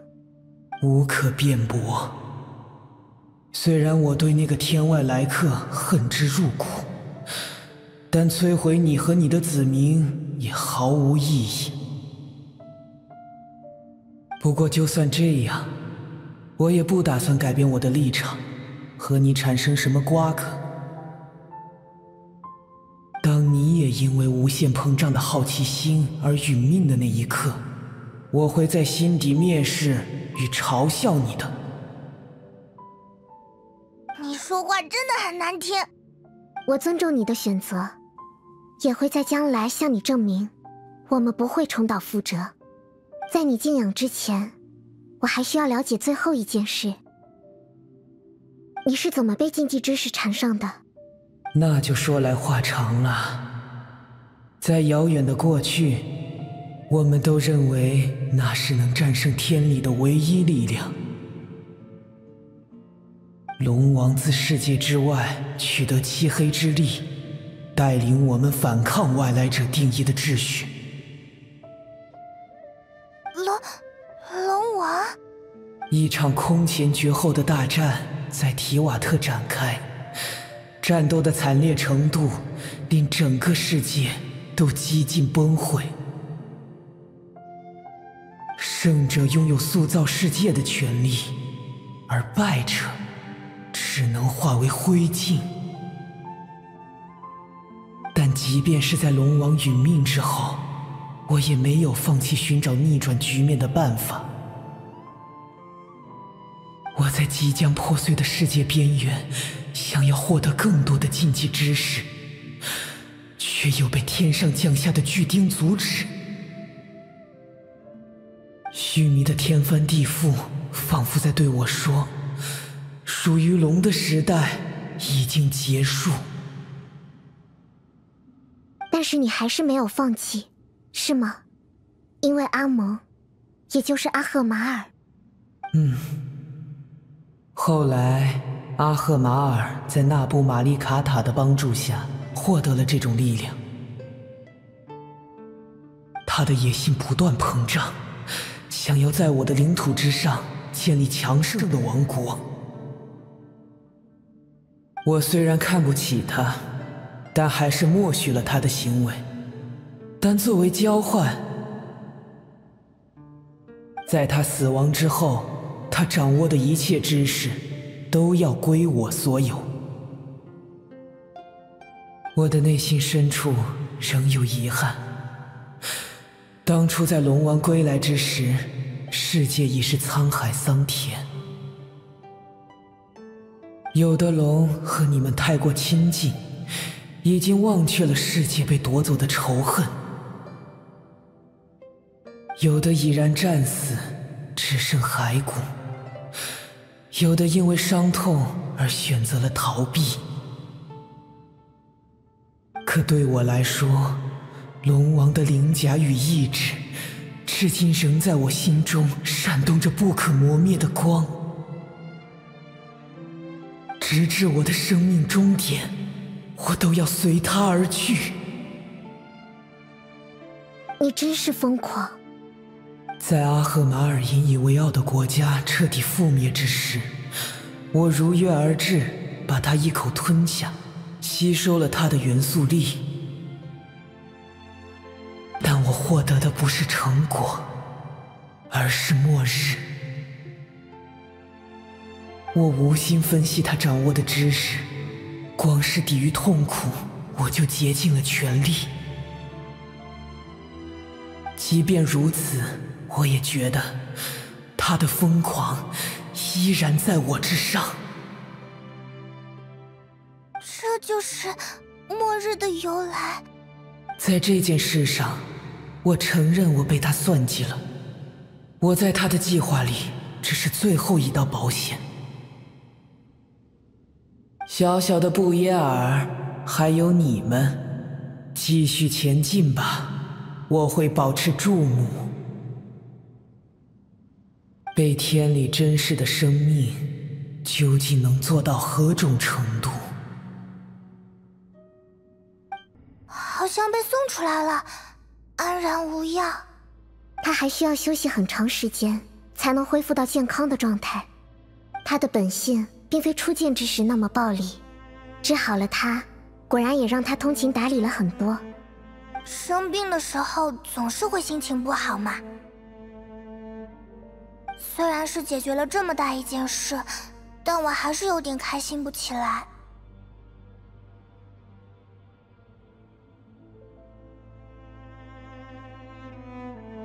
是啊，他们还有再次降生的机会。可是他们对旅程的记忆，对家园的感情，都一去不复返了。每一次成长，都是独一无二的。就是因为这些无可替代的情感积累，才能逆转为巨大的力量吧。啊，没有家人的地方，真的能叫家吗？家人？对呀，他还留下了家人。那两只驯兽，说不定还在等他回去。对啊，那我们去看看吧。但这么复杂的事，要怎么传达呢？他们居然真的还在这里，就一直在这里等着吗？我们回来了。对不起，我非常抱歉。他回家了，在很长的时间里都不会再回来。别难过，他是为了保护你们，他很希望你们能获得幸福。他说：“努尔是他最重要的家人。努尔是你的名字，没错吧？”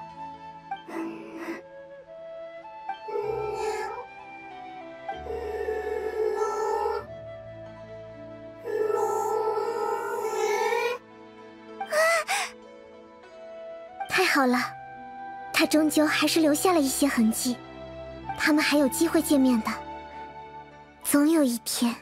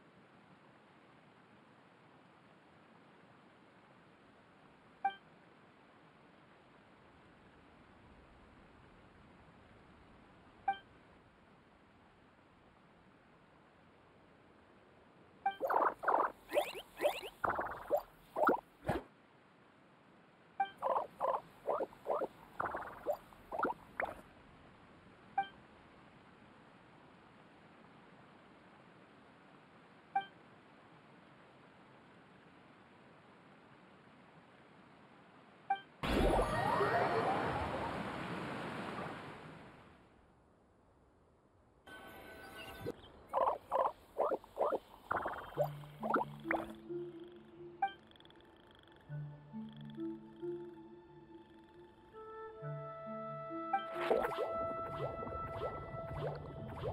you.